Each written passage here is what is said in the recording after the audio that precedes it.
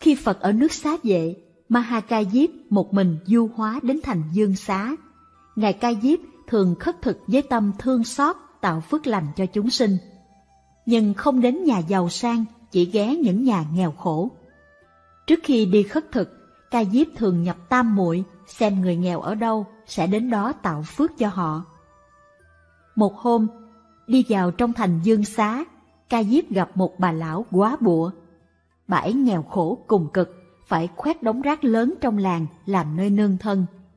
Thân thể bà gầy yếu, bệnh tật, thường nằm trong hang, cô độc không có ai giúp đỡ, không có cơm ăn, áo mặc, phải đặt một tấm phên nhỏ trong hang để che thân. Ca Diếp nhập định biết bà lão này đời trước không gieo trồng phước thiện, nên ngày nay phải chịu nghèo khổ. Ngài biết bà sắp qua đời, nếu không được độ sẽ mãi mãi không được hưởng phước.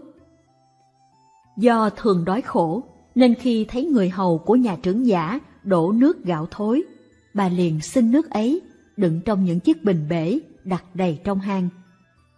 Ca Diếp đến xin và chú nguyện. Nếu bà cúng dường, dù nhiều hay ít đều được phước.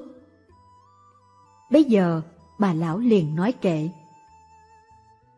Thân thể mang bệnh tật, lại cô độc khốn cùng, là người nghèo nhất nước, áo chẳng đủ che thân, người đời không lòng từ, khi gặp cũng thương xót.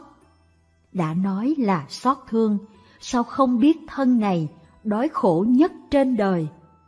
Không ai khổ hơn tôi, xin xót thương lượng thứ, thật tôi chẳng tiếc gì. Ngài Ca Diếp liền nói kệ.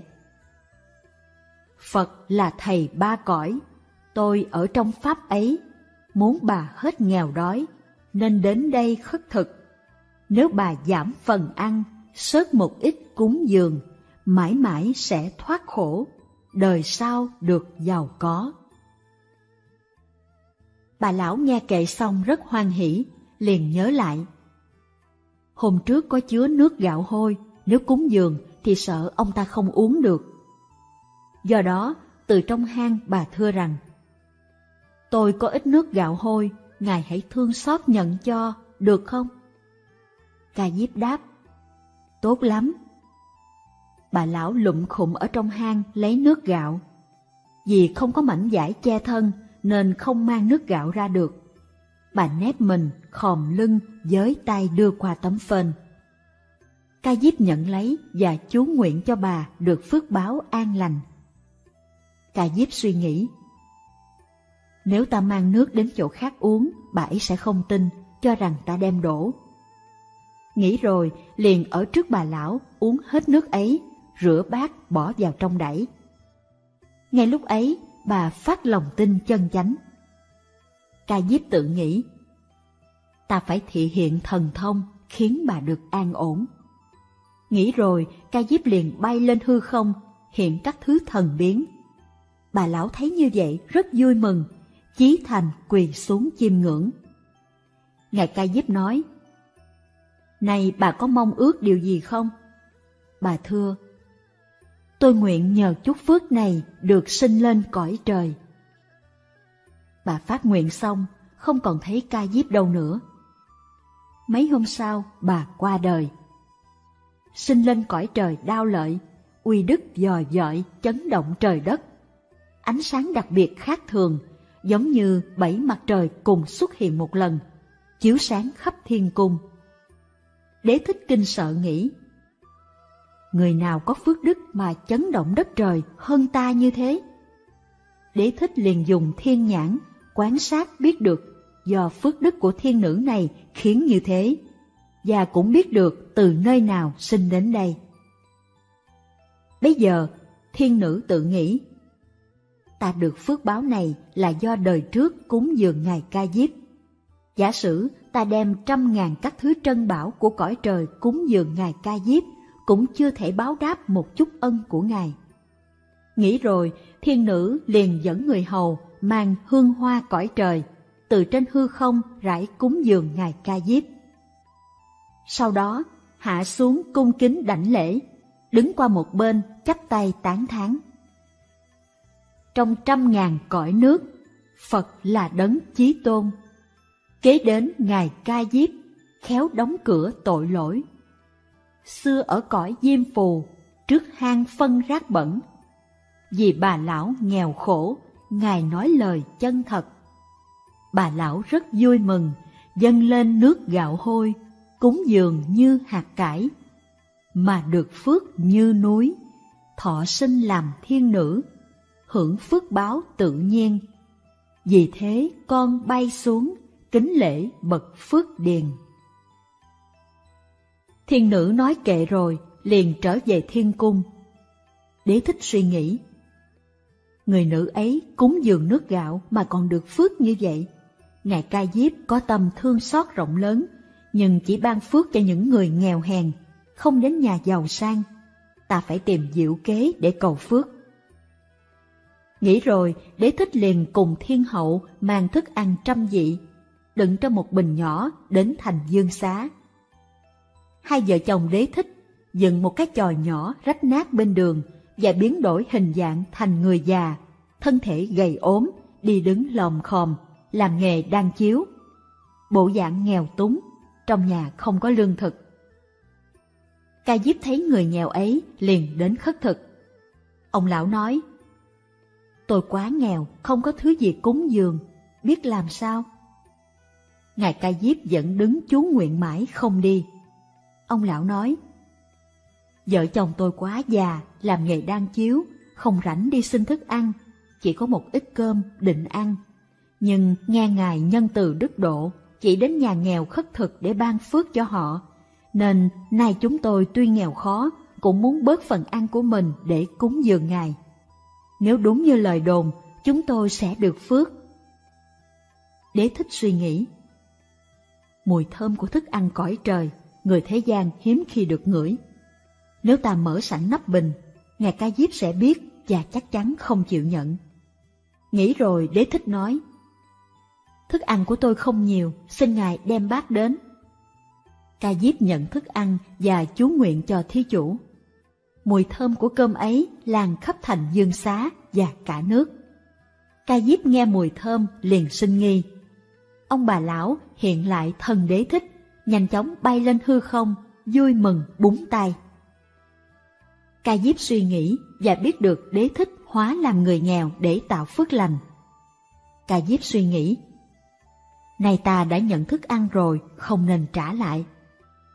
Ca Diếp tán thán đế thích làm phước không biết mỏi mệt, chịu mang lốt già xấu để gieo phước, ắt sẽ được phước báo. Đế thích và thiên hậu vô cùng vui mừng. Lúc ấy, trên trời trỗi kỹ nhạc đến nghênh đón. Về cung rồi, đế thích càng hoan hỷ hơn, liền nói kệ. Mây dạt phương Nam chẳng về đâu, đông tây dông rủi mãi dài lâu. Rau cá nguyên hiến hằng thầm ước, cao lương điền thị chẳng dám cầu. Sân cỏ um tùm không xe ngựa, cửa tranh lạnh vắng kết chiếu lao. Ngày trước trộm tham chút ánh sáng, hôm nay nghèo khổ chớ âu sầu. Nguyên Hiến là đệ tử của Khổng Tử, là bậc văn sĩ bần hàng thanh cao thời xưa. 13. Nô tỳ cúng dường một đồng được làm công chúa. Trong kinh A Dục Vương ghi Thổ xưa, khi Phật còn tại thế, Ngài cùng các tỳ kheo và A Nan thứ tự đi vào thành vương xá khất thực. Khi đến một ngõ hẻm, Phật gặp hai cậu bé tên Đức Thắng và Vô Thắng đang chơi trò đắp đất xây thành, nhà cửa, kho lẫm, lại lấy đất làm gạo chứa trong kho. Hai cậu bé thấy Phật có tướng hảo, thân hình màu vàng rồng sáng rực khắp thành. Đức Thắng hoan hỷ vốc gạo bằng đất trong kho dâng lên Đức Phật và phát nguyện. Con nguyện mai này sẽ thống lãnh thiên hạ và cúng dường đầy đủ phẩm vật Nhờ duyên lành và công đức phát nguyện ấy, sau khi Phật Niết Bàn một trăm năm, Đức Thắng làm chuyển luân Thánh Vương, cai trị cõi Diêm Phù Đề. Vua ở trong thành Hoa Thị dùng chánh pháp trị đời, lấy hiệu là A Thứ Già Vương. vua đích thân phân chia xá lợi Phật, xây dựng tám vạn bốn nghìn bảo tháp phụng thờ. Vua có lòng tin sâu tam bảo, thường thỉnh chư tăng vào cung cúng dường. Bấy giờ, trong cung có một nô tỳ rất nghèo khổ, thấy vua làm phước, liền tự trách mình. Lúc trước vua chỉ cúng dường Đức Phật một nắm đất, mà được giàu sang như thế. Nay vua lại cúng dường nhiều, nên chắc chắn đời sau sẽ giàu sang hơn. Đời trước ta tạo tội, nên nay mới làm kẻ thấp hèn, nghèo khổ. Không thể tạo phước, tương lai ắt sẽ càng nghèo hơn, biết bao giờ thoát khỏi kiếp nghèo. Nữ tỳ nghĩ rồi liền rơi lệ. Chư tăng thọ thực xong, nữ tỳ quét dọn, nhặt được đồng tiền trong đống rác, liền mang đến cúng dường chư tăng, trong lòng rất hoan hỷ. Không bao lâu, nữ tỳ lâm bệnh qua đời. Bấy giờ, trong cung vua có một phu nhân mang thai mười tháng, hạ sanh một công chúa cực kỳ xinh đẹp. Ít ai sánh kịp, nhưng tay phải công chúa thường nắm chặt. Lúc công chúa lên năm tuổi, phu nhân tu vua. Con gái chúng ta không biết tại sao tay phải thường nắm chặt. Vua bảo bồng công chúa đến, đặt lên đầu gối, sờ vào tay con, công chúa liền xòe ra. Trong tay có một đồng tiền, lấy rồi lại sinh ra không bao giờ hết. Chỉ trong chốc lát đầy một kho tiền, vua rất ngạc nhiên, liền đến hỏi A-la-hán gia xá. Đời trước công chúa đã tạo phước đức gì mà nay sinh ra, trong lòng bàn tay thường có một đồng tiền, lấy hoài không hết. A-la-hán đáp, Công chúa đời trước là nữ tỳ trong cung, khi quét dọn, nhặt được đồng tiền liền cúng dường chư tăng. Nhờ duyên lành này nên người ấy được sinh làm con gái đại vương. Trong tay luôn có một đồng tiền vàng lấy hoài vẫn không hết. 14. Bán củi cúng dường ba đồng được làm vua.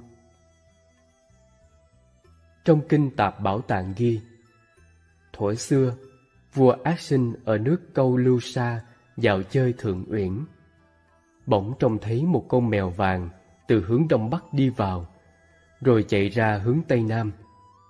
Vua thấy vậy, liền cho người đào theo hướng ấy, thì gặp được một chậu bằng đồng chứa khoảng ba hộp tiền vàng. Đào sâu vào, lại được hai chậu như trước. Cả ba chậu đều đầy tiền vàng giống nhau. Đào tiếp qua bên cạnh khoảng năm dặm, mỗi bước đều nhặt được nhiều tiền. Tuy vua được nhiều tiền như thế, nhưng sợ không dám sử dụng.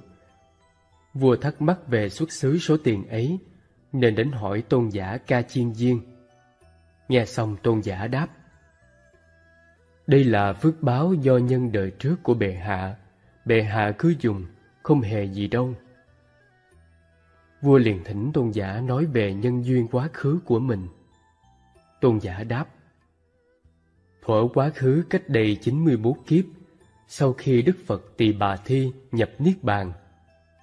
Trong thời chánh Pháp, có các tỳ kheo đến ngã tư đường, trải tòa, đặt bát, giáo hóa mọi người, khuyên rằng nếu người nào có tài sản nên cất vào kho bền chắc này sẽ không bị nạn vua, giặc, nước, lửa cướp đoạt.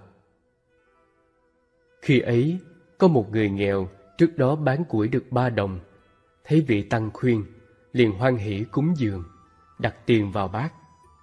Phát nguyện xong trở về. Suốt đoạn đường năm dặm về nhà Mỗi bước mỗi bước Người ấy đều vui mừng. Khi sắp vào nhà Người ấy cùng hướng về các vị tăng chí tâm đảnh lễ phát nguyện rồi mới vào. Người nghèo lúc ấy chính là bệ hạ. Nhờ ngày xưa bệ hạ hoan hỷ cúng dường chư tăng ba đồng tiền, nên đời đời ở địa vị tôn quý, lại được ba chậu đồng chứa đầy tiền. Bởi ngày trước, trên năm dặm đường, mỗi bước đi đều hoan hỷ, nên nay suốt năm dặm đường, mỗi bước vua đều nhặt được tiền. Vì thế khi cúng dường, nên hết lòng chí thành, chớ sinh tâm hối tiếc. Bài tụng Đá quặng chẳng phải chân, bình vẽ đúng là giả. áo gấm treo trên cao, sen ca sa đặt dưới. Lời đẹp chỉ kinh tâm, văn hay trọn thích thật. trần tướng đâu đã tỏ, phù vinh chưa thể buông. Vết khác bậc công hầu, sự theo kẻ lãng du. Thôi rồi dứt nhạc trình, chẳng phải loạn nhã chu. Tranh danh giàu sang rỗng, mắng chửi nhục vinh không. Đèn trước gió mong manh, bóng bọt đâu đáng bắt. Nhạc trịnh chỉ cho âm nhạc của nước trịnh thời Xuân Thu chiến quốc. Nhã Chu chỉ cho đại nhã và tiểu nhã trong kinh thi của nhà Chu. 15. Chỉ khởi tâm lành liền được phước. Kinh Tạp Thí Dụ ghi rằng Xưa kia ở nước xá vệ có một nhà nghèo. Cây nho trong sân có vài chùm trái gần chín. Ưu Bà Di dự định sẽ cúng dường cho đạo nhân. Nhưng trước đó, quốc dương đã thỉnh đạo nhân thọ thực một tháng. Ưu Bà Di nghèo kia thế lực không bằng vua, nên mong mỏi cả tháng mới gặp lại được đạo nhân. Cô liền hái trái cúng dường và thưa Tâm nguyện bố thí của con đã hơn một tháng rồi, nay mới được mãn nguyện. Đạo nhân nói, như vậy là đã bố thí được một tháng. Ưu bà Di hỏi, con bố thí chỉ có một chùm nho, làm sao nói là đã bố thí được một tháng? Đạo nhân trả lời, có tâm niệm xả thí trong một tháng là đã bố thí một tháng rồi. 16. Sơ tổ Trúc Lâm mở hội bố thí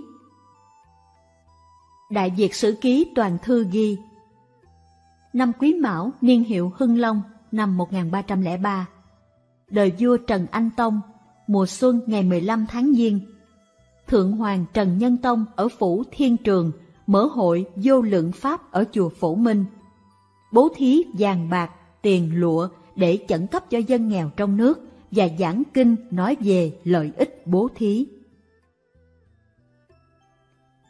17. Thiền sư Linh Nguyên dạy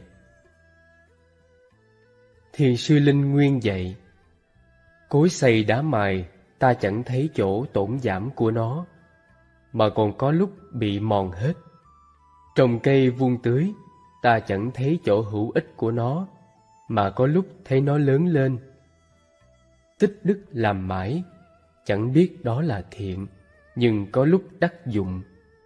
Bỏ nghĩa trái đạo, chẳng biết đó là ác, nhưng có lúc phải mất. Người học nếu nương theo cái kế thành thục kết quả mà bền chí noi theo, thì có thể thành tựu được đại khí, lừng lẫy được tiếng thơm. Đó là con đường bất di bất dịch của xưa nay. Thiền sư Linh Nguyên bảo tiên sinh y xuyên rằng Họa hay sanh phúc, phúc hay sanh họa, họa hay sanh phúc là do gặp lúc hoàn cảnh tai ách, nhưng tâm luôn tha thiết nhớ cảnh an vui, khắc sâu ý mong cầu đạo lý, liền hay chỉ biết run sợ kính cẩn. Do thế nên phúc mới sanh. Phúc sanh ra họa là do lúc sống trong cảnh an nhàn, nhưng vì tâm phóng túng xa hoa, ham muốn sằng bậy, bệnh lười biếng ngày càng tăng, dẫn đến sanh tật khinh lờn lừa gạt, do vậy nên họa mới sanh. Thánh nhân nói, nếu gặp nhiều gian nan thì chí người đó thành, nếu không có gian nan thì thân người đó mất. Được tức là đầu mối của mất, mất tức là nguyên lý của được. Thế nên phải biết, có phúc thời không nên kiêu hãnh, đã được thời không nên mong cầu hoài. Lúc đang ở yên trong phúc thì phải lo nghĩ đến khi tai họa. Thời cái phúc đó mới giữ được bền lâu. Lúc được mà lo đến khi mất, thời cái được đó sẽ vững bền. Cho nên người quân tử khi yên chẳng quên lúc nguy, lúc trị chẳng quên khi loạn là vậy. 18. Hòa thượng Thanh Từ dạy cúng dường tam bảo được lợi ích tùy tâm niệm người Phật tử. Nếu vì mình và thân thuộc mình mà cúng dường, phước đức cũng theo tâm lượng hẹp hòi ấy. Nếu vì tam bảo thường còn và lợi ích chúng sanh, phước đức sẽ theo tâm lượng rộng rãi thênh thang này. Người Phật tử chân thật thì bao giờ hay bất cứ việc gì cũng vì lợi ích chúng sanh. Đừng khi nào để lệch lạc mục tiêu tối thượng ấy. Chư Phật ra đời cũng vì chúng sanh, truyền bá chánh pháp cũng vì chúng sanh. Chúng ta đền ơn chư Phật cũng vì cứu độ chúng sanh. Đó là tâm niệm rộng lớn cao cả của người tu theo đạo Phật. Vì chúng sanh mà cúng dường tam bảo, quả thật người Phật tử sống đúng chánh pháp, hành đúng chánh pháp. Hành động đúng chánh pháp thì công đức lượng đồng với chánh pháp nghĩa là kiếp kiếp đời đời không mất. Nếu dạy Phật tử làm phước tạo công đức, tăng ni nên dạy đúng tinh thần này. 19. Bài ca chẳng biết đủ Lăng xăng mãi cả ngày chỉ bởi Ăn no rồi nghĩ tới áo cơm Trong phòng thiếu bóng mỹ nhân Cưới xong vợ đẹp đòi gần thiếp sinh ngựa với kiệu nhà mình chưa có, ráng sắm cho đầy đủ vừa lòng. Ruộng giường còn nhỏ thì mong, muốn mua ruộng tốt ngàn muôn mẫu xào. Không quan chức ước ao quan chức, để người đừng thách thức coi thường. Bí thư thứ trưởng hạng soàn, bộ trưởng phó thủ còn đang so bì.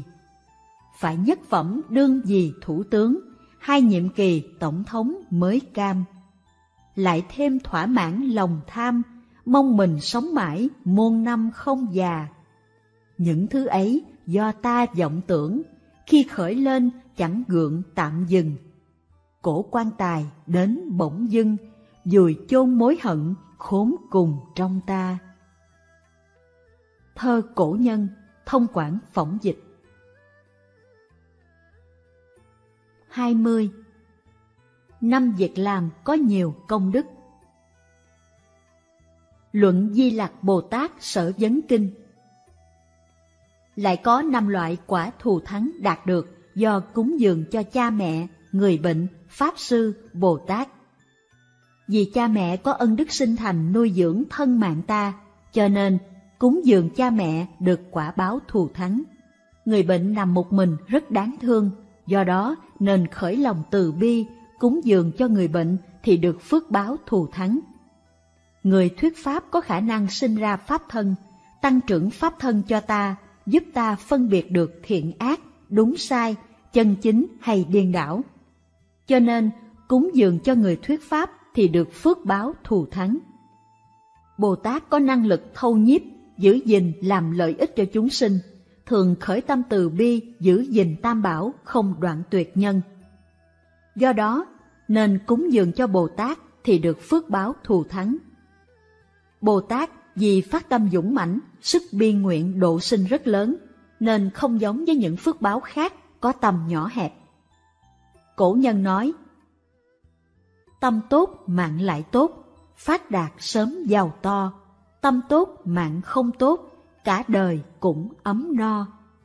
Mạng tốt, tâm không tốt, đường trước nhiều hố gò tâm mạng đều không tốt, cả đời thường sầu lo. 21. Công đức tùy thuộc vào tâm trí thành Tại ngôi làng Mahagama của nước Sri Lanka, Tích Lan, có một người đàn ông nghèo khổ tên Tissa, sinh sống bằng nghề kiếm củi, nên người ta gọi là Tissa. Tissa, người có tài sản là củi. Một lần nọ, ông bàn luận với vợ rằng tùy Đức Phật có dạy lợi ích về sự bố thí thường kỳ, nhưng chúng ta không thể thực hiện được vì cuộc sống chúng ta quá thiếu thốn và thấp kém. Chúng ta chỉ có khả năng cúng dường vật thực mỗi tháng hai lần với vật thực mà mình có được. Khi có khả năng hơn, chúng ta sẽ cúng dường vật thực tốt bằng phiếu thực để phân biệt sự cúng dường vật thực bình thường. Thời ấy, chư tỳ kheo ở Tích Lan được cúng dường vật thực thượng vị rất dồi dào. Một số tỳ kheo trẻ cùng Sa Di khi nhận vật thực của vợ chồng Tissa đã quăng bỏ trước mặt hai người thí chủ ấy. Người vợ bảo chồng rằng các vị sa môn đã quăng bỏ vật thực cúng dường của chúng ta rồi. Tuy nhiên, bà không có ý buồn phiền về việc quăng bỏ ấy. Bà nghĩ rằng các vị sa môn quăng bỏ vật thực này xét ra cũng đúng, vì những loại vật thực mà chúng ta có được là loại vật thực đáng quăng bỏ đối với mọi người. Thấy thế, Tissa nói với vợ, Chúng ta quá nghèo, không thể dâng vật thực làm hoan hỷ đến các ngài. Người vợ an ủi chồng rằng, Nhưng những người có con thì không thể nghèo, chúng ta hãy bán con gái làm nô tỳ cho người để lấy tiền. Ông Tissa nghe theo lời vợ, bán con gái cho một nhà khá giả, được 12 đồng tiền vàng, và với số tiền có được, ông mua con bò sữa về nuôi. Với tâm thành của hai vợ chồng, con bò cái cho rất nhiều sữa. Vào buổi chiều, họ lấy sữa bò nấu thành sữa đặc và bơ. Vào buổi sáng, họ lấy sữa nấu thành món cháo sữa, rồi cúng dường đến chư tăng, cùng với sữa đặc và bơ ban chiều. Loại thực vật này đã làm hoan hỷ đến chư tăng. Và người ta nói rằng, kể từ đó trở đi, phiếu thực vật của ông Tissa chỉ dành cho thánh chứng đạt cao. Các vị có thắng trí bố trí các bậc thánh đến thọ thực tại tư gia của Tissa. Thế rồi, một hôm gia chủ Tissa nói với vợ, Nhờ con gái, chúng ta đã làm hoan hỷ các bậc thánh. Con gái chúng ta đã nhận lãnh tuổi nhục này thay chúng ta. Bà đừng quên việc cúng dường vật thực đến chư Tăng. Tôi sẽ đi tìm việc làm để chuộc con gái chúng ta về. Ông ra đi tìm việc và được làm trong nhà máy đường. Sau sáu tháng nỗ lực làm việc, ông giành dụm được 12 đồng tiền vàng. Ông mang 12 đồng tiền vàng trở về làng để chuộc con gái. Vào sáng sớm, ông Tissa lên đường về quê. Trên đường về, ông gặp trưởng lão Tissa cũng đang đến làng Mahagama để hành lễ trong một tự viện. Trưởng lão Tissa là một bậc thực hành hạnh đậu đà đang đi khất thực. Gia chủ Tissa theo sau lưng ngài hỏi pháp từ nơi ngài. Khi đến đầu làng, đã đến giờ thọ thực. Gia chủ trông thấy một người đàn ông mang một mo cơm theo để ăn. Ông đề nghị ông ấy bán mo cơm cho ông với giá một đồng tiền vàng. Người kia suy nghĩ, mo cơm này chỉ đáng giá một phần mười số tiền trên, hẳn là có gì đặc biệt đây, nên người này mới trả giá cao như thế.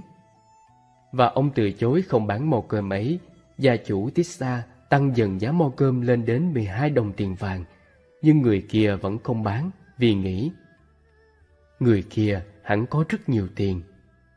Cuối cùng, Tissa nói rằng Này ông, tôi mua mo cơm này không phải dành cho tôi. Tôi mua để dâng đến vị trưởng lão đang ngồi dưới gốc cây. Tôi chỉ có 12 đồng vàng.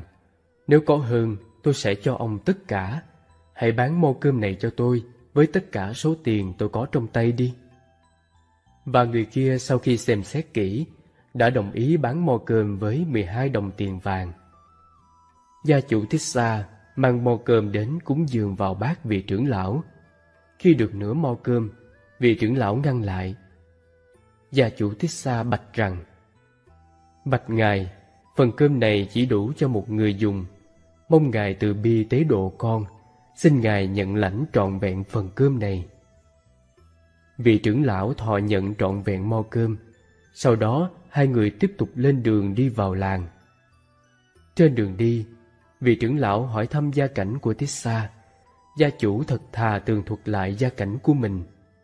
Nghe giá trị mo cơm bằng sáu tháng trời làm việc của gia chủ, tâm vị trưởng lão xúc cảm. Ôi, người này đã thực hiện một thí sự khó làm. Ông đã cúng dường đến ta với niềm tin thanh tịnh trong một hoàn cảnh khó khăn như thế. Ta thọ vật thực ấy xem như nợ ông ấy rất lớn. Ta phải tinh tấn chứng đạt quả vị A-la-hán để tỏ lòng tri ân ông. Ta sẽ tìm nơi thích hợp để hành đạo cho dù da, thịt, máu, vân vân của ta có khô cạn, ta sẽ không rời khỏi chỗ ngồi cho đến khi chứng đạt quả vị A-la-hán. Khi vào trong làng, mỗi người đi hướng riêng của mình. Khi đến tịnh xá Mahavihara, trưởng lão Thích Sa được bố trí ngủ trong một căn phòng yên tĩnh. Chính tại nơi này, Ngài phát nguyện, ta sẽ không rời khỏi tư thế ngồi cho đến khi nào chứng đạt quả vị A-la-hán. Trưởng lão tinh cần hành pháp suốt bảy ngày, cả đến việc đình chỉ dùng vật thực. Vào sáng thứ bảy, Ngài chứng đắc A-la-hán với tuệ phân tích. Quán xét thọ mạng, Ngài thấy sự chết đã gần kề.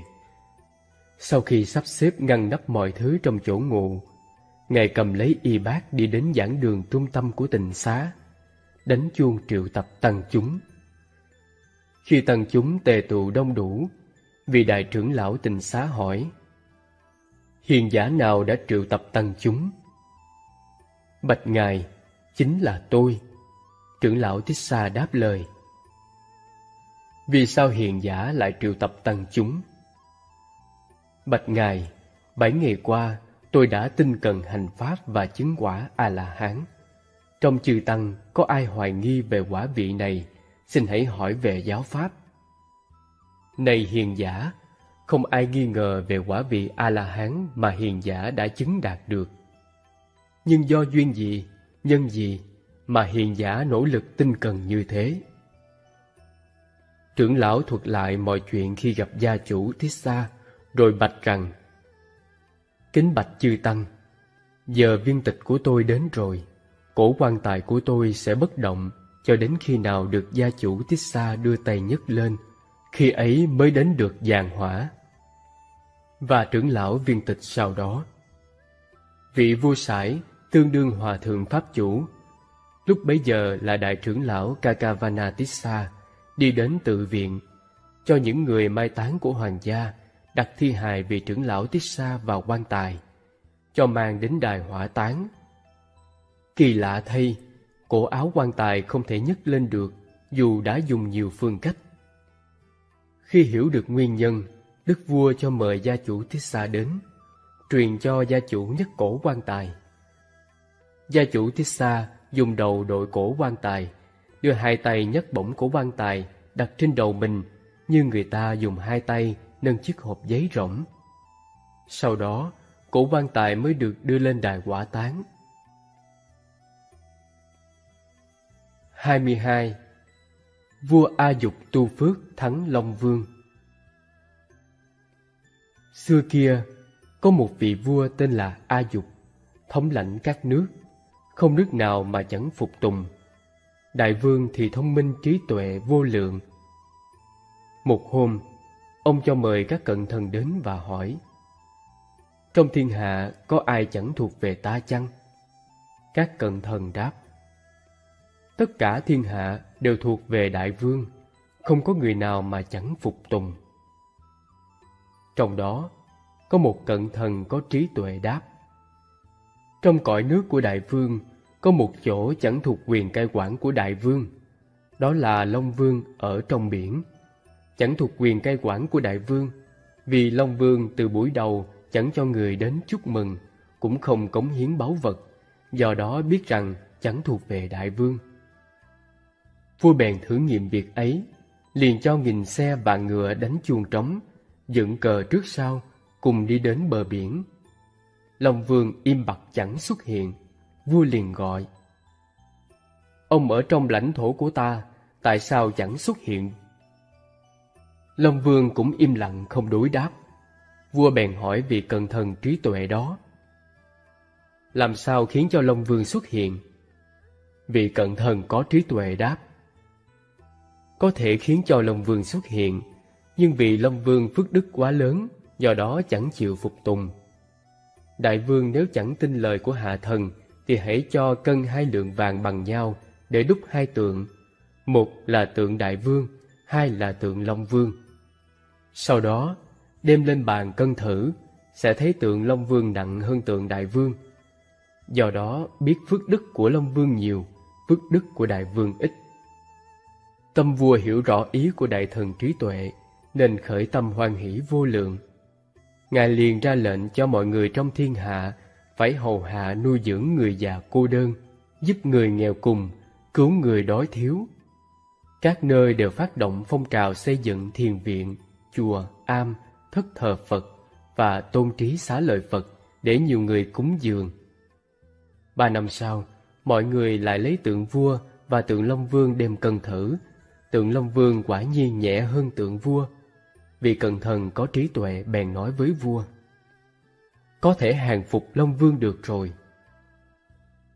Vua bèn lập bày xe ngựa, cờ phướng, chuông trống trầm rộ trước sau, đi đến bên bờ biển.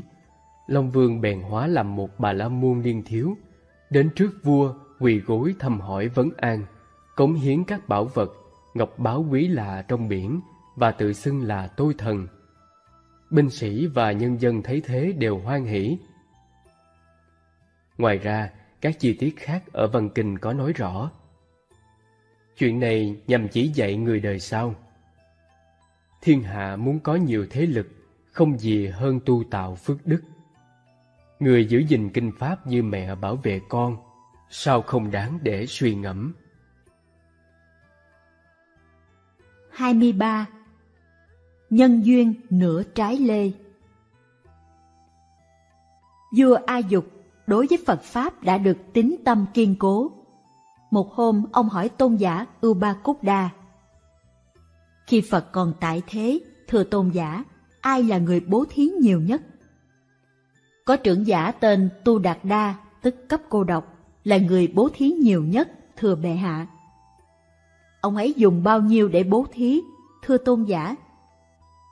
Một trăm ức lượng vàng. Trưởng giả kia còn có thể bố thí châu báu nhiều như thế, huống chi nay con làm vua cõi diêm phù đề mà sao không thể làm được?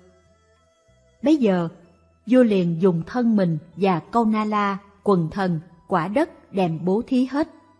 Rồi xây dựng tám ngàn bảo tháp thờ xá lợi Phật và tháp thanh văn tưới nước cho cây bồ đề, tính tổng cộng thì chi phí đã được 96 ức lượng vàng. Sau đó, vua A Dục bị bệnh nặng, biết mình không qua khỏi nên khóc than buồn tuổi trong lòng không vui. Khi xưa, tiền thân vua A Dục cúng dường đất thì đại thần La Đề Cúc Đề là chú bé đứng bên cạnh, chắp tay tùy hỷ. Ngày nay được làm đại thần lớn nhất triều đình, thân cận phụ tá cho vua. Thấy vua không vui, La Đề Cúc Đề liền chắp tay hỏi.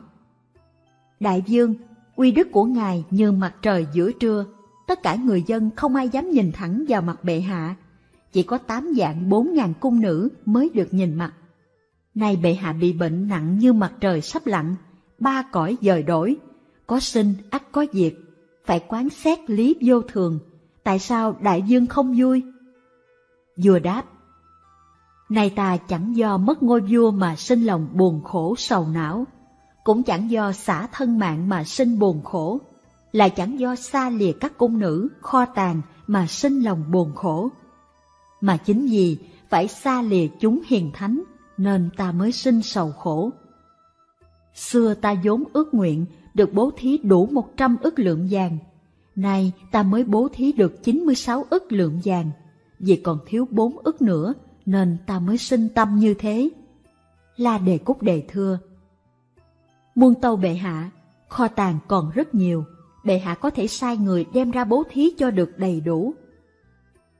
Bây giờ, vua bèn dùng vàng bạc, châu báu cúng dường chùa Kê Đầu Ma.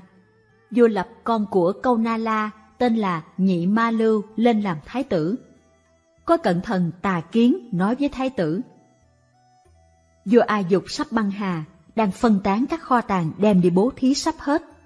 Thái tử sẽ lên làm vua, mà phàm làm vua thì dùng kho tàng châu báu để tùy sức chi tiêu. Này thái tử nên ngăn cản lại, chớ cho phung phí hết. Bây giờ, nhị ma lưu hợp các vị đại thần lại mà nói. Vì vua cha đang bệnh nặng nên tất cả sở hữu của triều đình ta cấm tuyệt không được lấy ra khỏi kho, chỉ cho một mâm vàng và một mâm bạc để dân thức ăn đến cho phụ dương ta thôi. Được mâm này rồi, vua A Dục lại sai người mang đi cúng dường chùa Kê Đầu Ma. Sau đó, nhà vua chỉ được dân thức ăn bằng mâm làm bằng đất nung. Các vật khác cũng bằng đất nung cả. Cho đến lần cuối cùng thì chỉ có nửa trái lê. Được nửa trái lê rồi, vua liền tập hợp các vị đại thần lại mà hỏi. Cõi diêm phù đề này, ai là chủ? Các đại thần đáp. Chính là ngài vậy. Các khanh nói sai rồi, ta không phải là chủ. Vì cớ sao? Vì ta chỉ được tự do sử dụng nửa trái lê này mà thôi. Tha ngôi, người ta giàu sang mà sao quá bần tiện. Ta làm vua đến lúc sắp lâm chung thì trở thành quá nghèo cùng, tài sản chỉ có nửa trái lê mà thôi. Cũng như dòng suối lớn, nước chảy mạnh, gặp núi cản lại thì phải dừng. Liền nói kệ rằng, Lời Phật là chân thật, nói ra đều chân lý. Dạy tất cả ái ân đều có biệt ly khổ. Xưa ta ra chiếu lệnh, không ai dám chống trái. Ngày nay như dòng suối, chạm núi thì dừng lại. Nay ta ra mệnh lệnh, không làm cũng như thế. Xưa ta nơi quả đất, vì tất cả chở che, dương hầu có kiêu mạng, ta đều hay chế phục. Người nghèo khổ cô đơn, ta đều cứu giúp họ. Xưa vì người che chở, ngày nay thế lực hết, giống như xe mục nát, đến lúc không giá trị, như cây A thứ già, gốc khô cành cũng mục. Hoa quả và cành lá, tất cả đều không còn. Nay ta không giá trị, vụ trên cũng như thế. Vua nói kệ này rồi, liền gọi đại thần bên cạnh, trao cho trái lê và ra lệnh. Ông hãy cầm trái lê này đi đến chùa kê đầu ma cúng dường chúng tăng và bạch thượng tọa rằng đây là phẩm vật cúng dường cuối cùng của vua A Dục. Vua A Dục chỉ được toàn quyền sử dụng nửa trái lê này mà thôi. Tất cả tài sản đều đã mất hết. Kính mong chúng tăng khởi tâm thương xót mà thọ nhận vật thí sau cùng của kẻ nghèo khổ này để kẻ nghèo khổ này được phước. Thượng tọa gia xá bèn dạy chúng tăng. Các thầy đều đã thấy vua A Dục hưởng phước an vui. Đối với tất cả tài sản trong thiên hạ đều được chi tiêu tự do, mà ngày nay bị các quần thần khống chế, ngăn cấm không cho vua sử dụng tài sản của mình một cách tự do, mà vua chỉ được tùy ý dùng nửa trái lê này mà thôi, do tâm rất thành kính nên vua mang vật này đến đây để cúng dường chúng tăng. Thượng tọa liền sai vị tri sự mài trái lê nhuyễn ra bỏ vào trong nồi canh để cho tất cả chúng tăng đều được dùng. Ngài lại dạy tiếp. Do sự việc này, các thầy phải đối với sinh tử thật lòng sinh tâm chán lìa, giàu sang vui sướng không bao lâu cũng tiêu tan. Thế lực tự tại chẳng lâu bị mất hết. Tha ngôi, sinh tử rất đáng chán ngán. Đó là bài học cho các ông vua đời sau biết rõ. Giàu sang tự tại không ai bằng vua A Dục mà còn bị các quần thần cấm ngăn. Cho nên, kịp lúc thế lực chưa suy tàn, phải hết lòng tạo các công đức. Sắp lâm chung, vua A Dục bảo La Đề Cúc Đề. Ngày nay trong cõi diêm phù đề, ai là người được tự tại? La Đề Cúc Đề đáp, Tâu bệ hạ, chỉ có Thế Tôn mới được tự tại. Vua nghe lời này, liền đứng dậy chắp tay xoay mình về bốn phía mà nói lời này.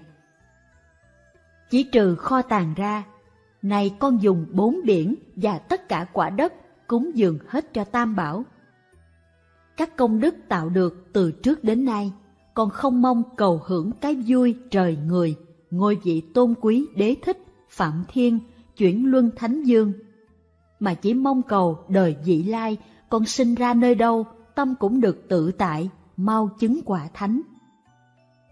Rồi liền viết chiếu thư, dùng răng ấn vào và trao cho đại thần La Đề Cốt Đề.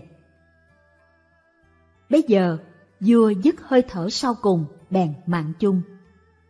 Các quần thần cử hành tang lễ theo phép mai táng vua chuyển luân, dùng các thứ trang nghiêm để cúng dường và lập nhị ma lưu lên làm vua. La Đề Cúc Đề mời các quần thần đến và nói, Vua A Dục dùng tất cả tài sản trên quả đất để bố thí cho chúng tăng. Vì cớ sao? Vì bệ hạ muốn học theo gương trưởng giả tu đạt, bố thí đủ 100 ức lượng vàng. Khi còn sống, bệ hạ chỉ bố thí được 96 ức lượng vàng.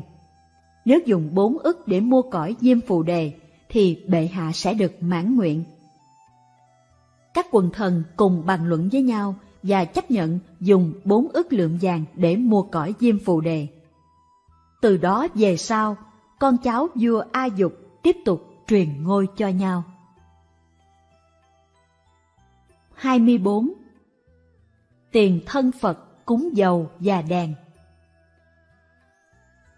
Kinh Hiền Ngu ghi rằng A Nan bạch Phật Không biết thuở quá khứ Đức Thế Tôn đã tạo căn lành gì mà đến đời này được phước báo cúng dường vô cực đăng như thế tức đèn cháy mãi không tắt Đức Phật bảo A Nan Thuở quá khứ trải qua hai A Tăng Kỳ 91 kiếp Cõi diêm phù đề này có một vua nước lớn tên là Ba Tắc Kỳ. Đại phu nhân của vua sinh được một thái tử, thân màu vàng tía, đầy đủ các tướng quý. Thời gian sau, thái tử dần lớn lên, xuất gia và thành Phật. Giáo hóa, độ thoát vô số chúng sinh. Bây giờ, vua cha thỉnh Phật và chúng tăng cúng dường ba tháng. Lúc ấy, có một tỳ kheo tên là A Lê Mật La nguyện làm đàn diệt cúng dường đèn suốt thời gian ấy. Hằng ngày, ông vào thành xin các thứ tô dầu và bất đèn. Khi ấy có dương nữ tên là Mâu Ni đứng trên lầu cao, thấy tỳ kheo này hàng ngày vào thành xin các thứ cần dùng, thì sinh lòng cung kính, sai người đến hỏi tỳ kheo cần gì. Tỳ kheo đáp, Hôm nay tôi làm đàn diệt cúng dường đèn cho Đức Phật và chúng tăng trong ba tháng, nên vào thành xin tô dầu và bất đèn. Người được sai đi trở về kể lại cho dương nữ biết, dương nữ rất vui mừng, nói từ nay về sau, Ngài đừng đi xin nữa, tôi sẽ cung cấp đầy đủ bất đèn cho Ngài. Tỳ kheo đồng ý. Thế là từ đó về sau, dân nữ thường dân đủ các thứ như tô dầu và bất đèn cho tỳ kheo. Tỳ kheo A Lê Mật La thành tâm thắp đèn cúng Phật. Đức Phật liền thọ ký. Đời sau, trải qua A Tăng kỳ kiếp, ông sẽ được thành Phật hiệu là Định Quang. Dương nữ Mâu Ni nghe tin tỳ kheo A Lê Mật La được thọ ký, liền nghĩ. Những thứ làm thành đèn cúng dường Đức Phật đều là của ta, mà tỳ kheo đã được thọ ký, ta còn không được. Suy nghĩ xong, bà liền đến chỗ Phật, trình bày suy nghĩ của mình. Đức Phật liền thọ ký. Đời sau trải qua hai A Tăng Kỳ, 91 kiếp, người sẽ được thành Phật hiệu là Thích Ca Mâu Ni đầy đủ 10 hiệu. Dân nữ nghe Phật thọ ký xong, lòng rất vui mừng, liền hóa thành nam tử, cúi lại chân Đức Phật xin làm sa môn. Đức Phật đồng ý. Từ đó, vị sa môn này tinh tấn tu tập không ngừng, Nhờ thuở xưa cúng dường đèn sáng, từ đó đến nay trải qua vô số kiếp, thường được sinh lên cõi trời người, hưởng phước tự nhiên, thân hình xinh đẹp hơn hẳn mọi người. Nay được thành Phật, phước báo được cúng dường đèn sáng này. 25. Cung nữ dân hoa cúng Phật Kinh Thái Hoa Thọ Quyết ghi Lúc bấy giờ, Vua La Duyệt sai hơn 10 người thường xuyên vào rừng hái hoa đẹp dân cho nhà vua. Một hôm, các cung nữ ra ngoài thành hái hoa. Trên đường về thì gặp Đức Phật. Họ liền cúi đầu kính lễ và suy nghĩ. Thà bỏ thân mạng, dân hoa cúng dường Phật và thánh chúng, cho dù bị hại cũng không rơi vào đường ác. Nghĩ xong, họ liền tung hoa lên cúng dường Phật và thánh chúng rồi tự quy mạng nhất tâm kính lễ. Đức Phật biết ý niệm ấy, nên thường xót thuyết pháp cho họ nghe. Những người hái hoa nghe xong đều phát đạo tâm, được Đức Phật thọ ký. Về sau, các ngươi sẽ được thành Phật, hiệu là Diệu Hoa. Lúc bấy giờ, các cung nữ liền trở về nhà từ biệt cha mẹ. Mạng con chắc không còn nữa, vì hôm nay nhà vua sẽ giết con. Cha mẹ ngạc nhiên hỏi, con có tội lỗi gì mà bị vua giết? Các cung nữ kể rõ câu chuyện cho cha mẹ nghe và nói, nếu không có hoa dâng lên nhà vua thì sẽ nguy hiểm đến tính mạng, nên hôm nay con trở về từ biệt cha mẹ. Cha mẹ nghe xong càng thêm buồn rầu, họ liền mở giỏ ra thì thấy đầy hoa đẹp, mùi thơm lan tỏa khắp nơi. Họ liền bảo, con hãy mang hoa này dâng lên nhà vua. Chờ mãi vẫn không thấy hoa mang đến, nhà vua tức giận, sai người bắt trói những người hái hoa phạm tội, đem ra chợ xử trảm. Thế nhưng sắc mặt của họ vẫn không biến đổi. Lấy làm lạ, nhà vua hỏi, Tội của các người đáng sẽ bị giết, vì sao không sợ? Những người hái hoa đáp, Con người có sống thì phải có chết, vạn vật có thành ắt có hoại. Chúng tôi vì Pháp mà phạm tội, nên không tiếc thân mạng. Buổi sáng đi hái hoa, trên đường về gặp Đức Phật, nên chúng tôi đã dâng lên cúng dường. Biết làm như thế là trái mệnh vua, tội sẽ bị giết, nhưng thà có đạo mà chết, còn hơn sống mà không đạo. Nhưng khi trở về mở giỏ ra, thì thấy hoa vẫn còn như cũ, đều là nhờ ân của Đức Phật chở che. Nhà vua lấy làm lạ, trong lòng không tin, bèn đến hỏi Phật.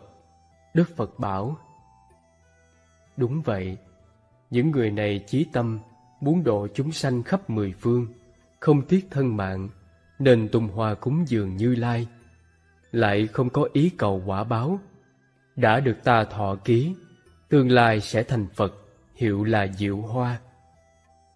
Nghe xong, nhà vua rất vui mừng, cởi trói cho họ, hối hận trách mình quá ngu si, không bằng Bồ Tát và xin Đức Phật tha thứ. Đức Phật bảo, Lành thay, người biết sửa lỗi lầm, thì đồng với người không có lỗi. 26. Tung hoa cúng Phật được sinh cõi trời Lại trong kinh Bách Duyên cũng ghi Một thời, Đức Phật ở kỳ thọ cấp cô độc viên tại thành xá vệ. Bấy giờ, các trưởng giả giàu sang quyền quý trong thành tụ tập bên bờ suối, mở hội hoa bà la, ca hát vui chơi. Họ sai một người vào rừng hái hoa bà la về kết tràng. Người được sai đi liền vào rừng hái hoa. Trên đường về thấy Đức Phật đủ ba mươi hai tướng quý, tám mươi vẻ đẹp, sáng rực như trăm nghìn mặt trời, lòng rất vui mừng, liền cúi lễ dưới chân và tung hoa cúng dường. Cúng dường xong, người ấy lại vào rừng, leo lên cây định hái hoa. Chợt cành cây bị gãy, ông ta rơi xuống đất và qua đời. Liền được sinh lên cõi trời đau lợi, thân hình xinh đẹp, ở trong cung điện được làm bằng hoa bà la. Đế thích hỏi, Ông ở đâu, tu phước gì mà được sinh về cõi này? Người hái hoa đáp, Tôi ở cõi Diêm Phù Đề, một hôm vào rừng hái hoa về lập hội vui chơi, trên đường về gặp Đức Phật, liền tung hoa cúng dường. Nhờ nhân duyên công đức ấy nên được sinh về cõi này. Đế thích thấy vị trời này thân hình vô cùng xinh đẹp, liền nói kệ khen. Thân như sắc vàng rồng, tỏa ánh sáng rực rỡ, dung mạo rất xinh đẹp, vượt hơn cả chư thiên. Vị trời ấy liền nói kệ đáp Tôi nhờ ân Đức Phật cúng dường hoa bà la Do nhân duyên lành này được quả báo tốt đẹp. Nói kệ xong, ông ta liền cùng đế thích đến chỗ Đức Phật Đảnh lễ dưới chân, rồi ngồi sang một bên Nghe Phật thuyết Pháp. Tâm ý khai mở, phá tan mười hai ức nghiệp chướng, tà kiến chứng quả tu đà hoàng. Do đó, ông vô cùng mừng rỡ, nói kệ khen Phật. Đại Thánh Tôn vòi vội, vô thượng không ai bằng, công cha mẹ, thầy tổ, cũng không thể sánh kịp. Làm khô bốn biển lớn, vượt qua núi xương trắng, lấp kín ba đường ác, mở rộng ba cửa lành. Ức nghiệp chướng Các nghiệp ác do thân, khẩu, ý của chúng sanh tạo ra, ngăn chè chánh đạo. Một trong ba chướng, một trong bốn chướng. Tà kiến Kiến chấp sai lầm Chỉ cho những chủ trương phản bác và không chấp nhận đạo lý nhân quả và tứ đế. 27. Phước báo sửa tháp Kinh Bách Duyên chép Lúc Đức Phật còn tại thế, trong thành Ca Tỳ La Vệ có một trưởng giả rất giàu, của cải nhiều vô lượng không thể tính kể. Ông sinh được một người con dùng mạo xinh đẹp, hiếm có trong đời. Các lỗ chân lông trên thân đều tỏa ra mùi hương chiên đàn, trong miệng thường thoảng ra mùi thơm hoa ưu bát. Cha mẹ rất vui mừng, nhân đó đặt tên con là Chiên Đàn Hương. Thời gian sau, Chiên Đàn Hương lớn lên, cầu Phật xuất gia và chứng quả A-la-hán. Các tỳ kheo thấy thế liền bạch Phật. Bạch Đức Thế Tôn, chiên đàn hương này đời trước trồng phước gì mà được sinh vào nhà giàu sang quyền quý, thân và miệng thường thoảng ra mùi thơm, lại được gặp Đức Thế Tôn xuất gia, chứng đạo quả. Đức Phật bảo các tỳ kheo, thuở quá khứ, trải qua 91 kiếp, sau khi Đức Phật Tỳ Bà Thi nhập Niết Bàn, vua bàn đầu mặt đế thâu lấy xá lợi, xây tháp bằng bốn báo, cao một do tuần để an trí cúng dường. Lúc ấy có một trưởng giả vào tháp Phật, thấy nền tháp bị thủng, ông liền nhồi trộn đất bùn trám lại, lấy bột hương chiên đàn rải lên, phát nguyện rồi đi. Nhờ công đức ấy, từ đó về sau trải qua 91 kiếp, trưởng giả kia không rơi vào đường ác, được sinh lên cõi trời người. Thân và miệng thường thoảng ra mùi thơm, hưởng thọ niềm vui sướng. Đến nay được gặp ta xuất gia chứng đạo quả. Mục 28 Bà già nghèo chí thành cúng đèn Trong kinh A Xà Thế, Dương Thọ Quyết ghi Đức Phật nhận lời thỉnh của vua A Xà Thế, sau khi thọ trai xong, Ngài trở về tỉnh xá Kỳ Hoàng. Lúc ấy, vua A Xà Thế bàn với Kỳ Bà Đức Phật đã thọ trai xong, tiếp theo ta phải làm gì? Kỳ bà tâu, nên thắp nhiều đèn để cúng dường. Thế là vua A Xà Thế liền truyền lệnh đem một trăm học dầu vừng thắp sáng từ cổng cung điện cho đến tịnh xá kỳ hoàng. Bây giờ có một bà già nghèo thấy vua làm công đức ấy thì cảm động. Bà đi xin khắp nơi được hai đồng tiền, liền ra tiệm mua dầu. Chủ tiệm hỏi, Bà quá nghèo khổ, chỉ xin được hai đồng tiền. Sao không mua thức ăn để nuôi thân, lại mua dầu làm gì? Bà già đáp, Rất khó gặp Đức Phật ra đời, trăm kiếp chỉ có một lần. Tôi may mắn được gặp Phật mà không cúng dường. Hôm nay thấy nhà vua làm công đức lớn. Tuy nghèo khổ, nhưng tôi cũng muốn thắp một ngọn đèn cúng Phật để làm nhân duyên kiếp sau. Nghe nói thế, chủ tiệm vui mừng Lẽ ra hai đồng tiền chỉ mua được hai cáp dầu thôi, nhưng ông đặc biệt thêm ba cáp nữa, tổng cộng là năm cáp. Cáp là tên một đơn vị đo thể tích thời xưa, một cáp bằng một phần mười thanh. Sau đó, bà già đem dầu đến trước Phật thắp lên, nhưng lại tính số dầu này không đủ thắp sáng đến nửa đêm, bà liền phát nguyện. Nếu đời sau tôi đắc đạo giống như Đức Phật, thì xin số dầu này được cháy sáng suốt đêm không hết. Phát nguyện xong, bà đảnh lễ Phật rồi ra về. Những ngọn đèn của vua có ngọn bị tắt, có ngọn bị hết dầu, nhưng ngọn đèn của bà già vẫn còn cháy sáng hơn các đèn khác suốt đêm không tắt. Đến sáng mà chất dầu vẫn không hết. Đức Phật bảo tôn giả một kiền liên. Trời đã sáng, ông nên tắt các ngọn đèn tôn giả một Kiền Liên dâng lời Phật dạy, lần lượt tắt hết các ngọn đèn, chỉ còn lại ngọn đèn của bà già, thổi đến ba lần vẫn không tắt. Tôn giả liền dán ca sa lên quạt cho tắt, nhưng ngọn đèn càng cháy sáng hơn.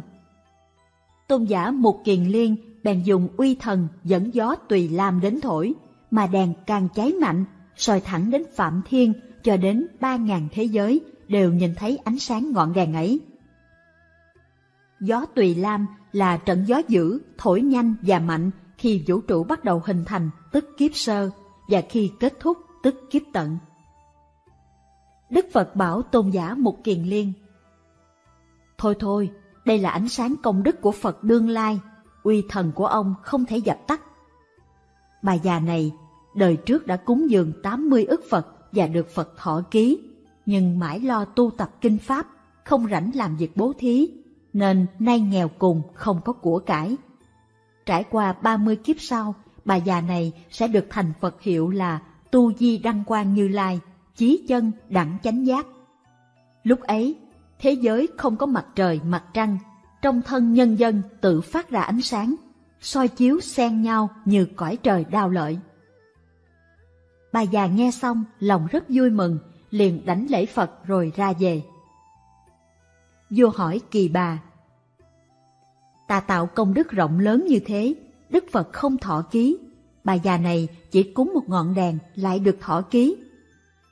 Kỳ bà đáp, Đại dương tạo công đức tuy nhiều, nhưng tâm không chuyên nhất, nên không bằng bà già chú tâm về Phật. Thế là sau đó, vua A Xà Thế đem tâm trí thành dân dầu và hoa cúng dường Phật. Đức Phật liền thọ ký. Đời sau trải qua tám dạng kiếp, đến một kiếp tên là Hỷ Hoang. Đại dương sẽ thành Phật hiệu là Tịnh Kỳ. Lúc ấy, Thái tử con vua A Xà Thế tên là Chiên Đà Hòa Lợi, mới lên 8 tuổi. Nghe vua cha được thọ ký, lòng rất vui mừng, liền cởi các châu báu trên thân, tung lên Phật và phát nguyện. Nguyện con đến thời Đức Phật tịnh kỳ, được làm Kim Luân Dương cúng dường Phật. Sau khi Đức Phật ấy nhập Niết Bàn, con sẽ được làm Phật kế tiếp. Đức Phật bảo, ông chắc chắn sẽ toại nguyện và được thành Phật hiệu là Chiên Đàn. 29. Tiền thân tôn giả A Na Luật Kinh Thí Dụ ghi Lúc Phật còn tại thế, các đệ tử của Ngài có đức hạnh không đồng nhau, như tôn giả xá lợi Phất trí tuệ bậc nhất, đại mục kiền liên thần thông đệ nhất, còn A Nan Luật thiên nhãn đệ nhất, có thể nhìn thấy ba nghìn đại thiên thế giới, cho đến các vật nhỏ nhiệm tối tâm cũng đều nhìn thấy. Tôn giả A Nan thấy thế, rồi liền bạch Phật. Bạch Đức Thế Tôn, tôn giả A Nan Luật đời trước trồng nghiệp lành gì mà được thiên nhãn như thế? Đức Phật bảo, Thuở quá khứ cách đây 91 kiếp, sau khi Đức Phật Tỳ Bà Thi nhập Niết Bàn, bấy giờ có một tên cướp lẻn vào tháp lấy trộm vật. Trong tháp có một ngọn đèn để trước tượng Phật, nhưng lại sắp tắt. Tên cướp liền lấy mũi tên khêu đèn lên cho sáng. Chợt thấy ánh sáng uy nghiêm của Đức Phật thì chấn động tâm thần, liền nghĩ. Người ta còn bỏ của cải để cầu phước, sao ta lại đi trộm? Nghĩ thế, tên trộm liền bỏ đi. Nhờ nhân duyên phước đức sửa lại ngọn đèn, mà từ đó về sau, trải qua 91 kiếp, tên trộm ấy thường sinh về cõi lành, dần dần xả bỏ những việc ác, phước đức càng tăng trưởng. Đến nay được gặp ta, xuất gia tu đạo và chứng quả A-la-hán. Ở trong chúng được thiên nhãn, nhìn thấu suốt bậc nhất, huống gì có người sinh tâm buông bỏ, thắp đèn cúng Phật sẽ được phước đức không thể suy lường. Trong luận trí độ ghi, nếu có người trộm hạt châu trong tháp Phật cho đến trộm đèn trong tháp Phật, sau khi chết sẽ rơi vào địa ngục. Nếu được làm người thì đời đời thường bị đuôi mù. 30. Tiền thân Thái tử Kỳ Đà Kinh Thí Dụ ghi vào thời Phật Tỳ Bà Thi, Thái tử Kỳ Đà cúng dường cho chùa một người hầu nam và một người hầu nữ lo việc quét dọn chùa. Nhờ công đức ấy, đời đời thái tử thường được cung điện bằng bảy báu. Hai bên cửa thường tự nhiên có một người nam và một người nữ bưng bát báu đựng đầy bảy thứ báu, lấy dùng không bao giờ hết. Ban đêm thường có hơn 500 thiên binh cưỡi ngựa bảo vệ cung điện, không ai dám đến gần. Lại có bảy thứ báu của chuyển luân thánh vương, xe vàng, vòi trắng, ngựa xanh, thần châu, ngọc nữ, quan giữ kho tàng, tướng chỉ huy quân đội. 31. Công đức sửa tháp Kinh Bách Duyên ghi rằng Ngày xưa, lúc Phật còn tại thế, trong thành Ca Tỳ La Vệ có một vị trưởng giả rất giàu, tiền của nhiều vô cùng. Vợ ông ta sinh một người con trai rất tuấn tú, ai thấy cũng quý mến. Khi trưởng thành, người con trai ấy được gặp Phật, xin xuất gia và chứng được quả A-la-hán. Bây giờ, Phật bảo các tỳ kheo. Trước đây 91 kiếp, sau khi Phật Tỳ Bà Thi ra đời, rồi vào Niết Bàn, vua bàn đầu mặt đế thu nhặt xá lợi Phật, dựng tháp bằng bốn thứ báo để cúng dường. Về sau, tháp ấy bị hỏng một ít. Một đứa bé vào chơi trong tháp, thấy chỗ tháp hỏng, liền vui vẻ kêu gọi mọi người cùng nhau sửa sang, lại phát nguyện rồi bỏ đi. Nhờ công đức ấy, trong 91 kiếp, đứa bé không bị đọa địa ngục, xuất sinh, ngạ quỷ, luôn được sinh vào cõi người và trời hưởng hạnh phúc, thường được người và trời kính trọng, xuất gia, đắc đạo. Nghe Phật nói, mọi người đều vui vẻ dâng lời, tụng rằng Lưu thân tám dạng tháp, báo treo cao trăm trượng, phụng hoàng sen quả linh, mâm vàng đỡ tay Phật.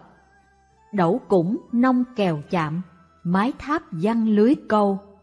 Đất báo như cát vàng, chuông gió thánh thoát gian. Sinh động ngàn hình chạm, rực rỡ muôn tượng vẽ. Thường ẩn hiện khói mây, thần tiên chợt lai giảng. Sương sớm lưng chừng tháp, phan bay chạm mây trời. Nghe bay không dám thở, côn lượng há được nhìn. Dây vàng rải phúc địa, quả báo trời đâu uổng. Nguyện nhờ thuyền từ giúp, bờ kia đâu còn rộng. Đẩu cũng là cái trụ ngắn trên xà. Nghe là tên một loại da sầu. Côn lượng là một loài chim giống như con sếu. 32. Phật chăm sóc tỳ kheo bệnh. Kinh Pháp Cú Thí Dụ ghi rằng, Ngày xưa có một nước tên Hiền Đề. Bây giờ có một tỳ kheo trưởng lão mắc bệnh đã lâu, thân thể gầy yếu, dơ bẩn, nằm ở tỉnh xá Hiền Đề, không người chăm sóc. Đức Phật bèn dẫn 500 tỳ kheo đi đến chỗ ấy. Ngài bảo các tỳ kheo thay nhau chăm sóc, và lo cơm cháo thuốc men cho tỳ kheo bệnh. Nhưng khi ngửi thấy mùi hôi, các vị ấy đều sinh tâm khinh rẻ. Đức Phật liền sai đế thích, lấy một chậu nước ấm đến, Ngài dùng tay kim cương tắm rửa cho vị tỳ kheo bệnh kia. Khi ấy, mặt đất bỗng nhiên chấn động, bầu trời rực sáng, mọi người đều kinh sợ. Quốc dương cùng vô số thần dân, trời, rồng, quỷ thần kéo đến, cúi đầu đảnh lễ và bạch Phật. Bạch Đức Thế Tôn, Ngài là đấng chí tôn trong ba cõi không ai sánh bằng, đạo đức đầy đủ, tại sao phải hạ mình tắm cho tỳ kheo bệnh kia? Đức Phật bảo, Như Lai sở dĩ xuất hiện ở đời chính là vì những người nghèo cùng, khốn khổ không nơi nương tựa này. Nếu ai chăm sóc nuôi dưỡng đạo nhân, sa môn bệnh tật, những kẻ bần cùng và người già cô độc, sẽ được phước vô lượng, sự mong cầu được như ý, cuối cùng sẽ đắc thánh đạo. Vua lại bạch Phật Bạch Đức Thế Tôn, vị tỳ kheo này đời trước tạo tội gì mà bị bệnh hành hạ nhiều năm, chữa mãi không lành? Đức Phật bảo, Ngày xưa có một vị vua tên Ác Hạnh, thi hành chính sách rất bạo ác. Vua sai một người có sức mạnh là ngũ bá thi hành hình phạt đánh người. Ngũ bá mượn uy quyền của vua mà tung hoành. Người sắp bị phạt roi, nếu mang nhiều của cải lo lót thì ông ta đánh nhẹ, ai không có thì bị đánh nặng. Do đó, cả nước vô cùng lo sợ. Bây giờ có một hiền giả bị người mưu hại nên phải chịu đòn roi. Hiền giả kia nói với ngũ bá, Tôi là đệ tử Phật, vốn không có tội, nay bị người hãm hại, xin ông lượng thứ cho. Ngũ bá nghe nói đệ tử Phật, nên đánh nhẹ tay, roi không chạm vào thân. Sau khi ngũ bá mạng chung thì bị đọa vào địa ngục, bị tra khảo đánh đập đau đớn muôn lần. Tội địa ngục hết, lại đọa làm súc sanh, thường bị đánh đập trong hơn 500 kiếp. Khi tội báo ở loại súc sinh hết, thì sanh lại làm người, thân thường bị bệnh khổ. Quốc dương lúc ấy, nay chính là điều đạt. Ngũ bá là tỳ kheo bệnh đây. Người hiền lúc ấy là ta. Do đời trước ngũ bá tha cho ta, đánh roi không chạm vào thân, nên hôm nay đích thân ta tắm rửa cho ông. Người tạo thiện hoặc ác thì họa phúc sẽ báo ứng, dù sống hay chết cũng không tránh khỏi. Bây giờ, Đức Thế Tôn liền nói kệ, đánh đập người lương thiện, giọng cho là không tội. Thật tội gấp mười lần, họa đến không thể cứu. Sống chịu nhiều khổ đau, thân thể không dạng toàn. Bệnh tật bất ngờ đến, tâm ý luôn sợ hãi. Bị mọi người chê cười, hoặc chịu nạn quan quyền. Tài sản bị tiêu hao, quyến thuộc phải chia lìa nhà cửa bị lửa thiêu, chết đọa vào đại ngục. Đây chính là mười tội. Tỳ kheo bệnh khi nghe Đức Phật nói kệ này và việc kiếp trước, liền dốc lòng tự trách nên bệnh tật tiêu trừ, liền chứng quả A-la-hán. Vua nước hiền đề suốt đời thực hành theo bài kệ nên chứng quả tu đà hoàng. 33. Hai anh em đồng xuất gia Kinh thí dụ ghi Vào thời Đức Phật Ca Diếp Có hai anh em kia đều làm sa môn Người anh luôn giữ giới, tu tập thiền định một lòng cầu đạo, nhưng không bố thí. Người em bố thí tu phước, nhưng hay phá giới. Đến thời Phật Thích Ca, người anh xuất gia đắc quả a la hán nhưng áo không đủ mặc, cơm không đủ no. Còn người em tái sinh vào loài voi, làm voi có sức mạnh, có khả năng đánh thắng kẻ địch nên được vua yêu quý, phong cho mấy trăm ấp và cung cấp cho vàng bạc, châu báu, anh lạc vân vân voi muốn gì đều được đầy đủ bấy giờ gặp lúc mất mùa người anh là tỳ kheo đi khắp nơi khất thực suốt bảy ngày vẫn không được thức ăn. Cuối cùng mới được chút ít đồ ăn dở, tạm duy trì mạng sống. Vị tỳ kheo quán biết voi kia đời trước là em mình nên đi đến bên cạnh, kề tai voi nói Trước kia ta và ngươi đều mắc tội. Voi suy ngẫm lời của vị tỳ kheo, nhắc lại nhân duyên kiếp trước của mình nên buồn bã, không chịu ăn uống người giữ voi lo sợ, đi đến tâu việc ấy với vua. Vua hỏi ông ta, Trước đây có người nào xúc phạm voi không? Người giữ voi thưa, Không có người nào khác, chỉ có một vị sa môn đi đến bên voi chốc lát rồi đi. Vua liền sai người đi tìm vị sa môn, hỏi xem đến bên voi nói điều gì. Vị sa môn đáp, Tôi nói với voi, ta và ngươi đều mắc tội. vị Sa môn kể lại cho nhà vua nghe đầy đủ sự việc đời trước, vua hiểu ra liền cho thả vị Sa môn. 34. Vàng bạc phải chăng là hạnh phúc? Thời Phật tại thế, có một vị quốc vương tên là Đa Vị Tả, kính thờ cả 69 dòng ngoại đạo. Bỗng một ngày kia, vua phát thiện tâm muốn thực hành đại bố thí, của báu chất đầy như núi và rao rằng hễ ai đến xin đều cho bốc đi một nắm. Nhiều ngày trôi qua, số người đến xin tuy nhiều mà núi báu vẫn chưa suy xuyển. Đức Phật biết phước phương đời trước có nhiều phước duyên có thể hóa độ được, nên liền hóa làm một vị phạm chí đến thăm. Vua rất mừng rỡ, làm lễ xong hỏi rằng Ngài muốn cần dùng gì, xin cho tôi biết, tôi vui lòng cúng dường. Vị phạm chí đáp Tôi từ xa đến đây, cốt xin nhà vua Ngọc Báo để đổi lấy vật liệu làm ở nhà. Vua đáp Tôi rất vui lòng xin ngài bốc lấy một nắm. Vị phạm chí bốc lấy một nắm, đi bảy bước, trở lại trả về chỗ cũ. Vua ngạc nhiên hỏi, Cớ sao ngài không lấy? Với số báo ấy, thật đủ làm nhà, nhưng khốn cho tôi, về sau còn phải cưới vợ nữa, thì không đủ dùng, nên tôi không lấy. Thôi, ngài hãy lấy thêm ba nắm, Vị phạm chí bốc ba nắm, đi bảy bước trở lại trả chỗ cũ. Sao ngày lại thế? Với số báo vật ấy, thật đủ cả cưới vợ, nhưng lấy gì sắm ruộng đất, đầy tớ, trâu ngựa. Tôi tính không đủ, nên thôi thà hơn. Thôi, ngài hãy lấy thêm bảy nắm. Vị phạm chí lấy xong, đi bảy bước lại trở lại trả chỗ cũ. Cớ gì ngài vẫn chưa vừa ý? Nếu tôi có con gái phải lo cưới gả, sắm sửa Lại còn việc nhà đám kỵ, giao tiếp thân bằng Tôi tính vẫn cưới thiếu nên không lấy. Tôi vui lòng cúng tất cả Ngài lấy về dùng cho đủ. Vị Phạm Chí bước lên núi báo Rồi trở xuống không nhận.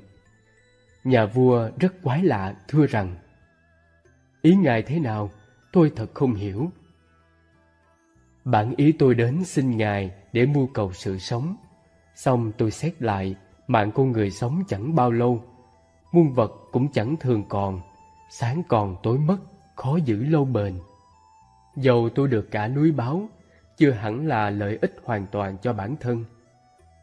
Lo toàn tham muốn bao nhiêu, luống công nhọc nhằn bấy nhiêu, chẳng bằng dứt bỏ dục vọng, cầu đạo giải thoát rèn luyện các đức tính tốt cho bản thân, cho gia đình, cho xã hội. Tất cả đều hướng về mục đích từ bi, trí tuệ là hơn, cho nên tôi không lấy. Khi đó, nhà vua tỉnh ngộ, tâm ý sáng suốt, cầu được nghe Pháp. Vị Phạm Chí liền nói bài kệ. Tuy được núi vàng báu, chất cao đến trời xanh, thế gian nhiều như thế, chẳng bằng thấy nguồn đạo. Đời không lành tưởng lành, ưa mà thấy như ghét, lấy khổ tưởng là vui, cuồng si bị tai họa. Nói bài kệ xong, Ngài đã hiện lại thân Phật, phóng hào quang sáng rực rỡ. Vua và quần thần vui mừng hớn hở, xin thọ ngũ giới. Vua chứng quả tu đà hoàng tỳ kheo viên minh. Đời người ngắn ngủi lắm, thoáng qua lẹ làng như bóng chớp, không ai sống mãi mà khỏi chết, thì con người có trường thọ được đâu. Vậy nên ta diệt lòng tham lam và bố thí cho kẻ nghèo. Sự giàu sang phong phú không phải thuộc về ta mãi, mà thường thường vì nó mà ta phải lụy thân. Thực hiện bởi Trung tâm Diệu Pháp Âm chùa Khuôn Việt, đường Phạm Văn Hai, quận Tân Bình, thành phố Hồ Chí Minh. Website diệu pháp âm.net, pháp âm.net, pháp âm.net, pháp âm.net, pháp âm.net, pháp âm.net, pháp âm.net, pháp âm.net, pháp âm. Khi Phật ở nước xá vệ, Maha Diếp một mình du hóa đến thành Dương Xá. Ngài Ca Diếp thường khất thực với tâm thương xót tạo phước lành cho chúng sinh nhưng không đến nhà giàu sang, chỉ ghé những nhà nghèo khổ. Trước khi đi khất thực, ca diếp thường nhập tam muội xem người nghèo ở đâu sẽ đến đó tạo phước cho họ. Một hôm, đi vào trong thành dương xá, ca diếp gặp một bà lão quá bụa. Bà bà ấy nghèo khổ cùng cực, phải khoét đống rác lớn trong làng làm nơi nương thân. Thân thể bà gầy yếu, bệnh tật, thường nằm trong hang, cô độc không có ai giúp đỡ, không có cơm ăn, áo mặc, phải đặt một tấm phên nhỏ trong hang để che thân. Ca Diếp nhập định biết bà lão này đời trước không gieo trồng phước thiện, nên ngày nay phải chịu nghèo khổ. Ngài biết bà sắp qua đời, nếu không được độ sẽ mãi mãi không được hưởng phước. Do thường đói khổ, nên khi thấy người hầu của nhà trưởng giả đổ nước gạo thối, bà liền xin nước ấy đựng trong những chiếc bình bể đặt đầy trong hang. Ca Diếp đến xin và chú nguyện. Nếu bà cúng dường, dù nhiều hay ít đều được phước. Bây giờ, bà lão liền nói kệ. Thân thể mang bệnh tật, lại cô độc khốn cùng, là người nghèo nhất nước, áo chẳng đủ che thân, người đời không lòng từ, khi gặp cũng thương xót. Đã nói là xót thương, sao không biết thân này đói khổ nhất trên đời. Không ai khổ hơn tôi, xin xót thương lượng thứ, thật tôi chẳng tiếc gì. Ngài Ca Diếp liền nói kệ. Phật là thầy ba cõi, tôi ở trong pháp ấy, muốn bà hết nghèo đói, nên đến đây khất thực. Nếu bà giảm phần ăn, sớt một ít cúng dường, mãi mãi sẽ thoát khổ, đời sau được giàu có. Bà lão nghe kệ xong rất hoan hỷ, liền nhớ lại. Hôm trước có chứa nước gạo hôi, nếu cúng dường thì sợ ông ta không uống được. Do đó, từ trong hang bà thưa rằng, Tôi có ít nước gạo hôi, Ngài hãy thương xót nhận cho, được không? Ca Diếp đáp, Tốt lắm.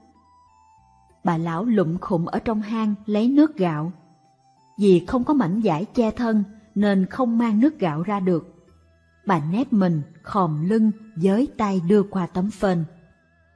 Ca Diếp nhận lấy và chú nguyện cho bà được phước báo an lành. Ca Diếp suy nghĩ, nếu ta mang nước đến chỗ khác uống, bà ấy sẽ không tin, cho rằng ta đem đổ. Nghĩ rồi, liền ở trước bà lão uống hết nước ấy, rửa bát bỏ vào trong đẩy. Ngay lúc ấy, bà phát lòng tin chân chánh. Ca Diếp tự nghĩ, ta phải thị hiện thần thông khiến bà được an ổn. Nghĩ rồi, ca diếp liền bay lên hư không, hiện các thứ thần biến. Bà lão thấy như vậy rất vui mừng, chí thành quỳ xuống chiêm ngưỡng. Ngài ca diếp nói, Này bà có mong ước điều gì không? Bà thưa, Tôi nguyện nhờ chút phước này được sinh lên cõi trời. Bà phát nguyện xong, không còn thấy ca diếp đâu nữa. Mấy hôm sau, bà qua đời sinh lên cõi trời đao lợi, uy đức dò dọi chấn động trời đất. Ánh sáng đặc biệt khác thường, giống như bảy mặt trời cùng xuất hiện một lần, chiếu sáng khắp thiên cung. Đế thích kinh sợ nghĩ, người nào có phước đức mà chấn động đất trời hơn ta như thế? Đế thích liền dùng thiên nhãn, quan sát biết được do phước đức của thiên nữ này khiến như thế và cũng biết được từ nơi nào sinh đến đây. Bây giờ, thiên nữ tự nghĩ, ta được phước báo này là do đời trước cúng dường Ngài Ca Diếp. Giả sử ta đem trăm ngàn các thứ trân bảo của cõi trời cúng dường Ngài Ca Diếp, cũng chưa thể báo đáp một chút ân của Ngài. Nghĩ rồi, thiên nữ liền dẫn người hầu mang hương hoa cõi trời, từ trên hư không rải cúng dường Ngài Ca Diếp. Sau đó, hạ xuống cung kính đảnh lễ, đứng qua một bên chắp tay tán thán. Trong trăm ngàn cõi nước, Phật là đấng chí tôn. Kế đến Ngài Ca Diếp, khéo đóng cửa tội lỗi. Xưa ở cõi Diêm Phù, trước hang phân rác bẩn. Vì bà lão nghèo khổ, Ngài nói lời chân thật. Bà lão rất vui mừng, dâng lên nước gạo hôi, cúng dường như hạt cải, mà được phước như núi, thọ sinh làm thiên nữ, hưởng phước báo tự nhiên vì thế con bay xuống, kính lễ bậc phước điền. Thiên nữ nói kệ rồi, liền trở về thiên cung. Đế thích suy nghĩ. Người nữ ấy cúng dường nước gạo mà còn được phước như vậy. Ngài Ca Diếp có tâm thương xót rộng lớn, nhưng chỉ ban phước cho những người nghèo hèn, không đến nhà giàu sang. Ta phải tìm diệu kế để cầu phước. Nghĩ rồi, đế thích liền cùng thiên hậu mang thức ăn trăm vị, đựng trong một bình nhỏ đến thành dương xá. Hai vợ chồng đế thích dựng một cái chòi nhỏ rách nát bên đường và biến đổi hình dạng thành người già, thân thể gầy ốm, đi đứng lòm khòm, làm nghề đan chiếu.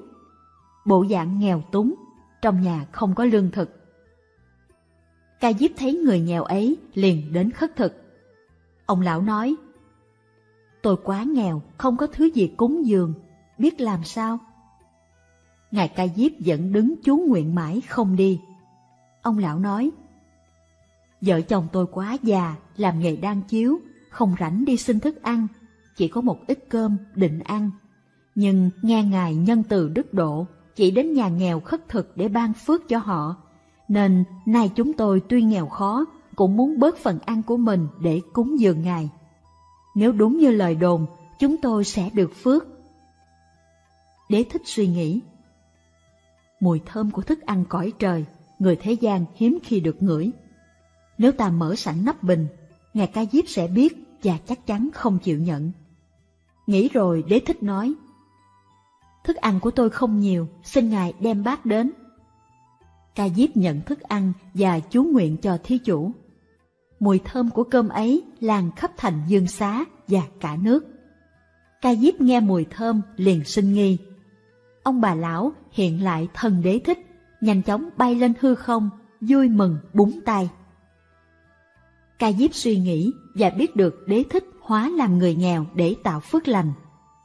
Ca Diếp suy nghĩ, nay ta đã nhận thức ăn rồi, không nên trả lại. Ca Diếp tán thán đế thích làm phước không biết mỏi mệt, chịu mang lốt già xấu để gieo phước, ắt sẽ được phước báo. Đế thích và thiên hậu vô cùng vui mừng. Lúc ấy, trên trời trỗi kỹ nhạc đến nghênh đón. Về cung rồi, đế thích càng hoan hỷ hơn, liền nói kệ. Mây dạt phương Nam chẳng về đâu, đông tây dông rủi mãi dài lâu. Rau cá nguyên hiến hằng thầm ước, cao lương điền thị chẳng dám cầu. Sân cỏ um tùm không xe ngựa, cửa tranh lạnh vắng kết chiếu lao. Ngày trước trộm tham chút ánh sáng, hôm nay nghèo khổ chớ âu sầu. Nguyên Hiến là đệ tử của Khổng Tử, là bậc văn sĩ bần hàng thanh cao thời xưa. 13. Nô tỳ cúng dường một đồng được làm công chúa.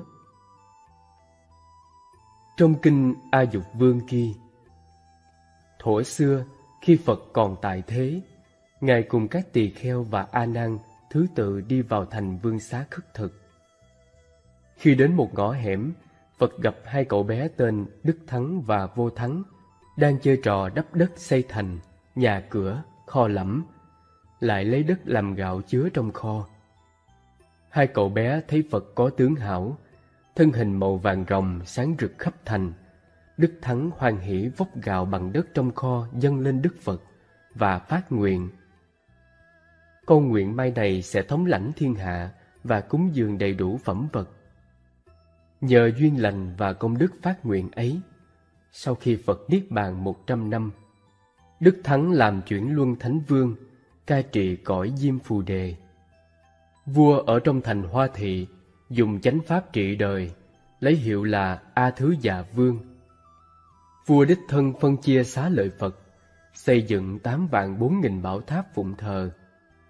Vua có lòng tin sâu tam bảo, thường thỉnh chư tăng vào cung cúng dường. Bấy giờ, trong cung có một nô tỳ rất nghèo khổ, thấy vua làm phước, liền tự trách mình.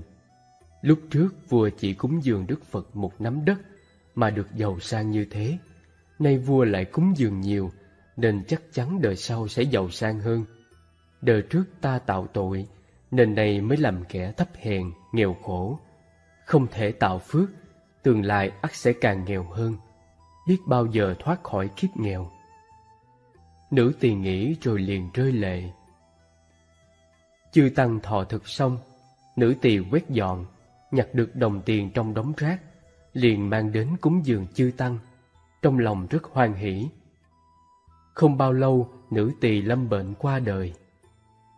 Bấy giờ, trong cung vua có một phu nhân mang thai mười tháng, hạ sanh một công chúa cực kỳ xinh đẹp. Ít ai sánh kịp, nhưng tay phải công chúa thường nắm chặt. Lúc công chúa lên năm tuổi, phu nhân tu vua. Con gái chúng ta không biết tại sao tay phải thường nắm chặt. Vua bảo bồng công chúa đến, đặt lên đầu gối, sờ vào tay con, công chúa liền xòe ra. Trong tay có một đồng tiền, lấy rồi lại sinh ra không bao giờ hết. Chỉ trong chốc lát đầy một kho tiền, vua rất ngạc nhiên, liền đến hỏi A-la-hán gia xá. Đời trước công chúa đã tạo phước đức gì mà nay sinh ra trong lòng bàn tay thường có một đồng tiền, lấy hoài không hết. A-la-hán đáp Công chúa đời trước là nữ tỳ trong cung. Khi quét dọn, nhặt được đồng tiền liền cúng dường chư tăng. Nhờ duyên lành này nên người ấy được sinh làm con gái đại vương. Trong tay luôn có một đồng tiền vàng lấy hoài vẫn không hết. 14. Bán củi cúng dường ba đồng được làm vua. Trong kinh Tạp Bảo Tạng ghi thổi xưa, vua Ác Sinh ở nước Câu Lưu Sa dạo chơi thượng uyển. Bỗng trông thấy một con mèo vàng từ hướng đông bắc đi vào, rồi chạy ra hướng tây nam. Vua thấy vậy, liền cho người đào theo hướng ấy, thì gặp được một chậu bằng đồng chứa khoảng ba hộp tiền vàng. Đào sâu vào, lại được hai chậu như trước. Cả ba chậu đều đầy tiền vàng giống nhau. Đào tiếp qua bên cạnh khoảng năm dặm, mỗi bước đều nhặt được nhiều tiền. Tuy vua được nhiều tiền như thế, nhưng sợ không dám sử dụng. Vua thắc mắc về xuất xứ số tiền ấy, nên đến hỏi tôn giả Ca Chiên Diên. Nghe xong tôn giả đáp, Đây là phước báo do nhân đời trước của bệ hạ, bệ hạ cứ dùng, không hề gì đâu. Vua liền thỉnh tôn giả nói về nhân duyên quá khứ của mình. Tôn giả đáp, Thuở quá khứ cách đây 91 kiếp, sau khi Đức Phật Tỳ Bà Thi nhập Niết Bàn. Trong thời chánh Pháp, có các tỳ kheo đến ngã tư đường, trải tòa, đặt bát, giáo hóa mọi người, khuyên rằng nếu người nào có tài sản nên cất vào kho bền chắc này sẽ không bị nạn vua, giặc, nước, lửa cướp đoạt. Khi ấy, có một người nghèo trước đó bán củi được ba đồng, thấy vị tăng khuyên, liền hoan hỷ cúng dường, đặt tiền vào bát. Phát nguyện xong trở về. Suốt đoạn đường năm dặm về nhà, mỗi bước mỗi bước, người ấy đều vui mừng. Khi sắp vào nhà, người ấy còn hướng về các vị tăng chí tâm đảnh lễ phát nguyện rồi mới vào. Người nghèo lúc ấy chính là bệ hạ. Nhờ ngày xưa bệ hạ hoan hỷ cúng dường chư tăng ba đồng tiền, nên đời đời ở địa vị tôn quý, lại được ba chậu đồng chứa đầy tiền. Bởi ngày trước, trên năm dặm đường, mỗi bước đi đều hoan hỷ, nên nay suốt năm dặm đường, mỗi bước vua đều nhặt được tiền. Vì thế khi cúng dường, nên hết lòng chí thành, chớ sinh tâm hối tiếc. Bài tụng Đá quặng chẳng phải chân, bình vẽ đúng là giả. Áo gấm treo trên cao, sen ca sa đặt dưới. Lời đẹp chỉ kinh tâm, văn hay tròn thích thật. Chân tướng đâu đã tỏ, phù vinh chưa thể buông. Vết khác bậc công hầu, sự theo kẻ lãng du. Thôi rồi dứt nhạc trình, chẳng phải loạn nhã chu tranh danh giàu sang rỗng mắng chửi nhục vinh không. Đèn trước gió mong manh, bóng bọt đâu đáng bắt. Nhạc trịnh chỉ cho âm nhạc của nước trịnh thời Xuân Thu chiến quốc. Nhã Chu chỉ cho đại nhã và tiểu nhã trong kinh thi của nhà Chu. 15. Chỉ khởi tâm lành liền được phước. Kinh Tạp Thí Dụ ghi rằng Xưa kia ở nước xá vệ có một nhà nghèo. Cây nho trong sân có vài chùm trái gần chín. Ưu Bà Di dự định sẽ cúng dường cho đạo nhân. Nhưng trước đó, quốc dương đã thỉnh đạo nhân thọ thực một tháng. Ưu Bà Di nghèo kia thế lực không bằng vua, nên mong mỏi cả tháng mới gặp lại được đạo nhân. Cô liền hái trái cúng dường và thưa. Tâm nguyện bố thí của con đã hơn một tháng rồi, nay mới được mãn nguyện. Đạo nhân nói, như vậy là đã bố thí được một tháng. Ưu bà Di hỏi, con bố thí chỉ có một chùm nho, làm sao nói là đã bố thí được một tháng? Đạo nhân trả lời, có tâm niệm xả thí trong một tháng là đã bố thí một tháng rồi. 16. Sơ tổ Trúc Lâm mở hội bố thí. Đại Việt Sử Ký Toàn Thư ghi. Năm Quý Mão, niên hiệu Hưng Long, năm 1303 Đời vua Trần Anh Tông, mùa xuân ngày 15 tháng Giêng. Thượng Hoàng Trần Nhân Tông ở Phủ Thiên Trường mở hội vô lượng Pháp ở chùa Phổ Minh. Bố thí vàng bạc, tiền lụa để chẩn cấp cho dân nghèo trong nước và giảng kinh nói về lợi ích bố thí. 17. Thiền sư Linh Nguyên dạy Thiền sư Linh Nguyên dạy, Cối xây đá mài, ta chẳng thấy chỗ tổn giảm của nó, Mà còn có lúc bị mòn hết Trồng cây vuông tưới, ta chẳng thấy chỗ hữu ích của nó, Mà có lúc thấy nó lớn lên Tích đức làm mãi Chẳng biết đó là thiện Nhưng có lúc đắc dụng bỏ nghĩa trái đạo, chẳng biết đó là ác, nhưng có lúc phải mất. Người học nếu nương theo cái kế thành thục kết quả mà bền chí noi theo, thì có thể thành tựu được đại khí, lừng lẫy được tiếng thơm. Đó là con đường bất di bất dịch của xưa nay. Thiền sư Linh Nguyên bảo tiên sinh y xuyên rằng Họa hay sanh phúc, phúc hay sanh họa Hòa hay sanh phúc là do gặp lúc hoàn cảnh tai ách, nhưng tâm luôn tha thiết nhớ cảnh an vui, khắc sâu ý mong cầu đạo lý, liền hay chỉ biết run sợ kính cẩn. Do thế nên phúc mới sanh. Phúc sanh ra họa là do lúc sống trong cảnh an nhàn, nhưng vì tâm phóng túng xa hoa, ham muốn sằng bậy, bệnh lười biếng ngày càng tăng, dẫn đến sanh tật khinh lờn lừa gạt, do vậy nên họa mới sanh. Thánh nhân nói, nếu gặp nhiều gian nan thì chí người đó thành, nếu không có gian nan thì thân người đó mất. Được tức là đầu mối của mất, mất tức là nguyên lý của được. Thế nên phải biết, có phúc thời không nên kiêu hãnh, đã được thời không nên mong cầu hoài.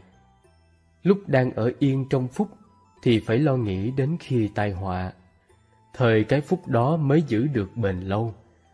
Lúc được mà lo đến khi mất, thời cái được đó sẽ vững bền. Cho nên người quân tử khi yên chẳng quên lúc nguy, lúc trị chẳng quên khi loạn là vậy. 18. Hòa thượng Thanh Từ dạy Cúng dường tam bảo được lợi ích, tùy tâm niệm người Phật tử. Nếu vì mình và thân thuộc mình mà cúng dường, phước đức cũng theo tâm lượng hẹp hòi ấy. Nếu vì tam bảo thường còn và lợi ích chúng sanh, phước đức sẽ theo tâm lượng rộng rãi thênh thang này. Người Phật tử chân thật thì bao giờ hay bất cứ việc gì cũng vì lợi ích chúng sanh. đừng khi nào để lệch lạc mục tiêu tối thượng ấy. Chư Phật ra đời cũng vì chúng sanh, truyền bá chánh pháp cũng vì chúng sanh. Chúng ta đền ơn chư Phật cũng vì cứu độ chúng sanh. Đó là tâm niệm rộng lớn cao cả của người tu theo đạo Phật. Vì chúng sanh mà cúng dường tam bảo, quả thật người Phật tử sống đúng chánh pháp, hành đúng chánh pháp. Hành động đúng chánh pháp thì công đức lượng đồng với chánh pháp. Nghĩa là kiếp kiếp đời đời không mất. Nếu dạy Phật tử làm phước tạo công đức, tăng ni nên dạy đúng tinh thần này. 19. Bài ca chẳng biết đủ Lăng xăng mãi cả ngày chỉ bởi, Ăn no rồi nghĩ tới áo cơm. Trong phòng thiếu bóng mỹ nhân, Cưới xong vợ đẹp đòi gần thiếp sinh. Ngựa với kiệu nhà mình chưa có, Ráng sắm cho đầy đủ vừa lòng. Ruộng giường còn nhỏ thì mong, Muốn mua ruộng tốt ngàn muôn mẫu xào không quan chức, ước ao quan chức, để người đừng thách thức coi thường bí thư thứ trưởng hạng soàn bộ trưởng phó thủ còn đang so bì. Phải nhất phẩm đương gì thủ tướng hai nhiệm kỳ tổng thống mới cam. Lại thêm thỏa mãn lòng tham mong mình sống mãi muôn năm không già. Những thứ ấy do ta vọng tưởng khi khởi lên chẳng gượng tạm dừng. Cổ quan tài đến bỗng dưng, dùi chôn mối hận khốn cùng trong ta. Thơ cổ nhân, thông quản phỏng dịch 20. Năm việc làm có nhiều công đức Luận Di Lạc Bồ Tát Sở Vấn Kinh Lại có năm loại quả thù thắng đạt được do cúng dường cho cha mẹ, người bệnh Pháp Sư, Bồ Tát. Vì cha mẹ có ân đức sinh thành nuôi dưỡng thân mạng ta, cho nên cúng dường cha mẹ được quả báo thù thắng. Người bệnh nằm một mình rất đáng thương, do đó nên khởi lòng từ bi, cúng dường cho người bệnh thì được phước báo thù thắng. Người thuyết pháp có khả năng sinh ra pháp thân, tăng trưởng pháp thân cho ta, giúp ta phân biệt được thiện ác, đúng sai, chân chính hay điên đảo. Cho nên, cúng dường cho người thuyết pháp thì được phước báo thù thắng. Bồ Tát có năng lực thâu nhiếp, giữ gìn làm lợi ích cho chúng sinh, thường khởi tâm từ bi giữ gìn tam bảo không đoạn tuyệt nhân. Do đó, nên cúng dường cho Bồ Tát thì được phước báo thù thắng. Bồ Tát vì phát tâm dũng mãnh, sức biên nguyện độ sinh rất lớn, nên không giống với những phước báo khác có tầm nhỏ hẹp. Cổ nhân nói, tâm tốt mạng lại tốt, phát đạt sớm giàu to, tâm tốt mạng không tốt, cả đời cũng ấm no. Mạng tốt, tâm không tốt, đường trước nhiều hố gò. Tâm mạng đều không tốt, cả đời thường sầu lo. 21. Công đức tùy thuộc vào tâm trí thành Tại ngôi làng Mahagama của nước Sri Lanka, Tích Lan, có một người đàn ông nghèo khổ tên Tissa. Sinh sống bằng nghề kiếm củi, nên người ta gọi là Tissa. Tissa, người có tài sản là củi. Một lần nọ, ông bàn luận với vợ rằng Tuy Đức Phật có dạy lợi ích về sự bố thí thường kỳ, nhưng chúng ta không thể thực hiện được vì cuộc sống chúng ta quá thiếu thốn và thấp kém. Chúng ta chỉ có khả năng cúng dường vật thực mỗi tháng hai lần với vật thực mà mình có được. Khi có khả năng hơn, chúng ta sẽ cúng dường vật thực tốt bằng phiếu thực để phân biệt sự cúng dường vật thực bình thường. Thời ấy, chư tỳ kheo ở Tích Lan được cúng dường vật thực thượng vị rất dồi dào. Một số tỳ kheo trẻ cùng Sa Di khi nhận vật thực của vợ chồng Tissa đã quăng bỏ trước mặt hai người thí chủ ấy. Người vợ bảo chồng rằng, các vị sa môn đã quăng bỏ vật thực cúng dường của chúng ta rồi. Tuy nhiên, bà không có ý buồn phiền về việc quăng bỏ ấy. Bà nghĩ rằng, các vị sa môn quăng bỏ vật thực này xét ra cũng đúng, vì những loại vật thực mà chúng ta có được là loại vật thực đáng quăng bỏ đối với mọi người. Thấy thế, Tissa nói với vợ, Chúng ta quá nghèo, không thể dân vật thực làm hoan hỷ đến các ngài. Người vợ an ủi chồng rằng, Nhưng những người có con thì không thể nghèo, chúng ta hãy bán con gái làm nô tỳ cho người để lấy tiền. Ông Tissa nghe theo lời vợ, bán con gái cho một nhà khá giả, được 12 đồng tiền vàng, và với số tiền có được, ông mua con bò sữa về nuôi. Với tâm thành của hai vợ chồng, con bò cái cho rất nhiều sữa. Vào buổi chiều, họ lấy sữa bò nấu thành sữa đặc và bơ. Vào buổi sáng, họ lấy sữa nấu thành món cháo sữa, rồi cúng dường đến chư tăng, cùng với sữa đặc và bơ ban chiều. Loại thực vật này đã làm hoan hỷ đến chư tăng.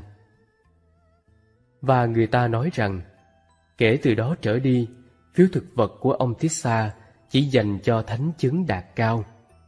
Các vị có thắng trí bố trí các bậc thánh đến thọ thực tại tư gia của Tissa.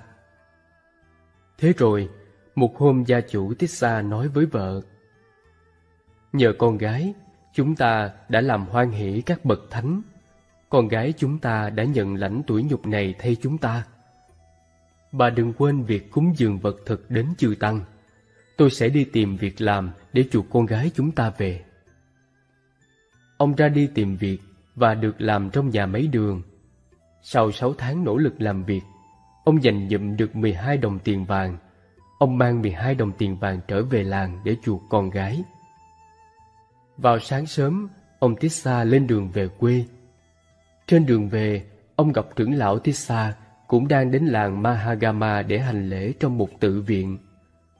Trưởng lão Tissa là một bậc thực hành hạnh đậu đà đang đi khất thực. Gia chủ Tissa theo sau lưng ngài hỏi pháp từ nơi ngài. Khi đến đầu làng, đã đến giờ thọ thực. Gia chủ trông thấy một người đàn ông mang một mo cơm theo để ăn. Ông đề nghị ông ấy bán mo cơm cho ông với giá một đồng tiền vàng. Người kia suy nghĩ, mo cơm này chỉ đáng giá một phần mười số tiền trên, hẳn là có gì đặc biệt đây, nên người này mới trả giá cao như thế. Và ông từ chối không bán mò cơm ấy, gia chủ Tissa tăng dần giá mo cơm lên đến 12 đồng tiền vàng, nhưng người kia vẫn không bán vì nghĩ người kia hẳn có rất nhiều tiền. Cuối cùng, Tissa nói rằng Này ông, tôi mua mo cơm này không phải dành cho tôi. Tôi mua để dâng đến vị trưởng lão đang ngồi dưới gốc cây. Tôi chỉ có 12 đồng vàng. Nếu có hơn, tôi sẽ cho ông tất cả. Hãy bán mô cơm này cho tôi với tất cả số tiền tôi có trong tay đi. Và người kia sau khi xem xét kỹ, đã đồng ý bán mô cơm với 12 đồng tiền vàng. Gia chủ thích xa mang mô cơm đến cúng dường vào bát vị trưởng lão. Khi được nửa mô cơm, vị trưởng lão ngăn lại. Gia chủ thích xa bạch rằng, Bạch ngài, phần cơm này chỉ đủ cho một người dùng. Mong ngài từ bi tế độ con, xin ngài nhận lãnh trọn vẹn phần cơm này. Vị trưởng lão thọ nhận trọn vẹn mo cơm, sau đó hai người tiếp tục lên đường đi vào làng. Trên đường đi, vị trưởng lão hỏi thăm gia cảnh của Tissa. Gia chủ thật thà tường thuật lại gia cảnh của mình. Nghe giá trị mo cơm bằng sáu tháng trời làm việc của gia chủ, tâm vị trưởng lão xúc cảm. Ôi, người này đã thực hiện một thí sự khó làm. Ông đã cúng dường đến ta với niềm tin thanh tịnh trong một hoàn cảnh khó khăn như thế. Ta thọ vật thực ấy xem như nợ ông ấy rất lớn. Ta phải tinh tấn chứng đạt quả vị A-la-hán để tỏ lòng tri ân ông. Ta sẽ tìm nơi thích hợp để hành đạo, cho dù da, thịt, máu, vân vân của ta có khô cạn, ta sẽ không rời khỏi chỗ ngồi cho đến khi chứng đạt quả vị A-la-hán. Khi vào trong làng, mỗi người đi hướng riêng của mình. Khi đến tịnh xá Mahavihara, trưởng lão Thích Sa được bố trí ngủ trong một căn phòng yên tĩnh. Chính tại nơi này, Ngài phát nguyện ta sẽ không rời khỏi tư thế ngồi cho đến khi nào chứng đạt quả vị A-la-hán. Trưởng lão tinh cần hành pháp suốt bảy ngày, cả đến việc đình chỉ dùng vật thực. Vào sáng thứ bảy, Ngài chứng đắc A-la-hán với tuệ phân tích. Quán xét thọ mạng, Ngài thấy sự chết đã gần kề. Sau khi sắp xếp ngăn nắp mọi thứ trong chỗ ngủ, Ngài cầm lấy y bát đi đến giảng đường trung tâm của tình xá, đánh chuông triệu tập tăng chúng. Khi tăng chúng tề tụ đông đủ, vị đại trưởng lão tình xá hỏi, Hiền giả nào đã triệu tập tăng chúng? Bạch Ngài, chính là tôi. Trưởng lão Tích xa đáp lời. Vì sao hiền giả lại triệu tập tăng chúng?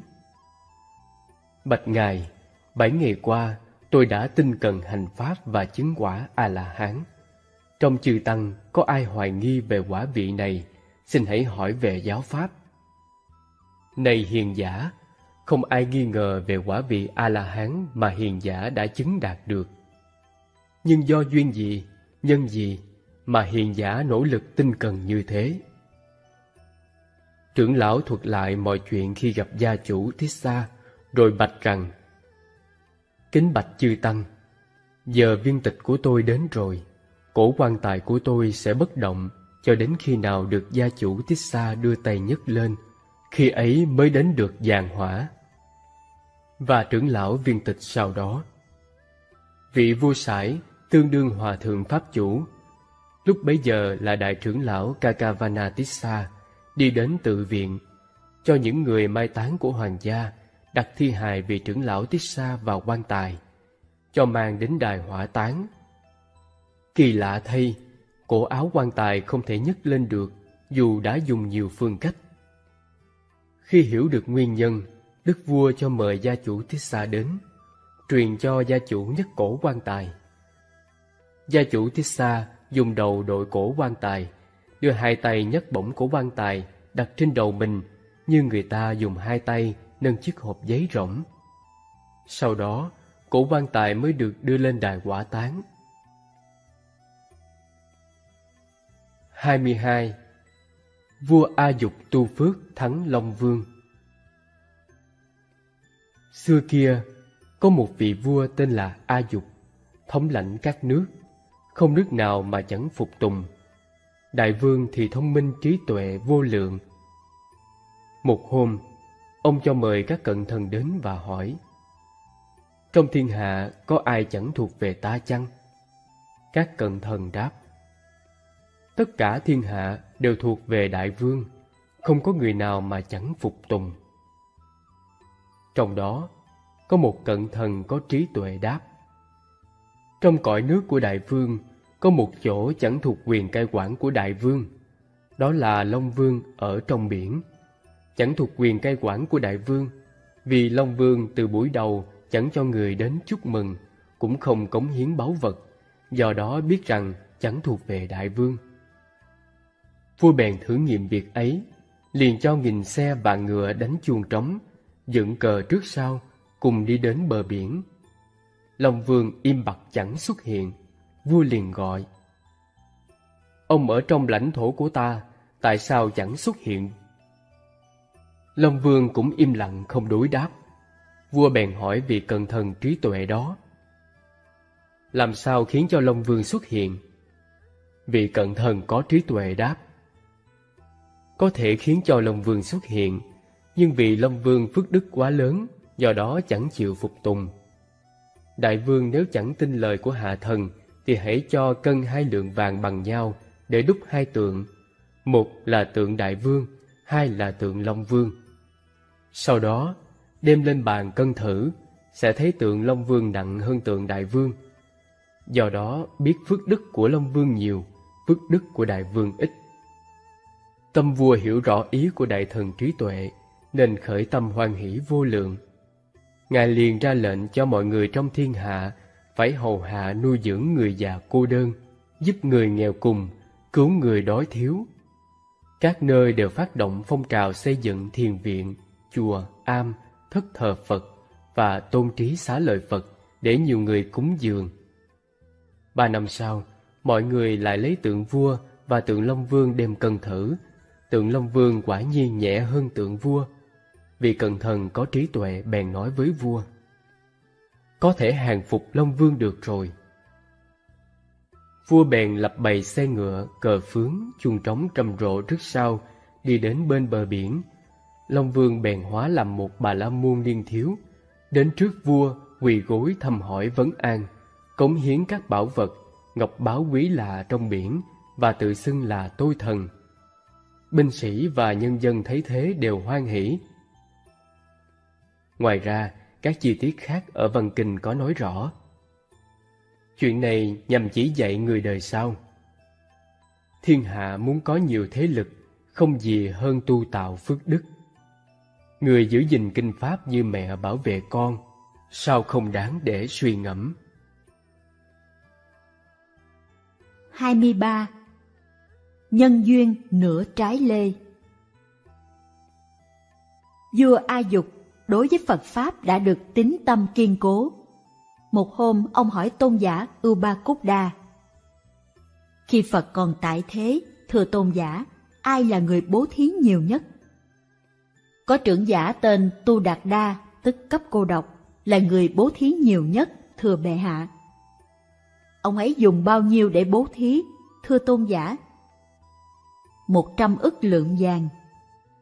Trưởng giả kia còn có thể bố thí châu báu nhiều như thế, huống chi nay con làm vua cõi diêm phù đề mà sao không thể làm được? Bây giờ, vua liền dùng thân mình và câu na la, quần thần, quả đất đem bố thí hết. Rồi xây dựng tám ngàn bảo tháp thờ xá lợi Phật và tháp thanh văn. Tưới nước cho cây bồ đề, tính tổng cộng thì chi phí đã được 96 ức lượng vàng. Sau đó, vua A Dục bị bệnh nặng. Biết mình không qua khỏi nên khóc than buồn tuổi trong lòng không vui. Khi xưa, tiền thân vua A Dục cúng dường đất thì đại thần La Đề Cúc Đề là chú bé đứng bên cạnh, chắp tay tùy hỷ. Ngày nay được làm đại thần lớn nhất triều đình, thân cận phụ tá cho vua. Thấy vua không vui, La Đề Cúc Đề liền chắp tay hỏi. Đại vương, uy đức của ngài như mặt trời giữa trưa, tất cả người dân không ai dám nhìn thẳng vào mặt bệ hạ. Chỉ có tám dạng bốn ngàn cung nữ mới được nhìn mặt. Nay bệ hạ bị bệnh nặng như mặt trời sắp lặn, ba cõi dời đổi, có sinh ắt có diệt, phải quán xét lý vô thường, tại sao đại dương không vui? Vua đáp, Này ta chẳng do mất ngôi vua mà sinh lòng buồn khổ sầu não, cũng chẳng do xả thân mạng mà sinh buồn khổ, là chẳng do xa lìa các cung nữ, kho tàng mà sinh lòng buồn khổ. Mà chính vì phải xa lìa chúng hiền thánh nên ta mới sinh sầu khổ. Xưa ta vốn ước nguyện được bố thí đủ một trăm ức lượng vàng, nay ta mới bố thí được chín mươi sáu ức lượng vàng, vì còn thiếu bốn ức nữa nên ta mới sinh tâm như thế. La Đề Cúc Đề thưa, Muôn tâu bệ hạ, kho tàng còn rất nhiều, bệ hạ có thể sai người đem ra bố thí cho được đầy đủ. Bây giờ, vua bèn dùng vàng bạc, châu báu cúng dường chùa kê đầu ma. Vua lập con của câu Na La tên là Nhị Ma Lưu lên làm thái tử. Có cận thần tà kiến nói với thái tử. Vua A Dục sắp băng hà, đang phân tán các kho tàng đem đi bố thí sắp hết. Thái tử sẽ lên làm vua, mà phàm làm vua thì dùng kho tàng châu báu để tùy sức chi tiêu. Này thái tử nên ngăn cản lại, chớ cho phung phí hết. Bây giờ, nhị ma lưu hợp các vị đại thần lại mà nói. Vì vua cha đang bệnh nặng nên tất cả sở hữu của triều đình ta cấm tuyệt không được lấy ra khỏi kho, chỉ cho một mâm vàng và một mâm bạc để dân thức ăn đến cho phụ dương ta thôi. Được mâm này rồi, vua A Dục lại sai người mang đi cúng dường chùa kê đầu ma. Sau đó, nhà vua chỉ được dân thức ăn bằng mâm làm bằng đất nung. Các vật khác cũng bằng đất nung cả. Cho đến lần cuối cùng thì chỉ có nửa trái lê. Được nửa trái lê rồi, vua liền tập hợp các vị đại thần lại mà hỏi. Cõi diêm phù đề này, ai là chủ? Các đại thần đáp. Chính là ngài vậy. Các khanh nói sai rồi, ta không phải là chủ. Vì cớ sao? Vì ta chỉ được tự do sử dụng nửa trái lê này mà thôi. Tha ngôi, người ta giàu sang mà sao quá bần tiện. Ta làm vua đến lúc sắp lâm chung thì trở thành quá nghèo cùng, tài sản chỉ có nửa trái lê mà thôi. Cũng như dòng suối lớn, nước chảy mạnh, gặp núi cản lại thì phải dừng. Liền nói kệ rằng, Lời Phật là chân thật, nói ra đều chân lý. Dạy tất cả ái ân đều có biệt ly khổ. Xưa ta ra chiếu lệnh, không ai dám chống trái. Ngày nay như dòng suối, chạm núi thì dừng lại. Nay ta ra mệnh lệnh, không làm cũng như thế. Xưa ta nơi quả đất, vì tất cả chở che, dương hầu có kiêu mạng, ta đều hay chế phục. Người nghèo khổ cô đơn, ta đều cứu giúp họ. Xưa vì người che chở, ngày nay thế lực hết, giống như xe mục nát, đến lúc không giá trị, như cây A thứ già, gốc khô cành cũng mục. Hoa quả và cành lá, tất cả đều không còn. Nay ta không giá trị, vụ trên cũng như thế.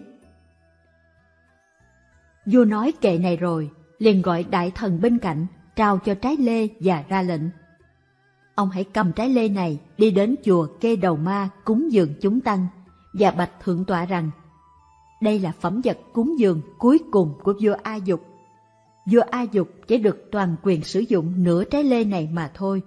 Tất cả tài sản đều đã mất hết. Kính mong chúng tăng khởi tâm thương xót mà thọ nhận vật thí sau cùng của kẻ nghèo khổ này để kẻ nghèo khổ này được phước. Thượng tọa gia xá bèn dạy chúng tăng. Các thầy đều đã thấy vua A Dục hưởng phước an vui. Đối với tất cả tài sản trong thiên hạ đều được chi tiêu tự do, mà ngày nay bị các quần thần khống chế, ngăn cấm không cho vua sử dụng tài sản của mình một cách tự do, mà vua chỉ được tùy ý dùng nửa trái lê này mà thôi. Do tâm rất thành kính nên vua mang vật này đến đây để cúng dường chúng tăng. Thượng tọa liền sai vị tri sự mài trái lê nhuyễn ra bỏ vào trong nồi canh để cho tất cả chúng tăng đều được dùng. Ngài lại dạy tiếp.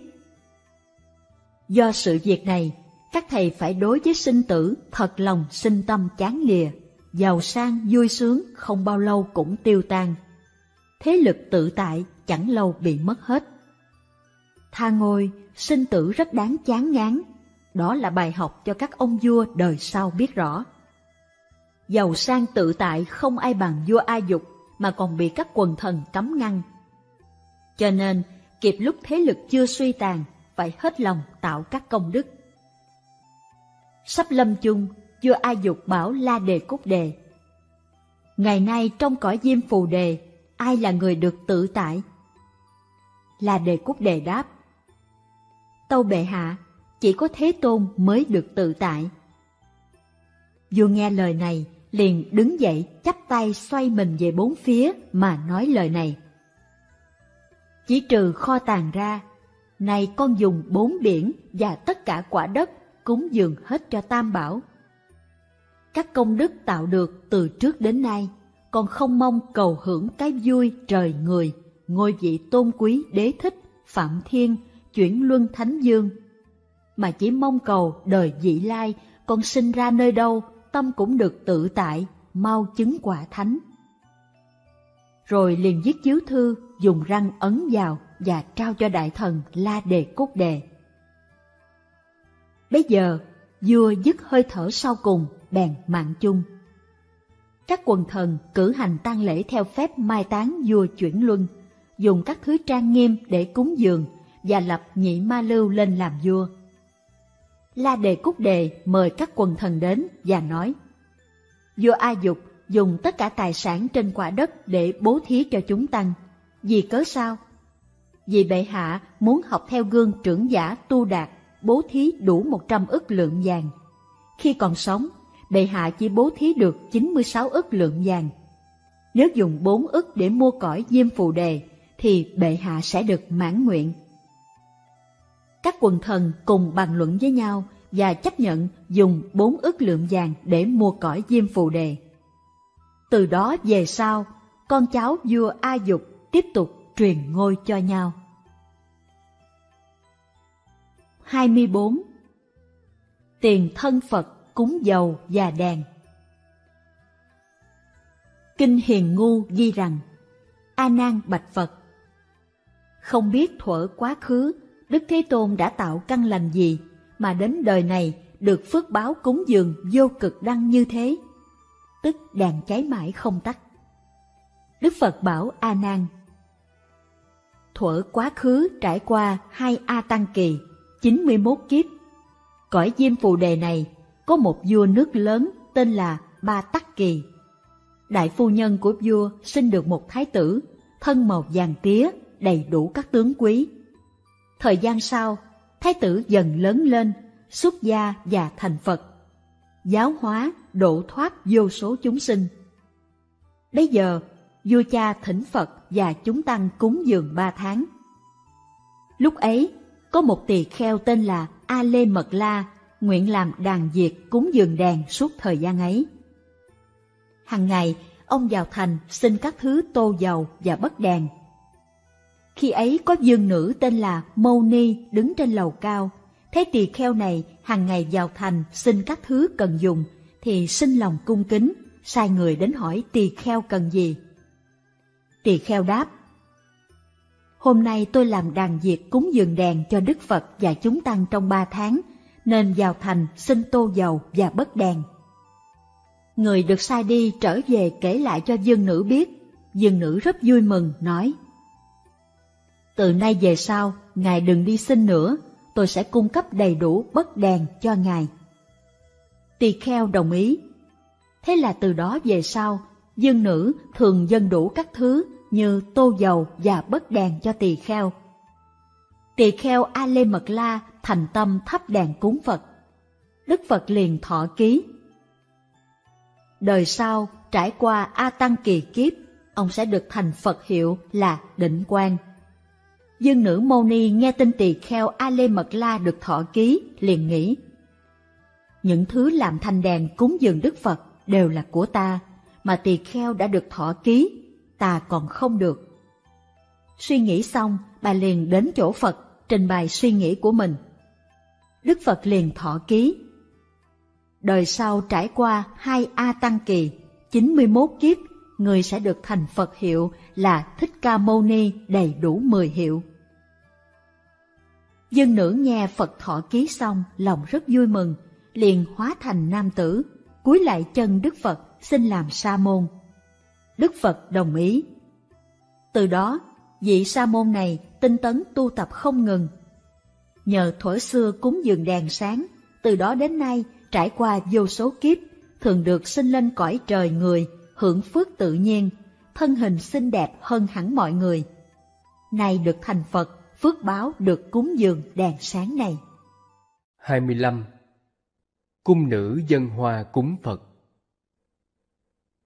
Kinh Thái Hoa Thọ viết ghi Lúc bấy giờ, vua La Duyệt sai hơn 10 người thường xuyên vào rừng hái hoa đẹp dân cho nhà vua. Một hôm, các cung nữ ra ngoài thành hái hoa, trên đường về thì gặp Đức Phật. Họ liền cúi đầu kính lễ và suy nghĩ thà bỏ thân mạng, dân hoa cúng dường Phật và thánh chúng, cho dù bị hại cũng không rơi vào đường ác. Nghĩ xong, họ liền tung hoa lên cúng dường Phật và thánh chúng, rồi tự quy mạng nhất tâm kính lễ. Đức Phật biết ý niệm ấy, nên thường xót thuyết pháp cho họ nghe. Những người hái hoa nghe xong đều phát đạo tâm, được Đức Phật thọ ký. Về sau, các ngươi sẽ được thành Phật, hiệu là Diệu Hoa. Lúc bấy giờ, các cung nữ liền trở về nhà từ biệt cha mẹ.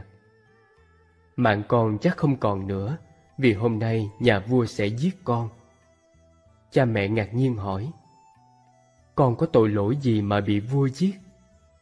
Các cung nữ kể rõ câu chuyện cho cha mẹ nghe và nói, nếu không có hoa dâng lên nhà vua thì sẽ nguy hiểm đến tính mạng.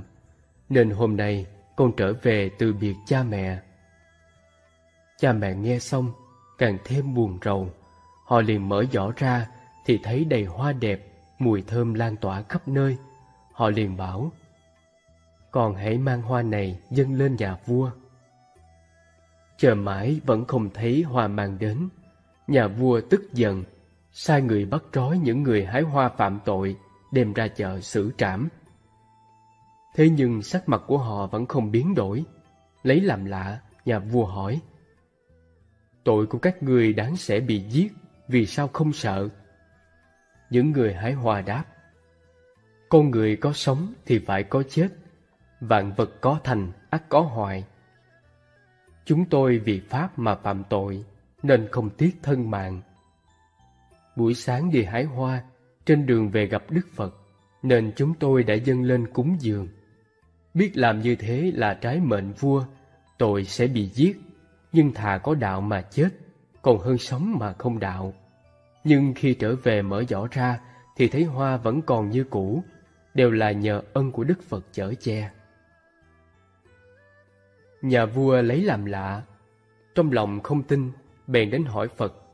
Đức Phật bảo, Đúng vậy, những người này chí tâm, muốn độ chúng sanh khắp mười phương, không tiếc thân mạng, nên tùng hoa cúng dường Như Lai, lại không có ý cầu quả báo, đã được ta thọ ký, tương lai sẽ thành Phật, hiệu là Diệu Hoa. Nghe xong, nhà vua rất vui mừng, cởi trói cho họ, hối hận trách mình quá ngu si, không bằng Bồ Tát và xin Đức Phật tha thứ. Đức Phật bảo, Lành thay, người biết sửa lỗi lầm thì đồng với người không có lỗi. 26. Tung hoa cúng Phật được sinh cõi trời Lại trong kinh Bách Duyên cũng ghi Một thời, Đức Phật ở kỳ thọ cấp cô độc viên tại thành xá vệ. Bấy giờ, các trưởng giả giàu sang quyền quý trong thành tụ tập bên bờ suối, mở hội hoa bà la, cà hát vui chơi. Họ sai một người vào rừng hái hoa bà la về kết tràng. Người được sai đi liền vào rừng hái hoa. Trên đường về thấy Đức Phật đủ ba mươi hai tướng quý, tám mươi vẻ đẹp, sáng rực như trăm nghìn mặt trời, lòng rất vui mừng, liền cúi lễ dưới chân và tung hoa cúng dường. Cúng dường xong, người ấy lại vào rừng, leo lên cây định hái hoa. Chợt cành cây bị gãy, ông ta rơi xuống đất và qua đời. Liền được sinh lên cõi trời đau lợi, thân hình xinh đẹp, ở trong cung điện được làm bằng hoa bà la. Đế thích hỏi, Ông ở đâu, tu phước gì mà được sinh về cõi này? Người hái hoa đáp, Tôi ở cõi Diêm Phù Đề, một hôm vào rừng hái hoa về lập hội vui chơi, trên đường về gặp Đức Phật, liền tung hoa cúng dường. Nhờ nhân duyên công đức ấy nên được sinh về cõi này. Đế thích thấy vị trời này, thân hình vô cùng xinh đẹp, liền nói kệ khen. Thân như sắc vàng rồng, tỏa ánh sáng rực rỡ, dung mạo rất xinh đẹp, vượt hơn cả chư thiên. Vị trời ấy liền nói kệ đáp. Tôi nhờ ân Đức Phật cúng dường hoa bà la, do nhân duyên lành này được quả báo tốt đẹp. Nói kệ xong, ông ta liền cùng đế thích đến chỗ Đức Phật, đảnh lễ dưới chân, rồi ngồi sang một bên, nghe Phật thuyết pháp. Tâm ý khai mở, phá tan mười hai ức nghiệp chướng, tà kiến, chứng quả tu đà hoàng. Do đó, ông vô cùng mừng rỡ, nói kệ khen Phật. Đại Thánh Tôn vòi vội, vô thượng không ai bằng, công cha mẹ, thầy tổ, cũng không thể sánh kịp. Làm khô bốn biển lớn, vượt qua núi xương trắng, lấp kín ba đường ác, mở rộng ba cửa lành. Ức nghiệp chướng Các nghiệp ác do thân, khẩu, ý của chúng sanh tạo ra, ngăn chè chánh đạo. Một trong ba chướng, một trong bốn chướng. tà kiến, kiến chấp sai lầm, chỉ cho những chủ trương phản bác và không chấp nhận đạo lý nhân quả và tứ đế. 27. Phước báo sửa tháp Kinh Bách Duyên chép Lúc Đức Phật còn tại thế, trong thành Ca Tỳ La Vệ có một trưởng giả rất giàu, của cải nhiều vô lượng không thể tính kể. Ông sinh được một người con dùng mạo xinh đẹp, hiếm có trong đời. Các lỗ chân lông trên thân đều tỏa ra mùi hương chiên đàn, trong miệng thường thoảng ra mùi thơm hoa ưu bát. Cha mẹ rất vui mừng, nhân đó đặt tên con là Chiên Đàn Hương. Thời gian sau, Chiên Đàn Hương lớn lên, cầu Phật xuất gia và chứng quả A-la-hán. Các tỳ kheo thấy thế liền bạch Phật. Bạch Đức Thế Tôn, chiên đàn hương này đời trước trồng phước gì mà được sinh vào nhà giàu sang quyền quý, thân và miệng thường thoảng ra mùi thơm, lại được gặp Đức Thế Tôn xuất gia, chứng đạo quả. Đức Phật bảo các tỳ kheo, thuở quá khứ, trải qua 91 kiếp, sau khi Đức Phật Tỳ Bà Thi nhập Niết Bàn, vua bàn đầu mặt đế thâu lấy xá lợi, xây tháp bằng bốn báo, cao một do tuần để an trí cúng dường. Lúc ấy có một trưởng giả vào tháp Phật, thấy nền tháp bị thủng, ông liền nhồi trộn đất bùn trám lại, lấy bột hương chiên đàn rải lên, phát nguyện rồi đi. Nhờ công đức ấy, từ đó về sau trải qua 91 kiếp, trưởng giả kia không rơi vào đường ác, được sinh lên cõi trời người. Thân và miệng thường thoảng ra mùi thơm, hưởng thọ niềm vui sướng. Đến nay được gặp ta xuất gia chứng đạo quả. Mục 28 Bà già nghèo chí thành cúng đèn Trong kinh A Xà Thế, Dương Thọ Quyết ghi Đức Phật nhận lời thỉnh của vua A Xà Thế, sau khi thọ trai xong, Ngài trở về tỉnh xá Kỳ Hoàng. Lúc ấy, vua A Xà Thế bàn với kỳ bà. Đức Phật đã thọ trai xong, tiếp theo ta phải làm gì? Kỳ bà tâu, nên thắp nhiều đèn để cúng dường. Thế là vua A Xà Thế liền truyền lệnh đem một trăm hộp dầu vừng thắp sáng từ cổng cung điện cho đến tịnh xá kỳ hoàng. Bây giờ có một bà già nghèo thấy vua làm công đức ấy thì cảm động. Bà đi xin khắp nơi được hai đồng tiền, liền ra tiệm mua dầu. Chủ tiệm hỏi, Bà quá nghèo khổ, chỉ xin được hai đồng tiền, sao không mua thức ăn để nuôi thân, lại mua dầu làm gì? Bà già đáp, Rất khó gặp Đức Phật ra đời, trăm kiếp chỉ có một lần. Tôi may mắn được gặp Phật mà không cúng dường. Hôm nay thấy nhà vua làm công đức lớn. Tuy nghèo khổ, nhưng tôi cũng muốn thắp một ngọn đèn cúng Phật để làm nhân duyên kiếp sau. Nghe nói thế, chủ tiệm vui mừng. Lẽ ra hai đồng tiền chỉ mua được hai cáp dầu thôi, nhưng ông đặc biệt thêm ba cáp nữa, tổng cộng là năm cáp. Cáp là tên một đơn vị đo thể tích thời xưa, một cáp bằng một phần mười thăng. Sau đó, bà già đem dầu đến trước Phật thắp lên, nhưng lại tính số dầu này không đủ thắp sáng đến nửa đêm, bà liền phát nguyện. Nếu đời sau tôi đắc đạo giống như Đức Phật, thì xin số dầu này được cháy sáng suốt đêm không hết. Phát nguyện xong, bà đảnh lễ Phật rồi ra về. Những ngọn đèn của vua có ngọn bị tắt, có ngọn bị hết dầu, nhưng ngọn đèn của bà già vẫn còn cháy sáng hơn các đèn khác suốt đêm không tắt. Đến sáng mà chất dầu vẫn không hết. Đức Phật bảo tôn giả một kiền liên. Trời đã sáng, ông nên tắt các ngọn đèn. Tôn giả một kiền liên dâng lời Phật dạy, lần lượt tắt hết các ngọn đèn, chỉ còn lại ngọn đèn của bà già, thổi đến ba lần vẫn không tắt. Tôn giả liền dán ca sa lên quạt cho tắt, nhưng ngọn đèn càng cháy sáng hơn. Tôn giả một kiền liên bèn dùng uy thần dẫn gió tùy lam đến thổi, mà đèn càng cháy mạnh, soi thẳng đến Phạm Thiên cho đến ba ngàn thế giới đều nhìn thấy ánh sáng ngọn đèn ấy. Gió tùy lam là trận gió dữ, thổi nhanh và mạnh, khi vũ trụ bắt đầu hình thành tức kiếp sơ và khi kết thúc tức kiếp tận. Đức Phật bảo tôn giả một kiền liên. Thôi thôi, đây là ánh sáng công đức của Phật đương lai, uy thần của ông không thể dập tắt. Bà già này, đời trước đã cúng dường 80 ức Phật và được Phật thọ ký, nhưng mãi lo tu tập kinh Pháp, không rảnh làm việc bố thí, nên nay nghèo cùng không có của cải.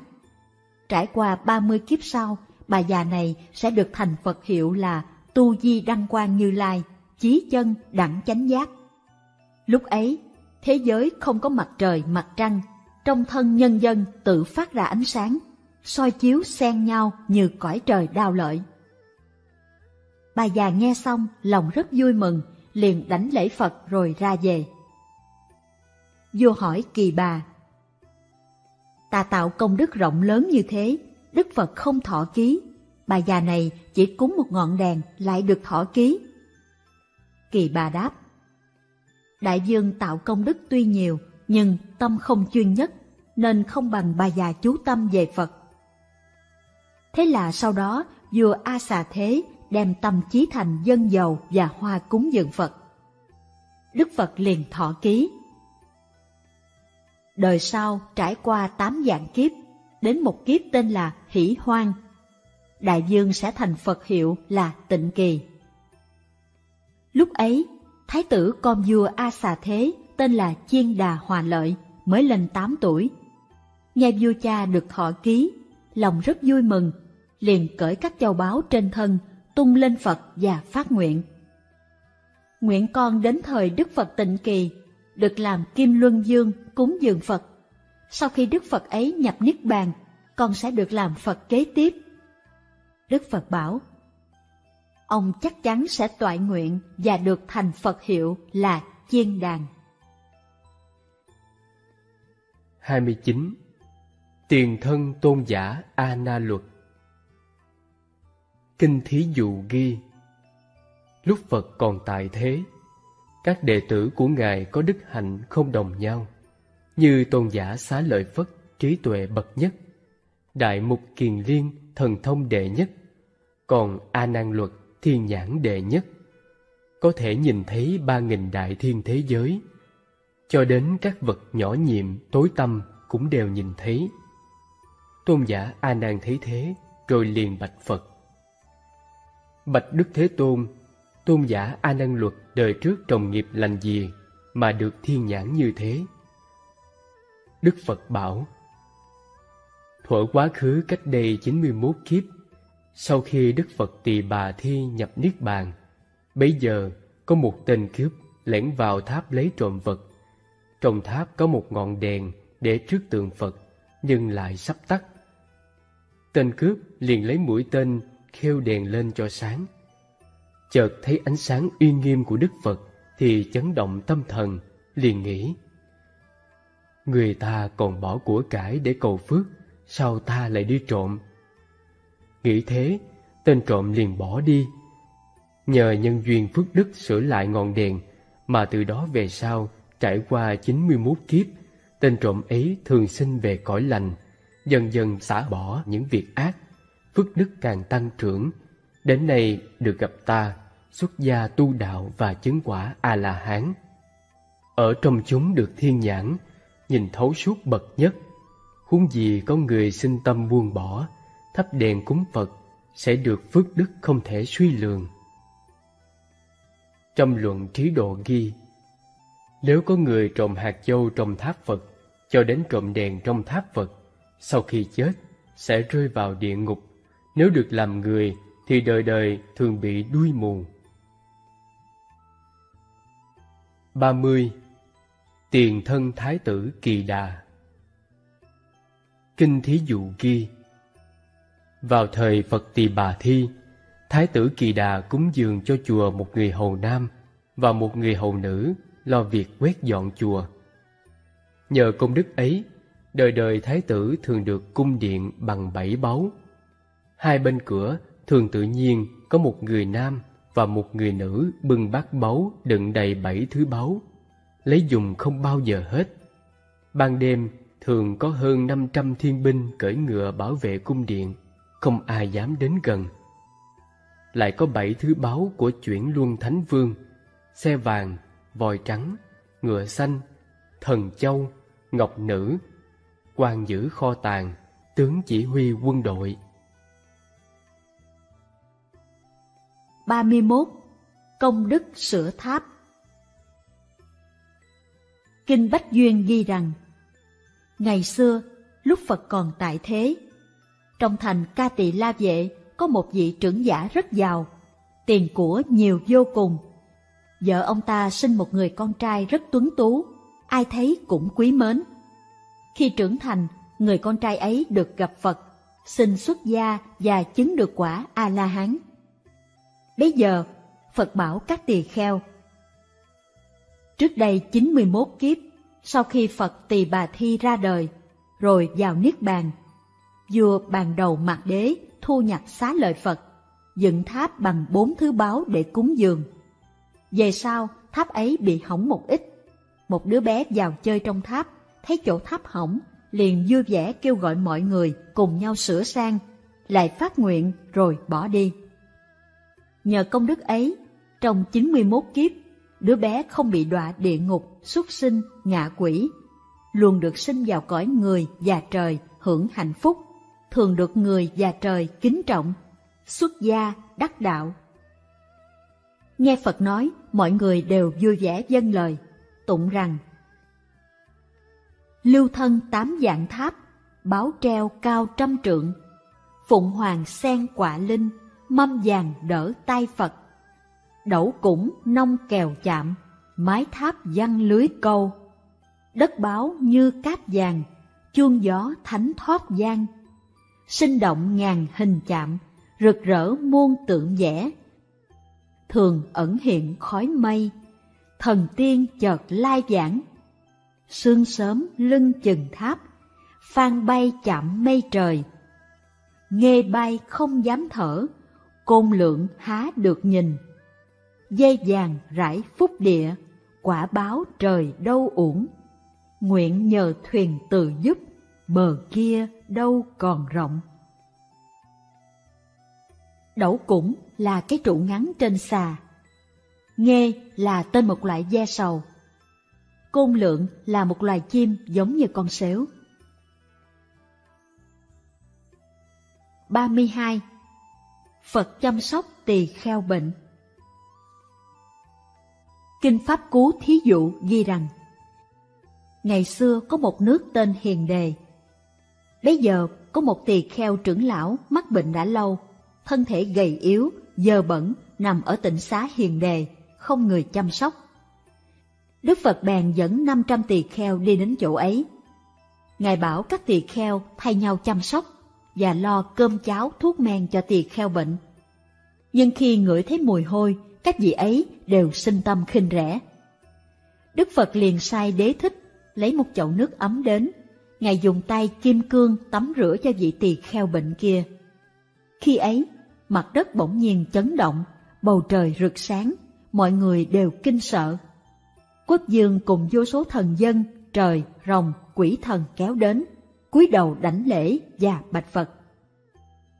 Bạch Đức Thế Tôn, Ngài là đấng chí tôn trong ba cõi không ai sánh bằng, đạo đức đầy đủ, tại sao phải hạ mình tắm cho tỳ kheo bệnh kia? Đức Phật bảo, Như Lai sở dĩ xuất hiện ở đời chính là vì những người nghèo cùng, khốn khổ không nơi nương tựa này. Nếu ai chăm sóc nuôi dưỡng đạo nhân, sa môn bệnh tật, những kẻ bần cùng và người già cô độc sẽ được phước vô lượng, sự mong cầu được như ý, cuối cùng sẽ đắc thánh đạo. Vua lại bạch Phật Bạch Đức Thế Tôn, vị tỳ kheo này đời trước tạo tội gì mà bị bệnh hành hạ nhiều năm, chữa mãi không lành? Đức Phật bảo, Ngày xưa có một vị vua tên Ác Hạnh, thi hành chính sách rất bạo ác. Vua sai một người có sức mạnh là ngũ bá thi hành hình phạt đánh người. Ngũ bá mượn uy quyền của vua mà tung hoành.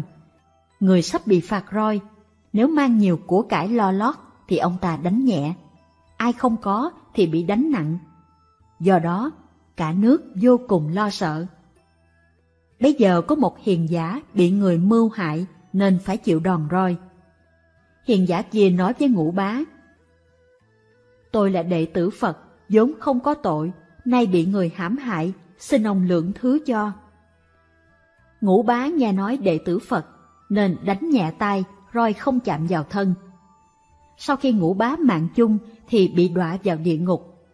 Bị tra khảo đánh đập đau đớn muôn lần. Tội địa ngục hết, lại đọa làm súc sanh, thường bị đánh đập trong hơn 500 kiếp. Khi tội báo ở loại súc sinh hết, thì sanh lại làm người, thân thường bị bệnh khổ. Quốc dương lúc ấy, nay chính là điều đạt.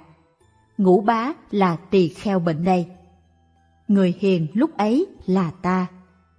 Do đời trước ngũ bá tha cho ta, đánh roi không chạm vào thân, nên hôm nay đích thân ta tắm rửa cho ông.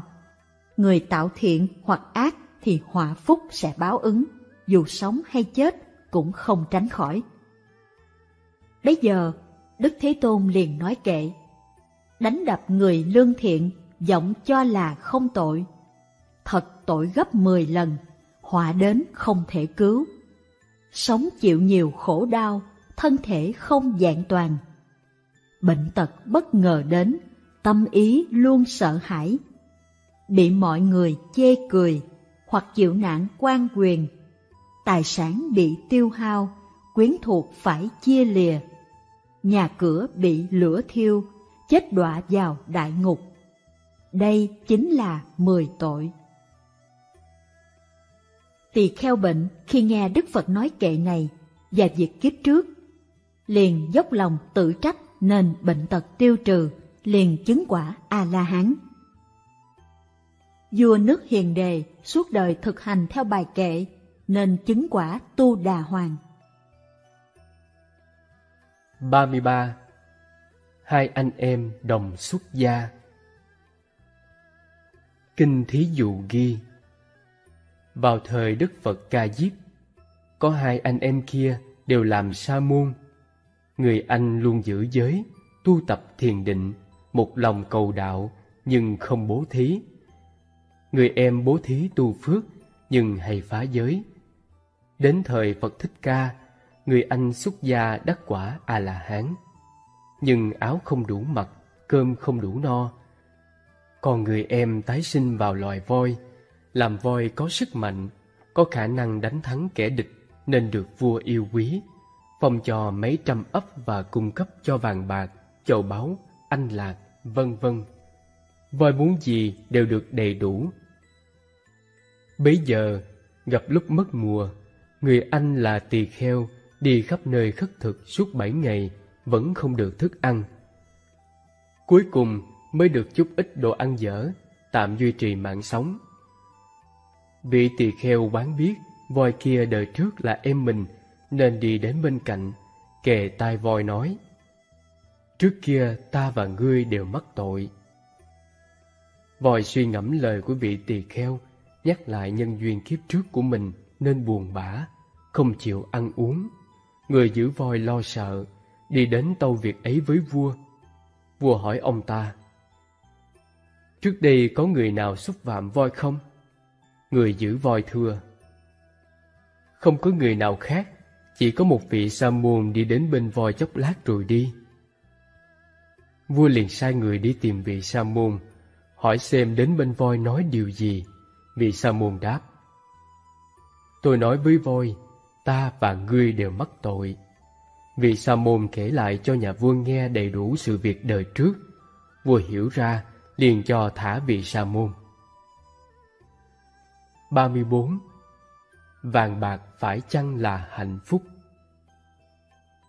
Thời Phật tại thế, có một vị quốc vương tên là Đa Vị Tả, kính thờ cả 69 dòng ngoại đạo.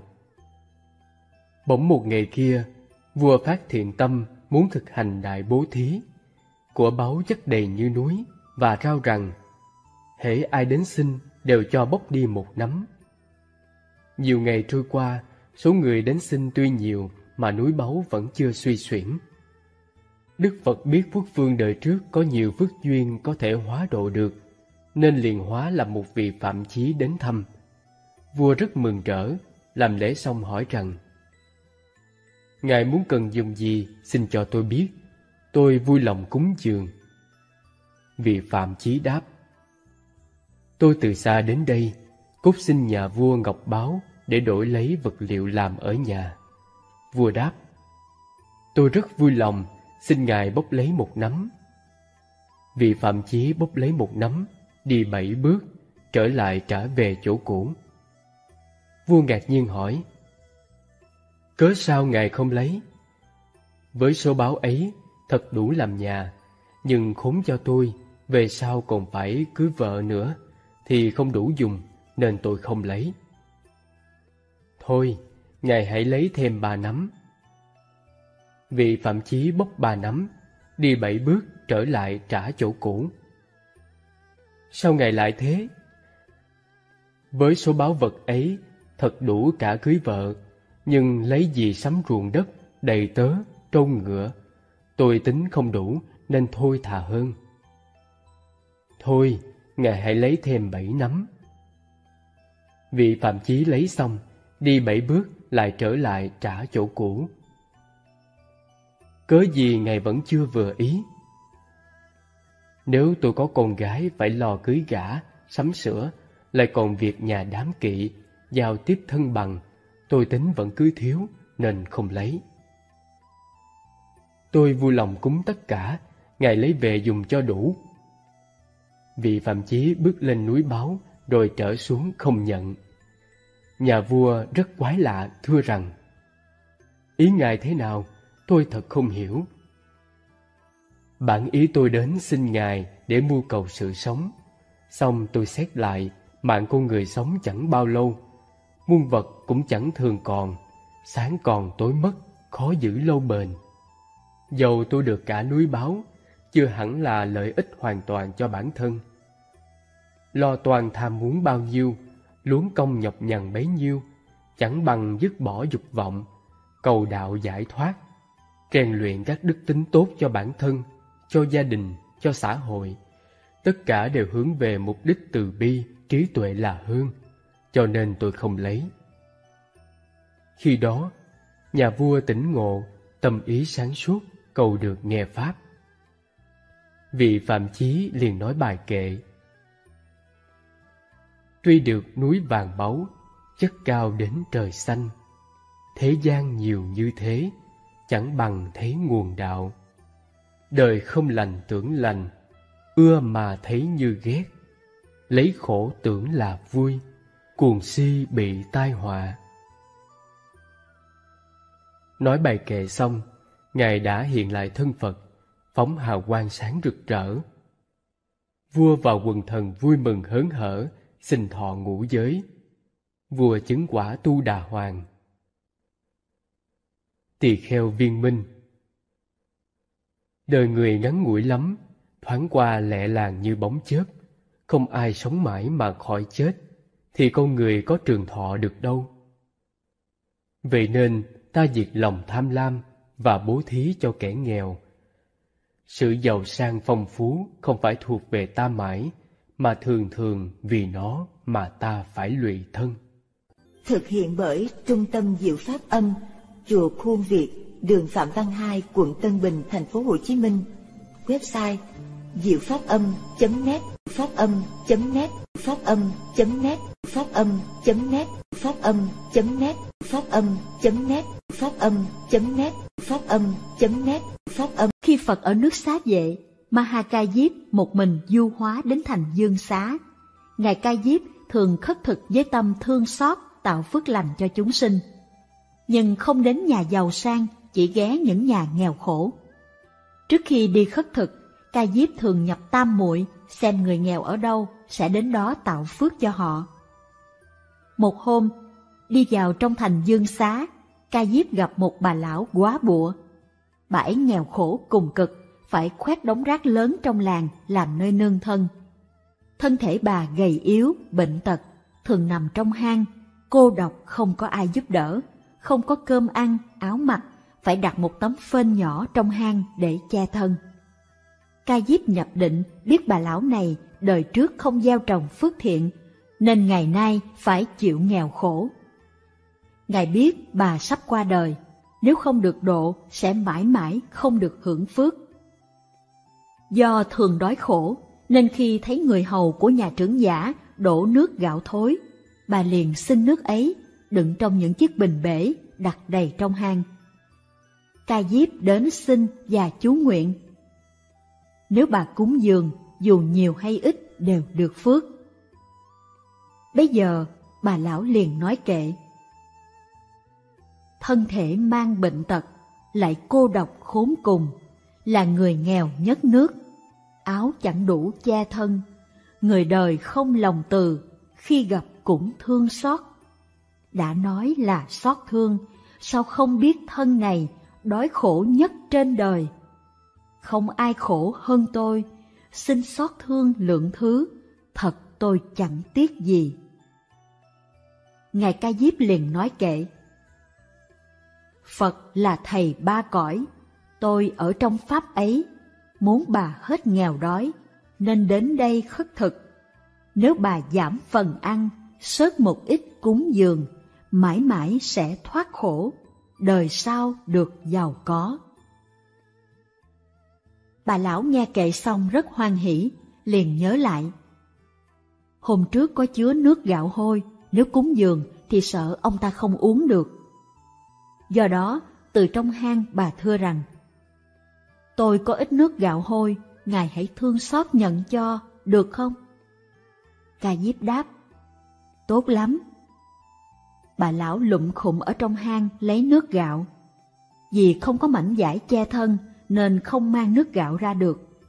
Bà nép mình, khòm lưng, với tay đưa qua tấm phên. Ca Diếp nhận lấy và chú nguyện cho bà được phước báo an lành. Ca Diếp suy nghĩ, nếu ta mang nước đến chỗ khác uống, bà ấy sẽ không tin, cho rằng ta đem đổ. Nghĩ rồi, liền ở trước bà lão uống hết nước ấy, rửa bát bỏ vào trong đẩy. Ngay lúc ấy, bà phát lòng tin chân chánh. Ca Diếp tự nghĩ, ta phải thị hiện thần thông khiến bà được an ổn. Nghĩ rồi, ca diếp liền bay lên hư không, hiện các thứ thần biến. Bà lão thấy như vậy rất vui mừng, chí thành quỳ xuống chiêm ngưỡng. Ngài ca diếp nói, Này bà có mong ước điều gì không? Bà thưa, Tôi nguyện nhờ chút phước này được sinh lên cõi trời. Bà phát nguyện xong, không còn thấy ca diếp đâu nữa.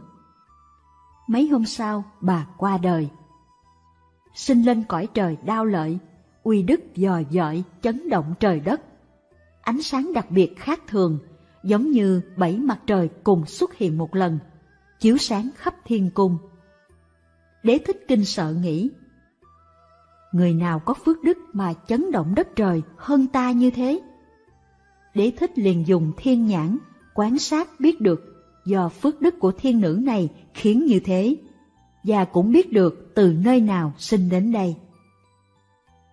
Bây giờ, thiên nữ tự nghĩ, ta được phước báo này là do đời trước cúng dường Ngài Ca Diếp. Giả sử ta đem trăm ngàn các thứ trân bảo của cõi trời cúng dường Ngài Ca Diếp, cũng chưa thể báo đáp một chút ân của Ngài. Nghĩ rồi, thiên nữ liền dẫn người hầu mang hương hoa cõi trời, từ trên hư không rải cúng dường Ngài Ca Diếp. Sau đó, hạ xuống cung kính đảnh lễ, đứng qua một bên chắp tay tán thán. Trong trăm ngàn cõi nước, Phật là đấng chí tôn. Kế đến Ngài Ca Diếp, khéo đóng cửa tội lỗi. Xưa ở cõi Diêm Phù, trước hang phân rác bẩn. Vì bà lão nghèo khổ, Ngài nói lời chân thật. Bà lão rất vui mừng, dâng lên nước gạo hôi, cúng dường như hạt cải, mà được phước như núi, thọ sinh làm thiên nữ, hưởng phước báo tự nhiên. Vì thế con bay xuống, kính lễ bậc phước điền. Thiên nữ nói kệ rồi, liền trở về thiên cung. Đế thích suy nghĩ. Người nữ ấy cúng dường nước gạo mà còn được phước như vậy. Ngài Ca Diếp có tâm thương xót rộng lớn, nhưng chỉ ban phước cho những người nghèo hèn, không đến nhà giàu sang. ta phải tìm diệu kế để cầu phước. Nghĩ rồi, đế thích liền cùng thiên hậu mang thức ăn trăm vị, đựng trong một bình nhỏ đến thành dương xá. Hai vợ chồng đế thích dựng một cái chòi nhỏ rách nát bên đường và biến đổi hình dạng thành người già, thân thể gầy ốm, đi đứng lòm khòm, làm nghề đan chiếu. Bộ dạng nghèo túng, trong nhà không có lương thực. Ca Diếp thấy người nghèo ấy liền đến khất thực. Ông lão nói, Tôi quá nghèo, không có thứ gì cúng dường, biết làm sao? Ngài Ca Diếp vẫn đứng chú nguyện mãi không đi. Ông lão nói, Vợ chồng tôi quá già, làm nghề đan chiếu, không rảnh đi xin thức ăn, chỉ có một ít cơm định ăn. Nhưng nghe Ngài nhân từ đức độ, chỉ đến nhà nghèo khất thực để ban phước cho họ. Nên nay chúng tôi tuy nghèo khó, cũng muốn bớt phần ăn của mình để cúng dường Ngài. Nếu đúng như lời đồn, chúng tôi sẽ được phước. Đế thích suy nghĩ. Mùi thơm của thức ăn cõi trời, người thế gian hiếm khi được ngửi. Nếu ta mở sẵn nắp bình, Ngài Ca Diếp sẽ biết và chắc chắn không chịu nhận. Nghĩ rồi đế thích nói, Thức ăn của tôi không nhiều, xin Ngài đem bát đến. Ca Diếp nhận thức ăn và chú nguyện cho thí chủ. Mùi thơm của cơm ấy lan khắp thành dương xá và cả nước. Ca Diếp nghe mùi thơm liền sinh nghi. Ông bà lão hiện lại thần đế thích, nhanh chóng bay lên hư không, vui mừng búng tay.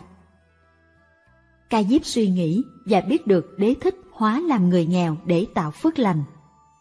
Ca Diếp suy nghĩ, nay ta đã nhận thức ăn rồi, không nên trả lại. Ca Diếp tán thán đế thích làm phước không biết mỏi mệt, chịu mang lốt già xấu để gieo phước, ắt sẽ được phước báo. Đế thích và thiên hậu vô cùng vui mừng. Lúc ấy, trên trời trỗi kỹ nhạc đến nghênh đón. Về cung rồi, đế thích càng hoan hỷ hơn, liền nói kệ. Mây dạt phương Nam chẳng về đâu, đông tây dông rủi mãi dài lâu. Rau cá nguyên hiến hằng thầm ước, cao lương điền thị chẳng dám cầu. Sân cỏ um tùm không xe ngựa, cửa tranh lạnh vắng kết chiếu lao. Ngày trước trộm tham chút ánh sáng, hôm nay nghèo khổ chớ âu sầu. Nguyên Hiến là đệ tử của Khổng Tử, là bậc văn sĩ bần hàng thanh cao thời xưa. 13. Nô tỳ cúng dường một đồng được làm công chúa. Trong kinh A Dục Vương ghi Thổ xưa, khi Phật còn tại thế, Ngài cùng các tỳ kheo và A Nan thứ tự đi vào thành vương xá khất thực.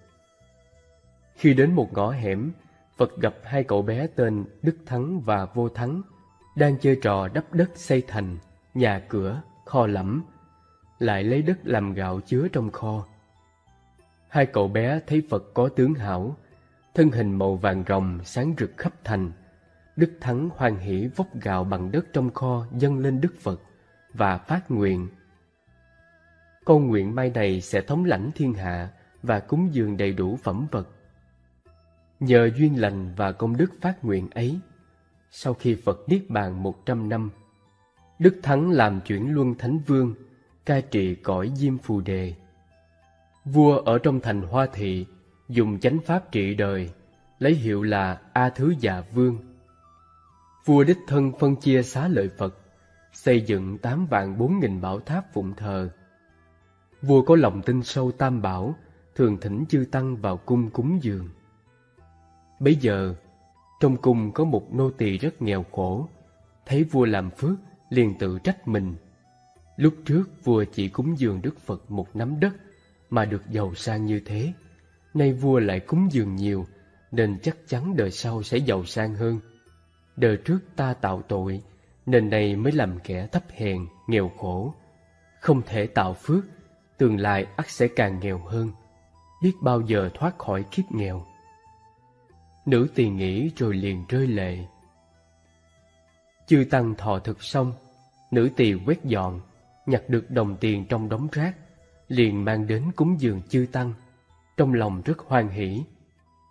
Không bao lâu, nữ tỳ lâm bệnh qua đời. Bấy giờ, trong cung vua có một phu nhân mang thai mười tháng, hạ sanh một công chúa cực kỳ xinh đẹp. Ít ai sánh kịp, nhưng tay phải công chúa thường nắm chặt. Lúc công chúa lên năm tuổi, phu nhân tu vua. Con gái chúng ta không biết tại sao tay phải thường nắm chặt. Vua bảo bồng công chúa đến, đặt lên đầu gối, sờ vào tay con, công chúa liền xòe ra. Trong tay có một đồng tiền, lấy rồi lại sinh ra không bao giờ hết. Chỉ trong chốc lát đầy một kho tiền, vua rất ngạc nhiên, liền đến hỏi A-la-hán gia xá. Đời trước công chúa đã tạo phước đức gì mà nay sinh ra, trong lòng bàn tay thường có một đồng tiền, lấy hoài không hết. A-la-hán đáp, Công chúa đời trước là nữ tỳ trong cung, khi quét dọn, nhặt được đồng tiền liền cúng dường chư tăng. Nhờ duyên lành này nên người ấy được sinh làm con gái đại vương. Trong tay luôn có một đồng tiền vàng lấy hoài vẫn không hết. 14. Bán củi cúng dường ba đồng được làm vua. Trong kinh Tạp Bảo Tạng ghi, thổi xưa, vua Ác Sinh ở nước Câu Lưu Sa dạo chơi thượng uyển. Bỗng trông thấy một con mèo vàng từ hướng đông bắc đi vào, rồi chạy ra hướng tây nam. Vua thấy vậy, liền cho người đào theo hướng ấy, thì gặp được một chậu bằng đồng chứa khoảng ba hộp tiền vàng. Đào sâu vào, lại được hai chậu như trước. Cả ba chậu đều đầy tiền vàng giống nhau. Đào tiếp qua bên cạnh khoảng năm dặm, mỗi bước đều nhặt được nhiều tiền. Tuy vua được nhiều tiền như thế, nhưng sợ không dám sử dụng. Vua thắc mắc về xuất xứ số tiền ấy, nên đến hỏi tôn giả Ca Chiên Diên. Nghe xong tôn giả đáp, Đây là phước báo do nhân đời trước của bệ hạ, bệ hạ cứ dùng, không hề gì đâu. Vua liền thỉnh tôn giả nói về nhân duyên quá khứ của mình. Tôn giả đáp, Thuở quá khứ cách đây 91 kiếp, sau khi Đức Phật Tỳ Bà Thi nhập Niết Bàn.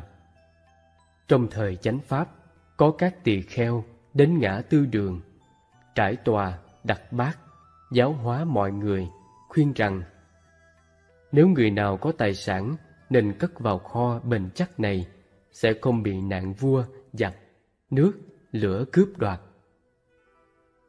Khi ấy, có một người nghèo Trước đó bán củi được ba đồng Thấy vị tăng khuyên, Liền hoan hỷ cúng dường, Đặt tiền vào bát Phát nguyện xong trở về Suốt đoạn đường năm dặm về nhà, Mỗi bước mỗi bước, Người ấy đều vui mừng Khi sắp vào nhà, Người ấy còn hướng về các vị tăng chí tâm đảnh lễ, phát nguyện, rồi mới vào.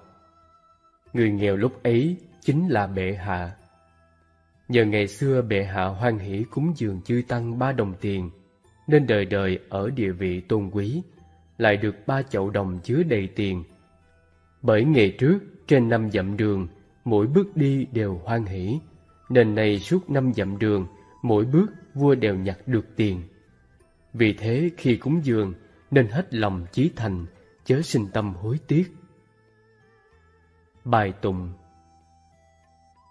Đá quặng chẳng phải chân, bình vẽ đúng là giả. Áo gấm treo trên cao, sen ca sa đặt dưới. Lời đẹp chỉ kinh tâm, văn hay trọn thích thật. Chân tướng đâu đã tỏ, phù vinh chưa thể buông. Vết khác bậc công hầu, sự theo kẻ lãng du. Thôi rồi dứt nhạc trình, chẳng phải loạn nhã chu. Tranh danh giàu sang rỗng, mắng chửi nhục vinh không. Đèn trước gió mong manh, bóng bọt đâu đáng bắt. Nhạc trịnh chỉ cho âm nhạc của nước trịnh thời xuân thu chiến quốc. Nhã chu chỉ cho đại nhã và tiểu nhã trong kinh thi của nhà chu. 15 chỉ khởi tâm lành liền được phước. Kinh Tạp Thí Dụ ghi rằng, Xưa kia ở nước xá vệ có một nhà nghèo. Cây nho trong sân có vài chùm trái gần chín. Ưu Bà Di dự định sẽ cúng dường cho đạo nhân. Nhưng trước đó, quốc dương đã thỉnh đạo nhân thọ thực một tháng. Ưu Bà Di nghèo kia thế lực không bằng vua, nên mong mỏi cả tháng mới gặp lại được đạo nhân. Cô liền hái trái cúng dường và thưa. Tâm nguyện bố thí của con đã hơn một tháng rồi, nay mới được mãn nguyện. Đạo nhân nói, như vậy là đã bố thí được một tháng. Ưu bà Di hỏi, con bố thí chỉ có một chùm nho, làm sao nói là đã bố thí được một tháng? Đạo nhân trả lời, có tâm niệm xả thí trong một tháng là đã bố thí một tháng rồi. 16. Sơ tổ Trúc Lâm mở hội bố thí. Đại Việt Sử Ký Toàn Thư ghi Năm Quý Mão, niên hiệu Hưng Long, năm 1303 Đời vua Trần Anh Tông, mùa xuân ngày 15 tháng Giêng Thượng Hoàng Trần Nhân Tông ở Phủ Thiên Trường mở hội vô lượng Pháp ở chùa Phổ Minh. Bố thí vàng bạc, tiền lụa để chẩn cấp cho dân nghèo trong nước và giảng kinh nói về lợi ích bố thí. 17. Thiền sư Linh Nguyên dạy Thiền sư Linh Nguyên dạy, Cối xay đá mài, ta chẳng thấy chỗ tổn giảm của nó, Mà còn có lúc bị mòn hết Trồng cây vuông tưới, ta chẳng thấy chỗ hữu ích của nó, Mà có lúc thấy nó lớn lên Tích đức làm mãi Chẳng biết đó là thiện Nhưng có lúc đắc dụng bỏ nghĩa trái đạo, chẳng biết đó là ác, nhưng có lúc phải mất. Người học nếu nương theo cái kế thành thục kết quả mà bền chí noi theo, thì có thể thành tựu được đại khí, lừng lẫy được tiếng thơm. Đó là con đường bất di bất dịch của xưa nay. Thiền sư Linh Nguyên bảo tiên sinh y xuyên rằng Họa hay sanh phúc, phúc hay sanh họa Hòa hay sanh phúc là do gặp lúc hoàn cảnh tai ách, nhưng tâm luôn tha thiết nhớ cảnh an vui, khắc sâu ý mong cầu đạo lý, liền hay chỉ biết run sợ kính cẩn. Do thế nên phúc mới sanh. Phúc sanh ra họa là do lúc sống trong cảnh an nhàn, nhưng vì tâm phóng túng xa hoa, ham muốn sằng bậy, bệnh lười biếng ngày càng tăng, dẫn đến sanh tật khinh lờn lừa gạt, do vậy nên họa mới sanh. Thánh nhân nói, nếu gặp nhiều gian nan thì chí người đó thành, nếu không có gian nan thì thân người đó mất. Được tức là đầu mối của mất, mất tức là nguyên lý của được. Thế nên phải biết, có phúc thời không nên kiêu hãnh, đã được thời không nên mong cầu hoài. Lúc đang ở yên trong phúc thì phải lo nghĩ đến khi tai họa. Thời cái phúc đó mới giữ được bền lâu. Lúc được mà lo đến khi mất, thời cái được đó sẽ vững bền. Cho nên người quân tử khi yên chẳng quên lúc nguy, lúc trị chẳng quên khi loạn là vậy.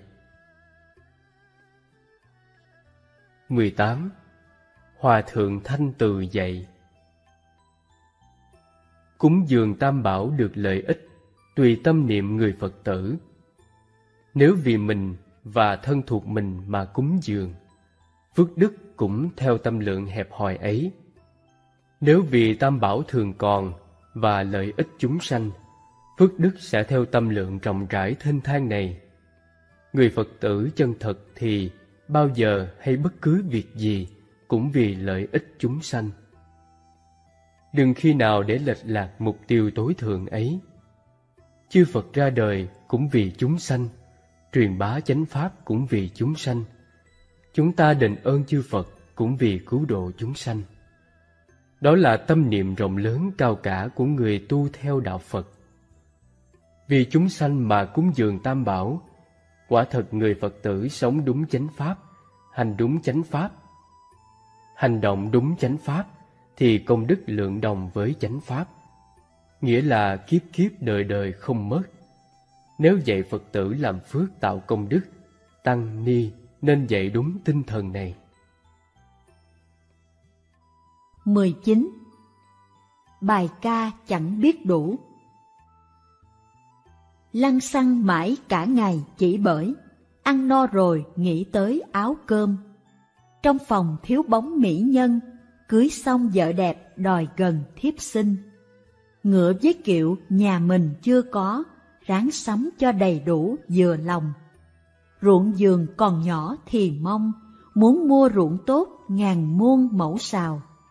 Không quan chức, ước ao quan chức, Để người đừng thách thức coi thường. Bí thư thứ trưởng hạng soàn Bộ trưởng phó thủ còn đang so bì. Phải nhất phẩm đương gì thủ tướng Hai nhiệm kỳ tổng thống mới cam. Lại thêm thỏa mãn lòng tham Mong mình sống mãi muôn năm không già. Những thứ ấy do ta vọng tưởng, khi khởi lên chẳng gượng tạm dừng. Cổ quan tài đến bỗng dưng, dùi chôn mối hận khốn cùng trong ta. Thơ cổ nhân, thông quản phỏng dịch 20. Năm việc làm có nhiều công đức Luận Di Lạc Bồ Tát Sở Vấn Kinh lại có năm loại quả thù thắng đạt được do cúng dường cho cha mẹ, người bệnh, pháp sư, Bồ Tát. Vì cha mẹ có ân đức sinh thành nuôi dưỡng thân mạng ta, cho nên cúng dường cha mẹ được quả báo thù thắng. Người bệnh nằm một mình rất đáng thương, do đó nên khởi lòng từ bi, cúng dường cho người bệnh thì được phước báo thù thắng. Người thuyết pháp có khả năng sinh ra pháp thân, tăng trưởng pháp thân cho ta giúp ta phân biệt được thiện ác, đúng sai, chân chính hay điên đảo.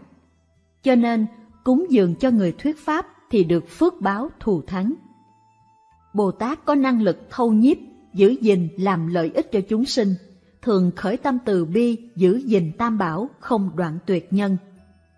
Do đó, nên cúng dường cho Bồ Tát thì được phước báo thù thắng.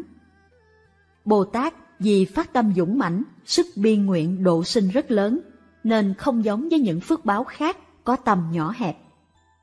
Cổ nhân nói, Tâm tốt mạng lại tốt, phát đạt sớm giàu to, tâm tốt mạng không tốt, cả đời cũng ấm no. Mạng tốt, tâm không tốt, đường trước nhiều hố gò. Tâm mạng đều không tốt, cả đời thường sầu lo. 21. Công đức tùy thuộc vào tâm chí thành Tại ngôi làng Mahagama của nước Sri Lanka, Tích Lan, có một người đàn ông nghèo khổ tên Tissa, sinh sống bằng nghề kiếm củi, nên người ta gọi là Tissa. Tissa, người có tài sản là củi. Một lần nọ, ông bàn luận với vợ rằng, Tuy Đức Phật có dạy lợi ích về sự bố thí thường kỳ, nhưng chúng ta không thể thực hiện được vì cuộc sống chúng ta quá thiếu thốn và thấp kém. Chúng ta chỉ có khả năng cúng dường vật thực mỗi tháng hai lần với vật thực mà mình có được. Khi có khả năng hơn, chúng ta sẽ cúng dường vật thực tốt bằng phiếu thực để phân biệt sự cúng dường vật thực bình thường. Thời ấy, chư tỳ kheo ở Tích Lan được cúng dường vật thực thượng vị rất dồi dào. Một số tỳ kheo trẻ cùng Sa Di khi nhận vật thực của vợ chồng Tissa đã quăng bỏ trước mặt hai người thí chủ ấy. Người vợ bảo chồng rằng, các vị sa môn đã quăng bỏ vật thực cúng dường của chúng ta rồi. Tuy nhiên, bà không có ý buồn phiền về việc quăng bỏ ấy. Bà nghĩ rằng, các vị sa môn quăng bỏ vật thực này xét ra cũng đúng vì những loại vật thực mà chúng ta có được là loại vật thực đáng quăng bỏ đối với mọi người. Thấy thế, Tissa nói với vợ, Chúng ta quá nghèo, không thể dân vật thực làm hoan hỷ đến các ngài. Người vợ an ủi chồng rằng, Nhưng những người có con thì không thể nghèo, chúng ta hãy bán con gái làm nô tỳ cho người để lấy tiền. Ông Tissa nghe theo lời vợ, bán con gái cho một nhà khá giả, được 12 đồng tiền vàng, và với số tiền có được, ông mua con bò sữa về nuôi. Với tâm thành của hai vợ chồng, con bò cái cho rất nhiều sữa. Vào buổi chiều, họ lấy sữa bò nấu thành sữa đặc và bơ.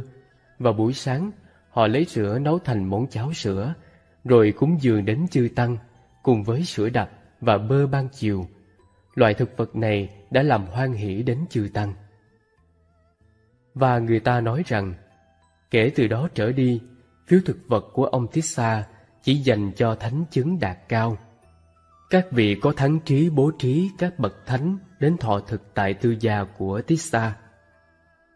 Thế rồi, một hôm gia chủ Tissa nói với vợ, Nhờ con gái, chúng ta đã làm hoan hỷ các bậc thánh. Con gái chúng ta đã nhận lãnh tuổi nhục này thay chúng ta. Bà đừng quên việc cúng dường vật thực đến chư tăng. Tôi sẽ đi tìm việc làm để chuộc con gái chúng ta về. Ông ra đi tìm việc và được làm trong nhà máy đường. Sau sáu tháng nỗ lực làm việc, ông dành dụm được 12 đồng tiền vàng. Ông mang 12 đồng tiền vàng trở về làng để chuộc con gái. Vào sáng sớm, ông Tissa lên đường về quê. Trên đường về, ông gặp trưởng lão Tissa cũng đang đến làng Mahagama để hành lễ trong một tự viện. Trưởng lão Tissa là một bậc thực hành hạnh đậu đà đang đi khất thực. Gia chủ Tissa theo sau lưng ngài hỏi pháp từ nơi ngài. Khi đến đầu làng, đã đến giờ thọ thực. Gia chủ trông thấy một người đàn ông mang một mo cơm theo để ăn. Ông đề nghị ông ấy bán mo cơm cho ông với giá một đồng tiền vàng. Người kia suy nghĩ, mo cơm này chỉ đáng giá một phần mười số tiền trên. Hẳn là có gì đặc biệt đây, nên người này mới trả giá cao như thế. Và ông từ chối không bán mò cơm ấy, gia chủ Tissa tăng dần giá mò cơm lên đến 12 đồng tiền vàng, nhưng người kia vẫn không bán vì nghĩ Người kia hẳn có rất nhiều tiền. Cuối cùng, Tissa nói rằng Này ông, tôi mua mo cơm này không phải dành cho tôi. Tôi mua để dâng đến vị trưởng lão đang ngồi dưới gốc cây. Tôi chỉ có 12 đồng vàng. Nếu có hơn, tôi sẽ cho ông tất cả. Hãy bán mô cơm này cho tôi với tất cả số tiền tôi có trong tay đi. Và người kia sau khi xem xét kỹ đã đồng ý bán mô cơm với 12 đồng tiền vàng. Gia chủ thích xa mang mô cơm đến cúng dường vào bát vị trưởng lão. Khi được nửa mô cơm, vị trưởng lão ngăn lại. Gia chủ thích xa bạch rằng, Bạch ngài, phần cơm này chỉ đủ cho một người dùng. Mong ngài từ bi tế độ con, xin ngài nhận lãnh trọn vẹn phần cơm này. Vị trưởng lão thọ nhận trọn vẹn mo cơm, sau đó hai người tiếp tục lên đường đi vào làng. Trên đường đi, vị trưởng lão hỏi thăm gia cảnh của Tissa. Gia chủ thật thà tường thuật lại gia cảnh của mình. Nghe giá trị mo cơm bằng sáu tháng trời làm việc của gia chủ, tâm vị trưởng lão xúc cảm. Ôi, người này đã thực hiện một thí sự khó làm. Ông đã cúng dường đến ta với niềm tin thanh tịnh trong một hoàn cảnh khó khăn như thế. Ta thọ vật thực ấy xem như nợ ông ấy rất lớn. Ta phải tinh tấn chứng đạt quả vị A-la-hán để tỏ lòng tri ân ông. Ta sẽ tìm nơi thích hợp để hành đạo, cho dù da, thịt, máu, vân vân của ta có khô cạn, ta sẽ không rời khỏi chỗ ngồi cho đến khi chứng đạt quả vị A-la-hán. Khi vào trong làng, mỗi người đi hướng riêng của mình. Khi đến tịnh xá Mahavihara, trưởng lão Thích Sa được bố trí ngủ trong một căn phòng yên tĩnh.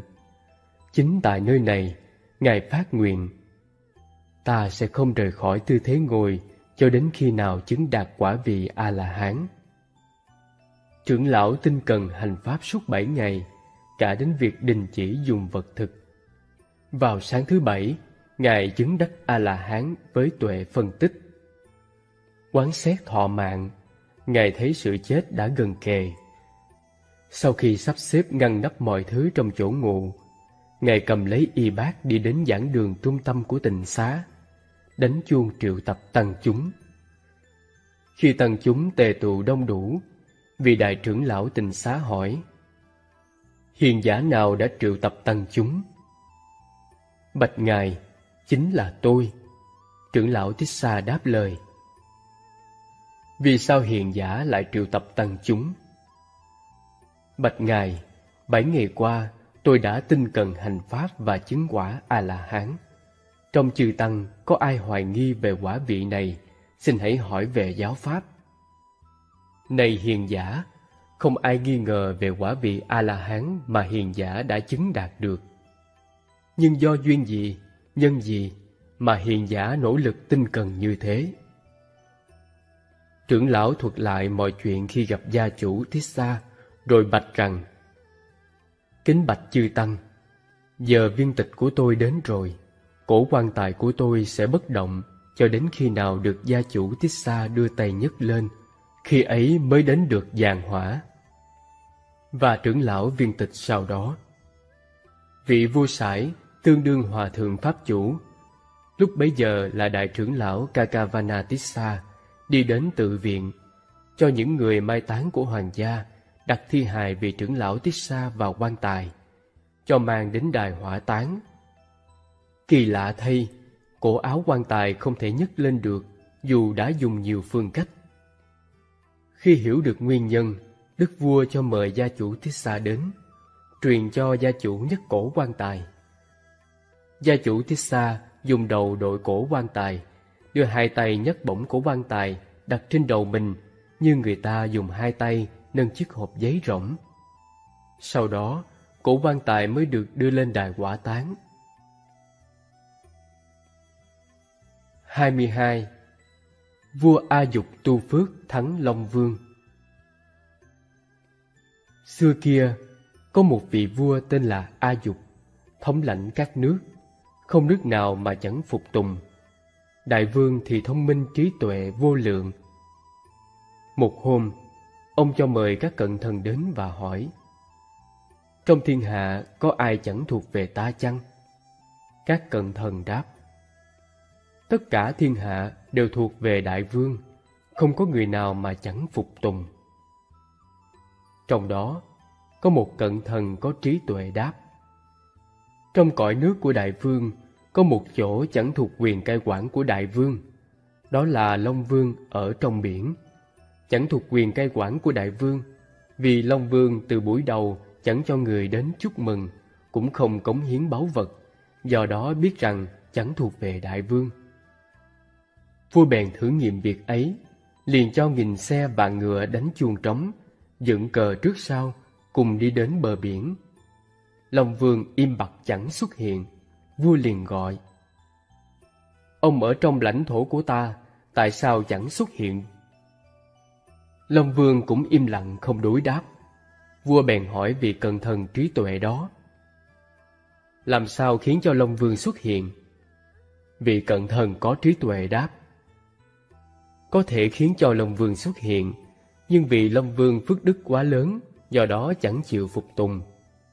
Đại vương nếu chẳng tin lời của hạ thần, thì hãy cho cân hai lượng vàng bằng nhau để đúc hai tượng. Một là tượng đại vương, hai là tượng Long Vương. Sau đó, đem lên bàn cân thử, sẽ thấy tượng Long Vương nặng hơn tượng Đại Vương. Do đó, biết phước đức của Long Vương nhiều, phước đức của Đại Vương ít. Tâm vua hiểu rõ ý của đại thần trí tuệ, nên khởi tâm hoan hỷ vô lượng. Ngài liền ra lệnh cho mọi người trong thiên hạ phải hầu hạ nuôi dưỡng người già cô đơn, giúp người nghèo cùng, cứu người đói thiếu. Các nơi đều phát động phong trào xây dựng thiền viện, chùa, am, thất thờ Phật và tôn trí xá lợi Phật để nhiều người cúng dường. Ba năm sau, mọi người lại lấy tượng vua và tượng Long Vương đem cân thử. Tượng Long Vương quả nhiên nhẹ hơn tượng vua. Vì cận thần có trí tuệ bèn nói với vua. Có thể hàng phục Long Vương được rồi. Vua bèn lập bày xe ngựa, cờ phướng, chuông trống trầm rộ trước sau, đi đến bên bờ biển, Long Vương bèn hóa làm một bà la môn niên thiếu, đến trước vua quỳ gối thăm hỏi vấn an, cống hiến các bảo vật, ngọc báo quý lạ trong biển và tự xưng là tôi thần. Binh sĩ và nhân dân thấy thế đều hoan hỷ. Ngoài ra, các chi tiết khác ở văn kinh có nói rõ. Chuyện này nhằm chỉ dạy người đời sau. Thiên hạ muốn có nhiều thế lực, không gì hơn tu tạo phước đức. Người giữ gìn kinh pháp như mẹ bảo vệ con, sao không đáng để suy ngẫm. 23. Nhân duyên nửa trái lê Vua A Dục đối với Phật Pháp đã được tín tâm kiên cố. Một hôm ông hỏi tôn giả Uba Cúc Đa. Khi Phật còn tại thế, thưa tôn giả, ai là người bố thí nhiều nhất? Có trưởng giả tên Tu Đạt Đa, tức cấp cô độc, là người bố thí nhiều nhất, thưa bệ hạ. Ông ấy dùng bao nhiêu để bố thí, thưa tôn giả? Một trăm ức lượng vàng.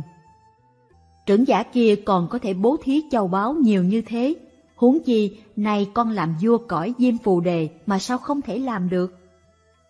Bây giờ, vua liền dùng thân mình và câu na la, quần thần, quả đất đem bố thí hết. Rồi xây dựng tám ngàn bảo tháp thờ xá lợi Phật và tháp thanh văn tưới nước cho cây bồ đề, tính tổng cộng thì chi phí đã được 96 ức lượng vàng. Sau đó, vua A Dục bị bệnh nặng, biết mình không qua khỏi nên khóc than buồn tuổi trong lòng không vui. Khi xưa, tiền thân vua A Dục cúng dường đất thì đại thần La Đề Cúc Đề là chú bé đứng bên cạnh, chắp tay tùy hỷ. Ngày nay được làm đại thần lớn nhất triều đình, thân cận phụ tá cho vua. Thấy vua không vui, La Đề Cúc Đề liền chắp tay hỏi. Đại vương, uy đức của ngài như mặt trời giữa trưa, tất cả người dân không ai dám nhìn thẳng vào mặt bệ hạ. Chỉ có tám dạng bốn ngàn cung nữ mới được nhìn mặt. Nay bệ hạ bị bệnh nặng như mặt trời sắp lặn, ba cõi dời đổi, có sinh ắt có diệt, phải quán xét lý vô thường, tại sao đại vương không vui? Vua đáp, Nay ta chẳng do mất ngôi vua mà sinh lòng buồn khổ sầu não, cũng chẳng do xả thân mạng mà sinh buồn khổ, là chẳng do xa lìa các cung nữ, kho tàng mà sinh lòng buồn khổ. Mà chính vì phải xa lìa chúng hiền thánh nên ta mới sinh sầu khổ. Xưa ta vốn ước nguyện được bố thí đủ một trăm ức lượng vàng, nay ta mới bố thí được chín mươi sáu ức lượng vàng, vì còn thiếu bốn ức nữa nên ta mới sinh tâm như thế. La Đề Cúc đề thưa. Muôn tâu bệ hạ, kho tàng còn rất nhiều, bệ hạ có thể sai người đem ra bố thí cho được đầy đủ. Bây giờ, vua bèn dùng vàng bạc, châu báu cúng dường chùa Kê Đầu Ma. Vua lập con của câu Na La tên là Nhị Ma Lưu lên làm thái tử. Có cận thần tà kiến nói với thái tử. Vua A Dục sắp băng hà, đang phân tán các kho tàng đem đi bố thí sắp hết. Thái tử sẽ lên làm vua, mà phàm làm vua thì dùng kho tàng châu báu để tùy sức chi tiêu. Này thái tử nên ngăn cản lại, chớ cho phung phí hết. Bây giờ, nhị ma lưu hợp các vị đại thần lại mà nói. Vì vua cha đang bệnh nặng nên tất cả sở hữu của triều đình ta cấm tuyệt không được lấy ra khỏi kho, chỉ cho một mâm vàng và một mâm bạc để dân thức ăn đến cho phụ dương ta thôi. Được mâm này rồi, vua A Dục lại sai người mang đi cúng dường chùa Kê Đầu Ma. Sau đó, nhà vua chỉ được dân thức ăn bằng mâm làm bằng đất nung. Các vật khác cũng bằng đất nung cả. Cho đến lần cuối cùng thì chỉ có nửa trái lê. Được nửa trái lê rồi, vua liền tập hợp các vị đại thần lại mà hỏi. Cõi diêm phù đề này, ai là chủ? Các đại thần đáp, chính là ngài vậy. Các khanh nói sai rồi, ta không phải là chủ. Vì cớ sao? Vì ta chỉ được tự do sử dụng nửa trái lê này mà thôi. Tha ngôi, người ta giàu sang mà sao quá bần tiện. Ta làm vua đến lúc sắp lâm chung thì trở thành quá nghèo cùng. Tài sản chỉ có nửa trái lê mà thôi. Cũng như dòng suối lớn nước chảy mạnh, gặp núi cản lại thì phải dừng. Liền nói kệ rằng, Lời Phật là chân thật, nói ra đều chân lý. Dạy tất cả ái ân đều có biệt ly khổ. Xưa ta ra chiếu lệnh, không ai dám chống trái. Ngày nay như dòng suối, chạm núi thì dừng lại. Nay ta ra mệnh lệnh, không làm cũng như thế.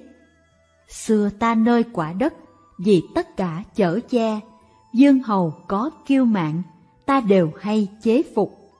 Người nghèo khổ cô đơn, ta đều cứu giúp họ. Xưa vì người che chở, ngày nay thế lực hết, giống như xe mục nát, đến lúc không giá trị, như cây A thứ già, gốc khô cành cũng mục. Hoa quả và cành lá, tất cả đều không còn. Nay ta không giá trị, vụ trên cũng như thế. Vua nói kệ này rồi, liền gọi đại thần bên cạnh, trao cho trái lê và ra lệnh. Ông hãy cầm trái lê này đi đến chùa kê đầu ma cúng dường chúng tăng và bạch thượng tọa rằng đây là phẩm vật cúng dường cuối cùng của vua A Dục. Vua A Dục chỉ được toàn quyền sử dụng nửa trái lê này mà thôi. Tất cả tài sản đều đã mất hết. Kính mong chúng tăng khởi tâm thương xót mà thọ nhận vật thí sau cùng của kẻ nghèo khổ này, để kẻ nghèo khổ này được phước. Thượng tọa gia xá bèn dạy chúng tăng. Các thầy đều đã thấy vua A Dục hưởng phước an vui. Đối với tất cả tài sản trong thiên hạ đều được chi tiêu tự do, mà ngày nay bị các quần thần khống chế, ngăn cấm không cho vua sử dụng tài sản của mình một cách tự do, mà vua chỉ được tùy ý dùng nửa trái lê này mà thôi.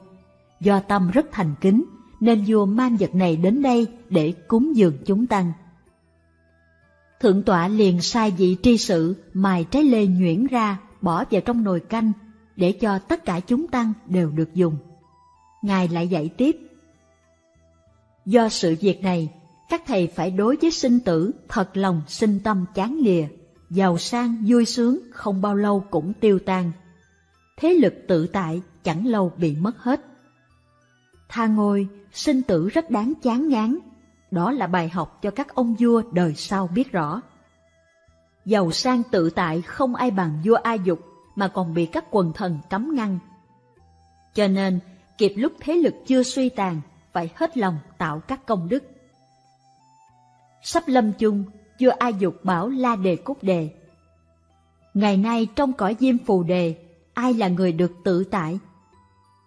La Đề Cúc Đề đáp.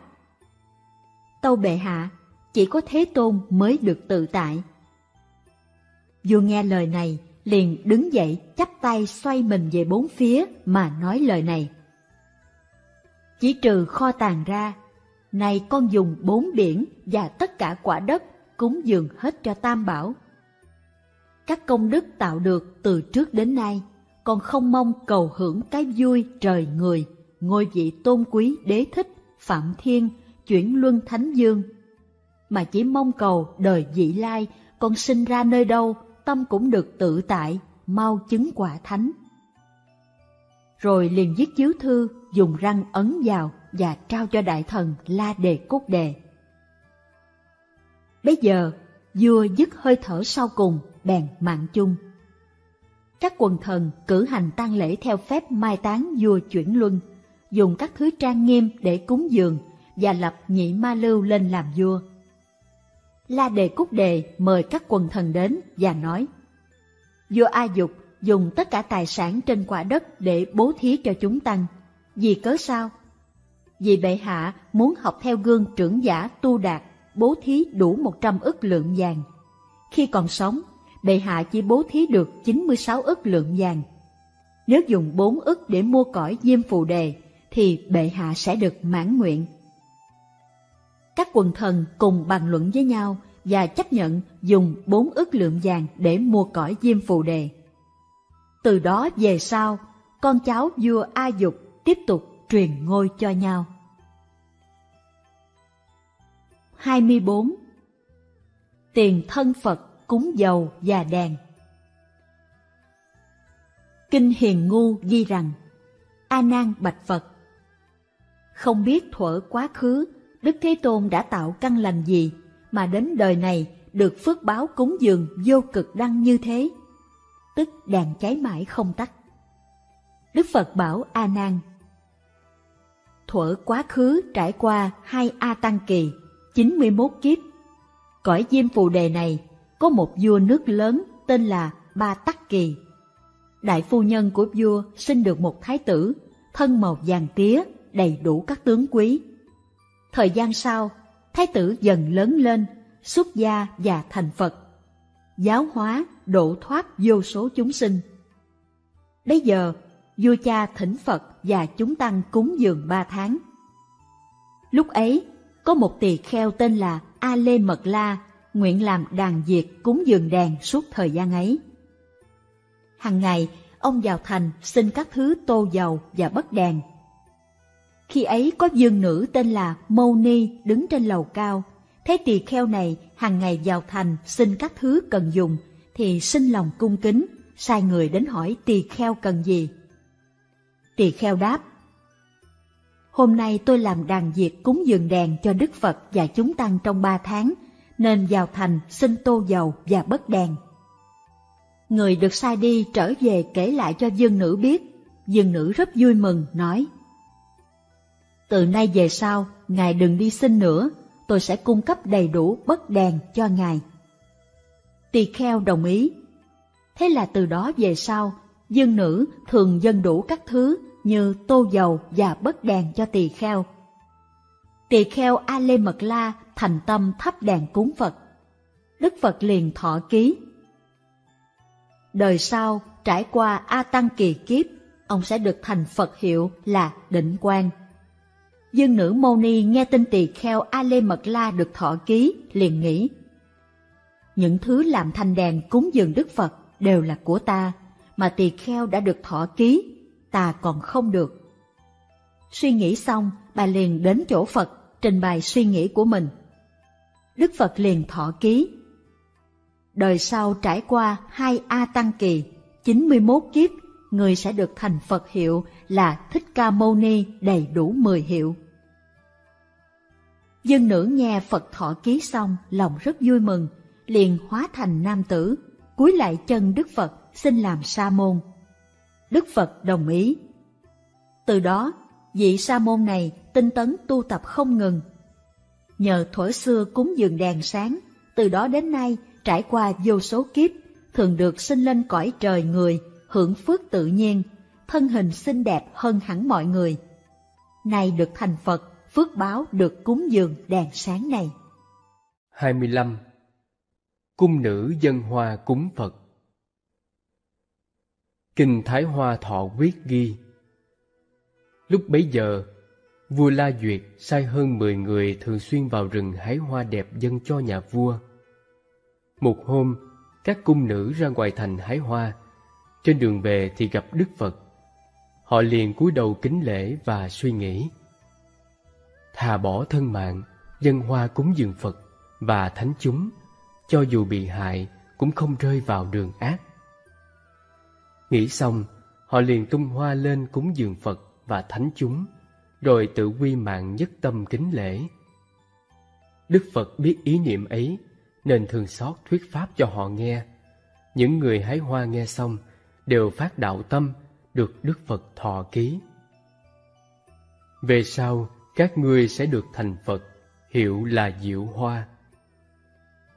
Lúc bấy giờ, các cung nữ liền trở về nhà từ biệt cha mẹ. Mạng con chắc không còn nữa, vì hôm nay nhà vua sẽ giết con. Cha mẹ ngạc nhiên hỏi, con có tội lỗi gì mà bị vua giết? Các cung nữ kể rõ câu chuyện cho cha mẹ nghe và nói, nếu không có hoa dâng lên nhà vua thì sẽ nguy hiểm đến tính mạng, nên hôm nay con trở về từ biệt cha mẹ. Cha mẹ nghe xong càng thêm buồn rầu, họ liền mở giỏ ra thì thấy đầy hoa đẹp, mùi thơm lan tỏa khắp nơi. Họ liền bảo, còn hãy mang hoa này dâng lên nhà vua. Chờ mãi vẫn không thấy hoa mang đến. Nhà vua tức giận, sai người bắt trói những người hái hoa phạm tội, đem ra chợ xử trảm. Thế nhưng sắc mặt của họ vẫn không biến đổi. lấy làm lạ, nhà vua hỏi. Tội của các người đáng sẽ bị giết, vì sao không sợ? Những người hái hoa đáp. Con người có sống thì phải có chết, vạn vật có thành ắt có hoại. Chúng tôi vì Pháp mà phạm tội, nên không tiếc thân mạng. Buổi sáng đi hái hoa, trên đường về gặp Đức Phật, nên chúng tôi đã dâng lên cúng dường. Biết làm như thế là trái mệnh vua, tội sẽ bị giết, nhưng thà có đạo mà chết, còn hơn sống mà không đạo. Nhưng khi trở về mở giỏ ra, thì thấy hoa vẫn còn như cũ, đều là nhờ ân của Đức Phật chở che. Nhà vua lấy làm lạ, trong lòng không tin, bèn đến hỏi Phật. Đức Phật bảo, Đúng vậy, những người này chí tâm, muốn độ chúng sanh khắp mười phương, không tiếc thân mạng, nên tùng hoa cúng dường Như Lai, lại không có ý cầu quả báo. Đã được ta thọ ký, tương lai sẽ thành Phật, hiệu là Diệu Hoa. Nghe xong, nhà vua rất vui mừng, cởi trói cho họ, hối hận trách mình quá ngu si, không bằng Bồ Tát và xin Đức Phật tha thứ. Đức Phật bảo, Lành thay, người biết sửa lỗi lầm thì đồng với người không có lỗi. 26. Tung hoa cúng Phật được sinh cõi trời Lại trong kinh Bách Duyên cũng ghi Một thời, Đức Phật ở kỳ thọ cấp cô độc viên tại thành xá vệ. Bấy giờ, các trưởng giả giàu sang quyền quý trong thành tụ tập bên bờ suối, mở hội hoa bà la, cà hát vui chơi. Họ sai một người vào rừng hái hoa bà la về kết tràng. Người được sai đi liền vào rừng hái hoa. Trên đường về thấy Đức Phật đủ ba mươi hai tướng quý, tám mươi vẻ đẹp, sáng rực như trăm nghìn mặt trời, lòng rất vui mừng, liền cúi lễ dưới chân và tung hoa cúng dường. Cúng dường xong, người ấy lại vào rừng, leo lên cây định hái hoa. Chợt cành cây bị gãy, ông ta rơi xuống đất và qua đời. Liền được sinh lên cõi trời đau lợi, thân hình xinh đẹp, ở trong cung điện được làm bằng hoa bà la. Đế thích hỏi, Ông ở đâu, tu phước gì mà được sinh về cõi này? Người hái hoa đáp, Tôi ở cõi Diêm Phù Đề, một hôm vào rừng hái hoa về lập hội vui chơi, trên đường về gặp Đức Phật, liền tung hoa cúng dường. Nhờ nhân duyên công đức ấy nên được sinh về cõi này. Đế thích thấy vị trời này, thân hình vô cùng xinh đẹp, liền nói kệ khen. Thân như sắc vàng rồng, tỏa ánh sáng rực rỡ, dung mạo rất xinh đẹp, vượt hơn cả chư thiên. Vị trời ấy liền nói kệ đáp. Tôi nhờ ân Đức Phật cúng dường hoa bà la, do nhân duyên lành này được quả báo tốt đẹp. Nói kệ xong, ông ta liền cùng đế thích đến chỗ Đức Phật, đảnh lễ dưới chân, rồi ngồi sang một bên, nghe Phật thuyết pháp. Tâm ý khai mở, phá tan mười hai ức nghiệp chướng, tà kiến, chứng quả tu đà hoàng. Do đó, ông vô cùng mừng rỡ, nói kệ khen Phật. Đại Thánh Tôn vòi vội, vô thượng không ai bằng, công cha mẹ, thầy tổ, cũng không thể sánh kịp. Làm khô bốn biển lớn, vượt qua núi xương trắng, lấp kín ba đường ác, mở rộng ba cửa lành ức nghiệp chướng. Các nghiệp ác do thân, khẩu, ý của chúng sanh tạo ra, ngăn chè chánh đạo. Một trong ba chướng, một trong bốn chướng. Tà kiến. Kiến chấp sai lầm. Chỉ cho những chủ trương phản bác và không chấp nhận đạo lý nhân quả và tứ đế. 27. Phước báo sửa tháp. Kinh Bách Duyên chép Lúc Đức Phật còn tại thế, trong thành Ca Tỳ La Vệ có một trưởng giả rất giàu, của cải nhiều vô lượng không thể tính kể. Ông sinh được một người con dùng mạo xinh đẹp, hiếm có trong đời. Các lỗ chân lông trên thân đều tỏa ra mùi hương chiên đàn, trong miệng thường thoảng ra mùi thơm hoa ưu bát. Cha mẹ rất vui mừng, nhân đó đặt tên con là Chiên Đàn Hương. Thời gian sau, Chiên Đàn Hương lớn lên, cầu Phật xuất gia và chứng quả A-la-hán. Các tỳ kheo thấy thế liền bạch Phật. Bạch Đức Thế Tôn, chiên đàn hương này đời trước trồng phước gì mà được sinh vào nhà giàu sang quyền quý, thân và miệng thường thoảng ra mùi thơm, lại được gặp Đức Thế Tôn xuất gia, chứng đạo quả. Đức Phật bảo các tỳ kheo, thuở quá khứ, trải qua 91 kiếp, sau khi Đức Phật Tỳ Bà Thi nhập Niết Bàn, vua bàn đầu mặt đế thâu lấy xá lợi, xây tháp bằng bốn báo, cao một do tuần để an trí cúng dường. Lúc ấy có một trưởng giả vào tháp Phật, thấy nền tháp bị thủng, ông liền nhồi trộn đất bùn trám lại, lấy bột hương chiên đàn rải lên, phát nguyện rồi đi. Nhờ công đức ấy, từ đó về sau trải qua 91 kiếp, trưởng giả kia không rơi vào đường ác, được sinh lên cõi trời người. Thân và miệng thường thoảng ra mùi thơm, hưởng thọ niềm vui sướng. Đến nay được gặp ta xuất gia chứng đạo quả. Mục 28 Bà già nghèo chí thành cúng đèn Trong kinh A Xà Thế, Dương Thọ Quyết ghi Đức Phật nhận lời thỉnh của vua A Xà Thế. Sau khi thọ trai xong, Ngài trở về tỉnh xá Kỳ Hoàng. Lúc ấy, vua A Xà Thế bàn với Kỳ Bà. Đức Phật đã thọ trai xong, tiếp theo ta phải làm gì? Kỳ Bà Tâu Nên thắp nhiều đèn để cúng dường. Thế là vua A Xà Thế liền truyền lệnh đem một trăm học dầu vừng thắp sáng từ cổng cung điện cho đến tịnh xá kỳ hoàng.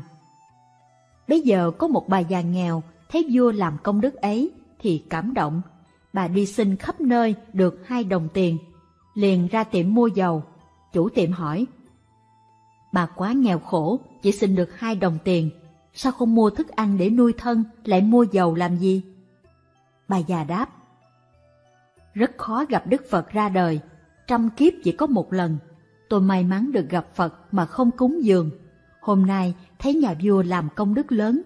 Tuy nghèo khổ, nhưng tôi cũng muốn thắp một ngọn đèn cúng Phật để làm nhân duyên kiếp sau. Nghe nói thế, chủ tiệm vui mừng.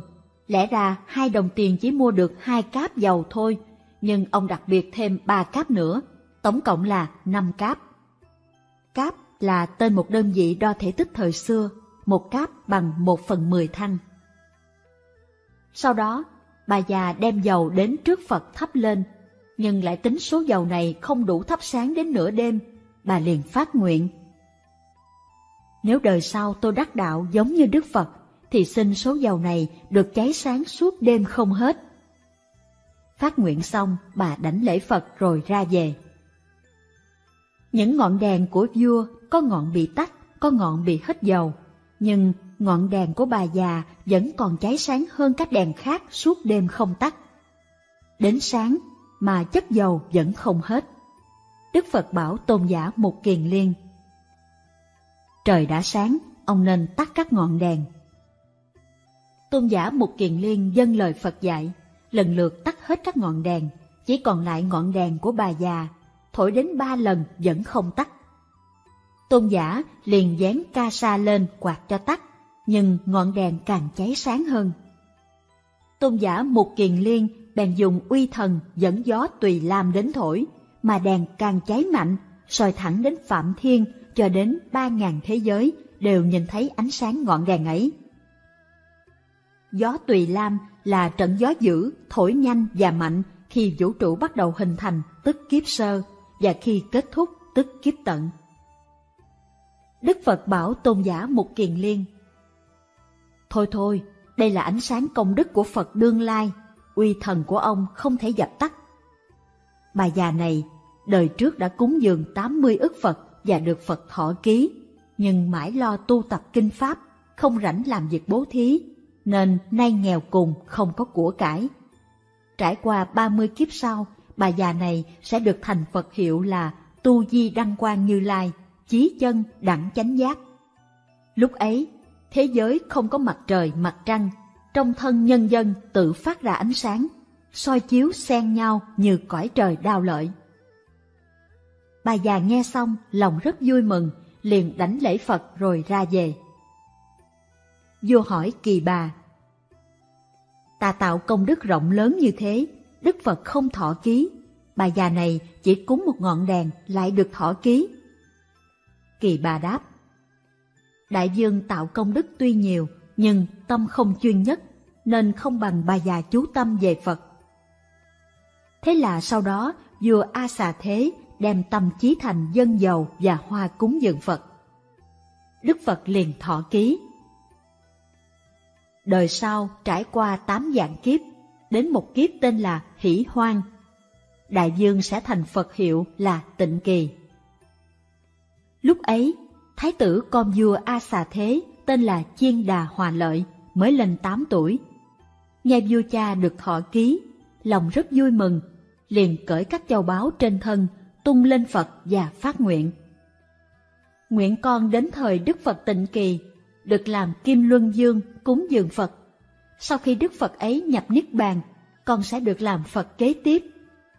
Đức Phật bảo, ông chắc chắn sẽ toại nguyện và được thành Phật hiệu là Chiên Đàn. 29. Tiền thân tôn giả A Na Luật Kinh Thí Dụ ghi Lúc Phật còn tại thế, các đệ tử của Ngài có đức hạnh không đồng nhau, như tôn giả xá lợi Phất trí tuệ bậc nhất, đại mục kiền liên thần thông đệ nhất, còn A Nan Luật thiên nhãn đệ nhất, có thể nhìn thấy ba nghìn đại thiên thế giới, cho đến các vật nhỏ nhiệm tối tâm cũng đều nhìn thấy.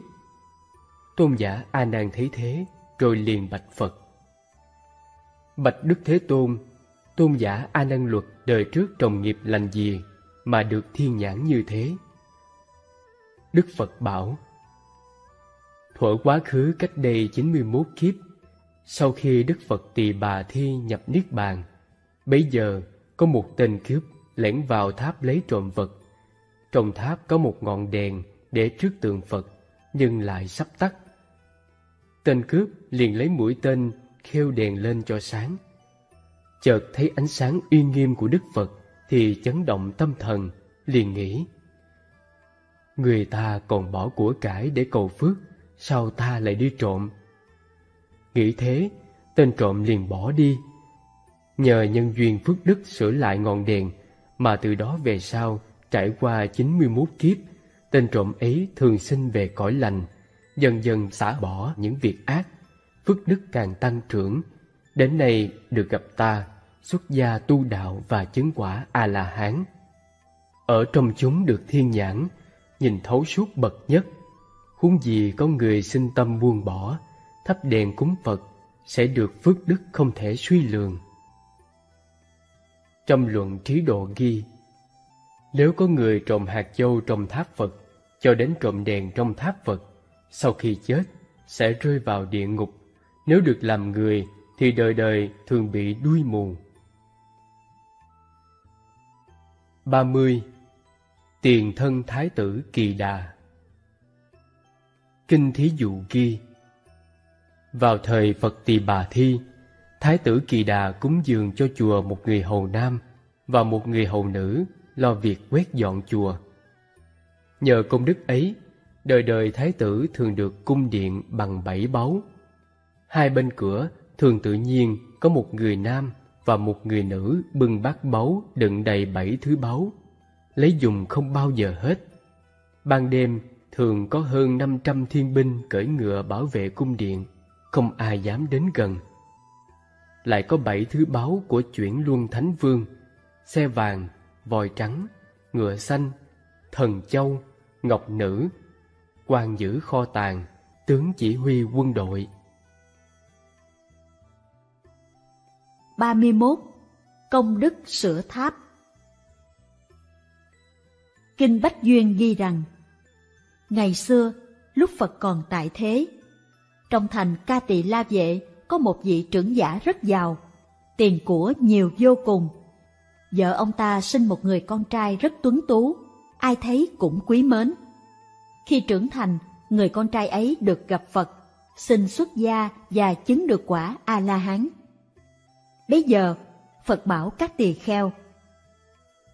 Trước đây 91 kiếp, sau khi Phật Tỳ Bà Thi ra đời, rồi vào Niết Bàn, vua bàn đầu mặt đế thu nhặt xá lợi Phật, dựng tháp bằng bốn thứ báo để cúng dường. Về sau, tháp ấy bị hỏng một ít. Một đứa bé vào chơi trong tháp, thấy chỗ tháp hỏng, liền vui vẻ kêu gọi mọi người cùng nhau sửa sang, lại phát nguyện rồi bỏ đi. Nhờ công đức ấy, trong 91 kiếp, đứa bé không bị đọa địa ngục, xuất sinh, ngạ quỷ, luôn được sinh vào cõi người và trời hưởng hạnh phúc, thường được người và trời kính trọng, xuất gia, đắc đạo.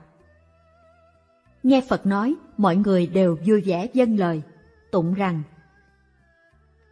Lưu thân tám dạng tháp, báo treo cao trăm trượng, phụng hoàng sen quả linh, mâm vàng đỡ tay Phật, đẩu cũng nông kèo chạm, mái tháp văn lưới câu, đất báo như cát vàng, chuông gió thánh thoát gian, sinh động ngàn hình chạm, rực rỡ muôn tượng vẽ.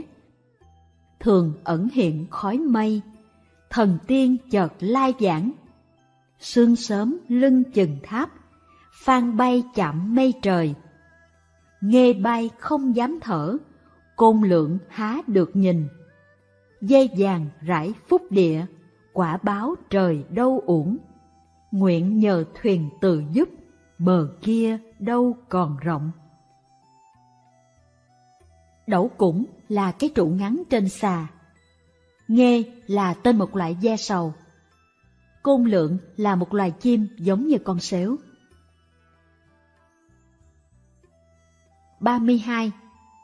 Phật chăm sóc tỳ kheo bệnh Kinh Pháp Cú Thí Dụ ghi rằng, Ngày xưa có một nước tên Hiền Đề. Bây giờ có một tỳ kheo trưởng lão mắc bệnh đã lâu, thân thể gầy yếu, dơ bẩn, nằm ở tỉnh xá Hiền Đề, không người chăm sóc. Đức Phật bèn dẫn 500 tỳ kheo đi đến chỗ ấy. Ngài bảo các tỳ kheo thay nhau chăm sóc và lo cơm cháo thuốc men cho tỳ kheo bệnh. Nhưng khi ngửi thấy mùi hôi, các vị ấy đều sinh tâm khinh rẻ. Đức Phật liền sai đế thích lấy một chậu nước ấm đến, Ngài dùng tay kim cương tắm rửa cho vị tỳ kheo bệnh kia. Khi ấy, mặt đất bỗng nhiên chấn động, bầu trời rực sáng, mọi người đều kinh sợ. Quốc dương cùng vô số thần dân, trời, rồng, quỷ thần kéo đến, cúi đầu đảnh lễ và bạch Phật. Bạch Đức Thế Tôn, Ngài là đấng chí tôn trong ba cõi không ai sánh bằng, đạo đức đầy đủ, tại sao phải hạ mình tắm cho tỳ kheo bệnh kia? Đức Phật bảo, Như Lai sở dĩ xuất hiện ở đời chính là vì những người nghèo cùng, khốn khổ không nơi nương tựa này. Nếu ai chăm sóc nuôi dưỡng đạo nhân, sa môn bệnh tật, những kẻ bần cùng và người già cô độc sẽ được phước vô lượng, sự mong cầu được như ý, cuối cùng sẽ đắc thánh đạo. Vua lại bạch Phật Bạch Đức Thế Tôn, vị tỳ kheo này đời trước tạo tội gì mà bị bệnh hành hạ nhiều năm, chữa mãi không lành? Đức Phật bảo, Ngày xưa có một vị vua tên Ác Hạnh, thi hành chính sách rất bạo ác. Vua sai một người có sức mạnh là ngũ bá thi hành hình phạt đánh người. Ngũ bá mượn uy quyền của vua mà tung hoành. Người sắp bị phạt roi, nếu mang nhiều của cải lo lót thì ông ta đánh nhẹ, ai không có thì bị đánh nặng. Do đó, cả nước vô cùng lo sợ. Bây giờ có một hiền giả bị người mưu hại nên phải chịu đòn roi. Hiền giả kia nói với ngũ bá, Tôi là đệ tử Phật, vốn không có tội, nay bị người hãm hại, xin ông lượng thứ cho. Ngũ bá nghe nói đệ tử Phật, nên đánh nhẹ tay, roi không chạm vào thân. Sau khi ngũ bá mạng chung thì bị đọa vào địa ngục. bị tra khảo đánh đập đau đớn muôn lần. Tội địa ngục hết, lại đọa làm súc sanh, thường bị đánh đập trong hơn 500 kiếp. Khi tội báo ở loại súc sinh hết, thì sanh lại làm người, thân thường bị bệnh khổ. Quốc dương lúc ấy, nay chính là điều đạt. Ngũ bá là tỳ kheo bệnh đây. Người hiền lúc ấy là ta. Do đời trước ngũ bá tha cho ta, đánh roi không chạm vào thân, nên hôm nay đích thân ta tắm rửa cho ông. Người tạo thiện hoặc ác thì họa phúc sẽ báo ứng, dù sống hay chết cũng không tránh khỏi. Bây giờ, Đức Thế Tôn liền nói kệ, đánh đập người lương thiện, giọng cho là không tội. Thật tội gấp mười lần, họa đến không thể cứu. Sống chịu nhiều khổ đau, thân thể không dạng toàn. Bệnh tật bất ngờ đến, tâm ý luôn sợ hãi. Bị mọi người chê cười, hoặc chịu nạn quan quyền. Tài sản bị tiêu hao, quyến thuộc phải chia lìa. Nhà cửa bị lửa thiêu, chết đọa vào đại ngục. Đây chính là mười tội.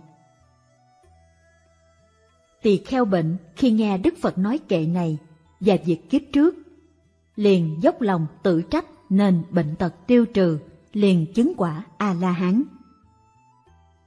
Vua nước hiền đề suốt đời thực hành theo bài kệ, nên chứng quả tu đà hoàng. 33. Hai anh em đồng xuất gia Kinh thí dụ ghi Vào thời Đức Phật Ca Diếp, có hai anh em kia đều làm sa môn. Người anh luôn giữ giới, tu tập thiền định, một lòng cầu đạo nhưng không bố thí. Người em bố thí tu phước nhưng hay phá giới. Đến thời Phật Thích Ca, người anh xuất gia đắc quả A-la-hán. Nhưng áo không đủ mặc, cơm không đủ no. Còn người em tái sinh vào loài voi, làm voi có sức mạnh, có khả năng đánh thắng kẻ địch nên được vua yêu quý, phong cho mấy trăm ấp và cung cấp cho vàng bạc, châu báu, anh lạc, vân vân. Voi muốn gì đều được đầy đủ. Bấy giờ, gặp lúc mất mùa, người anh là tỳ kheo đi khắp nơi khất thực suốt bảy ngày vẫn không được thức ăn. Cuối cùng mới được chút ít đồ ăn dở, tạm duy trì mạng sống. Vị tỳ kheo bán biết voi kia đời trước là em mình nên đi đến bên cạnh, kề tai voi nói Trước kia ta và ngươi đều mắc tội. Voi suy ngẫm lời của vị tỳ kheo, nhắc lại nhân duyên kiếp trước của mình nên buồn bã, không chịu ăn uống. Người giữ voi lo sợ, đi đến tâu việc ấy với vua. Vua hỏi ông ta, Trước đây có người nào xúc phạm voi không? Người giữ voi thưa, Không có người nào khác, chỉ có một vị sa môn đi đến bên voi chốc lát rồi đi. Vua liền sai người đi tìm vị sa môn, hỏi xem đến bên voi nói điều gì. Vị sa môn đáp, Tôi nói với voi, ta và ngươi đều mắc tội. Vị sa môn kể lại cho nhà vua nghe đầy đủ sự việc đời trước. Vua hiểu ra, liền cho thả vị sa môn. 34. Vàng bạc phải chăng là hạnh phúc? Thời Phật tại thế, có một vị quốc vương tên là Đa Vị Tả, kính thờ cả 69 dòng ngoại đạo. Bỗng một ngày kia, vua phát thiện tâm muốn thực hành đại bố thí. Của báu chất đầy như núi và rao rằng, hễ ai đến xin đều cho bốc đi một nắm. Nhiều ngày trôi qua, số người đến xin tuy nhiều mà núi báu vẫn chưa suy xuyển. Đức Phật biết quốc vương đời trước có nhiều phước duyên có thể hóa độ được, nên liền hóa làm một vị phạm chí đến thăm. Vua rất mừng rỡ, làm lễ xong hỏi rằng Ngài muốn cần dùng gì, xin cho tôi biết. Tôi vui lòng cúng dường. Vị Phạm Chí đáp. Tôi từ xa đến đây, cốt xin nhà vua Ngọc Báo để đổi lấy vật liệu làm ở nhà. Vua đáp. Tôi rất vui lòng, xin Ngài bốc lấy một nắm. Vị Phạm Chí bốc lấy một nắm, đi bảy bước, trở lại trả về chỗ cũ. Vua ngạc nhiên hỏi, Cớ sao ngài không lấy? Với số báo ấy, thật đủ làm nhà, nhưng khốn cho tôi, về sau còn phải cưới vợ nữa, thì không đủ dùng, nên tôi không lấy. Thôi, ngài hãy lấy thêm ba nắm.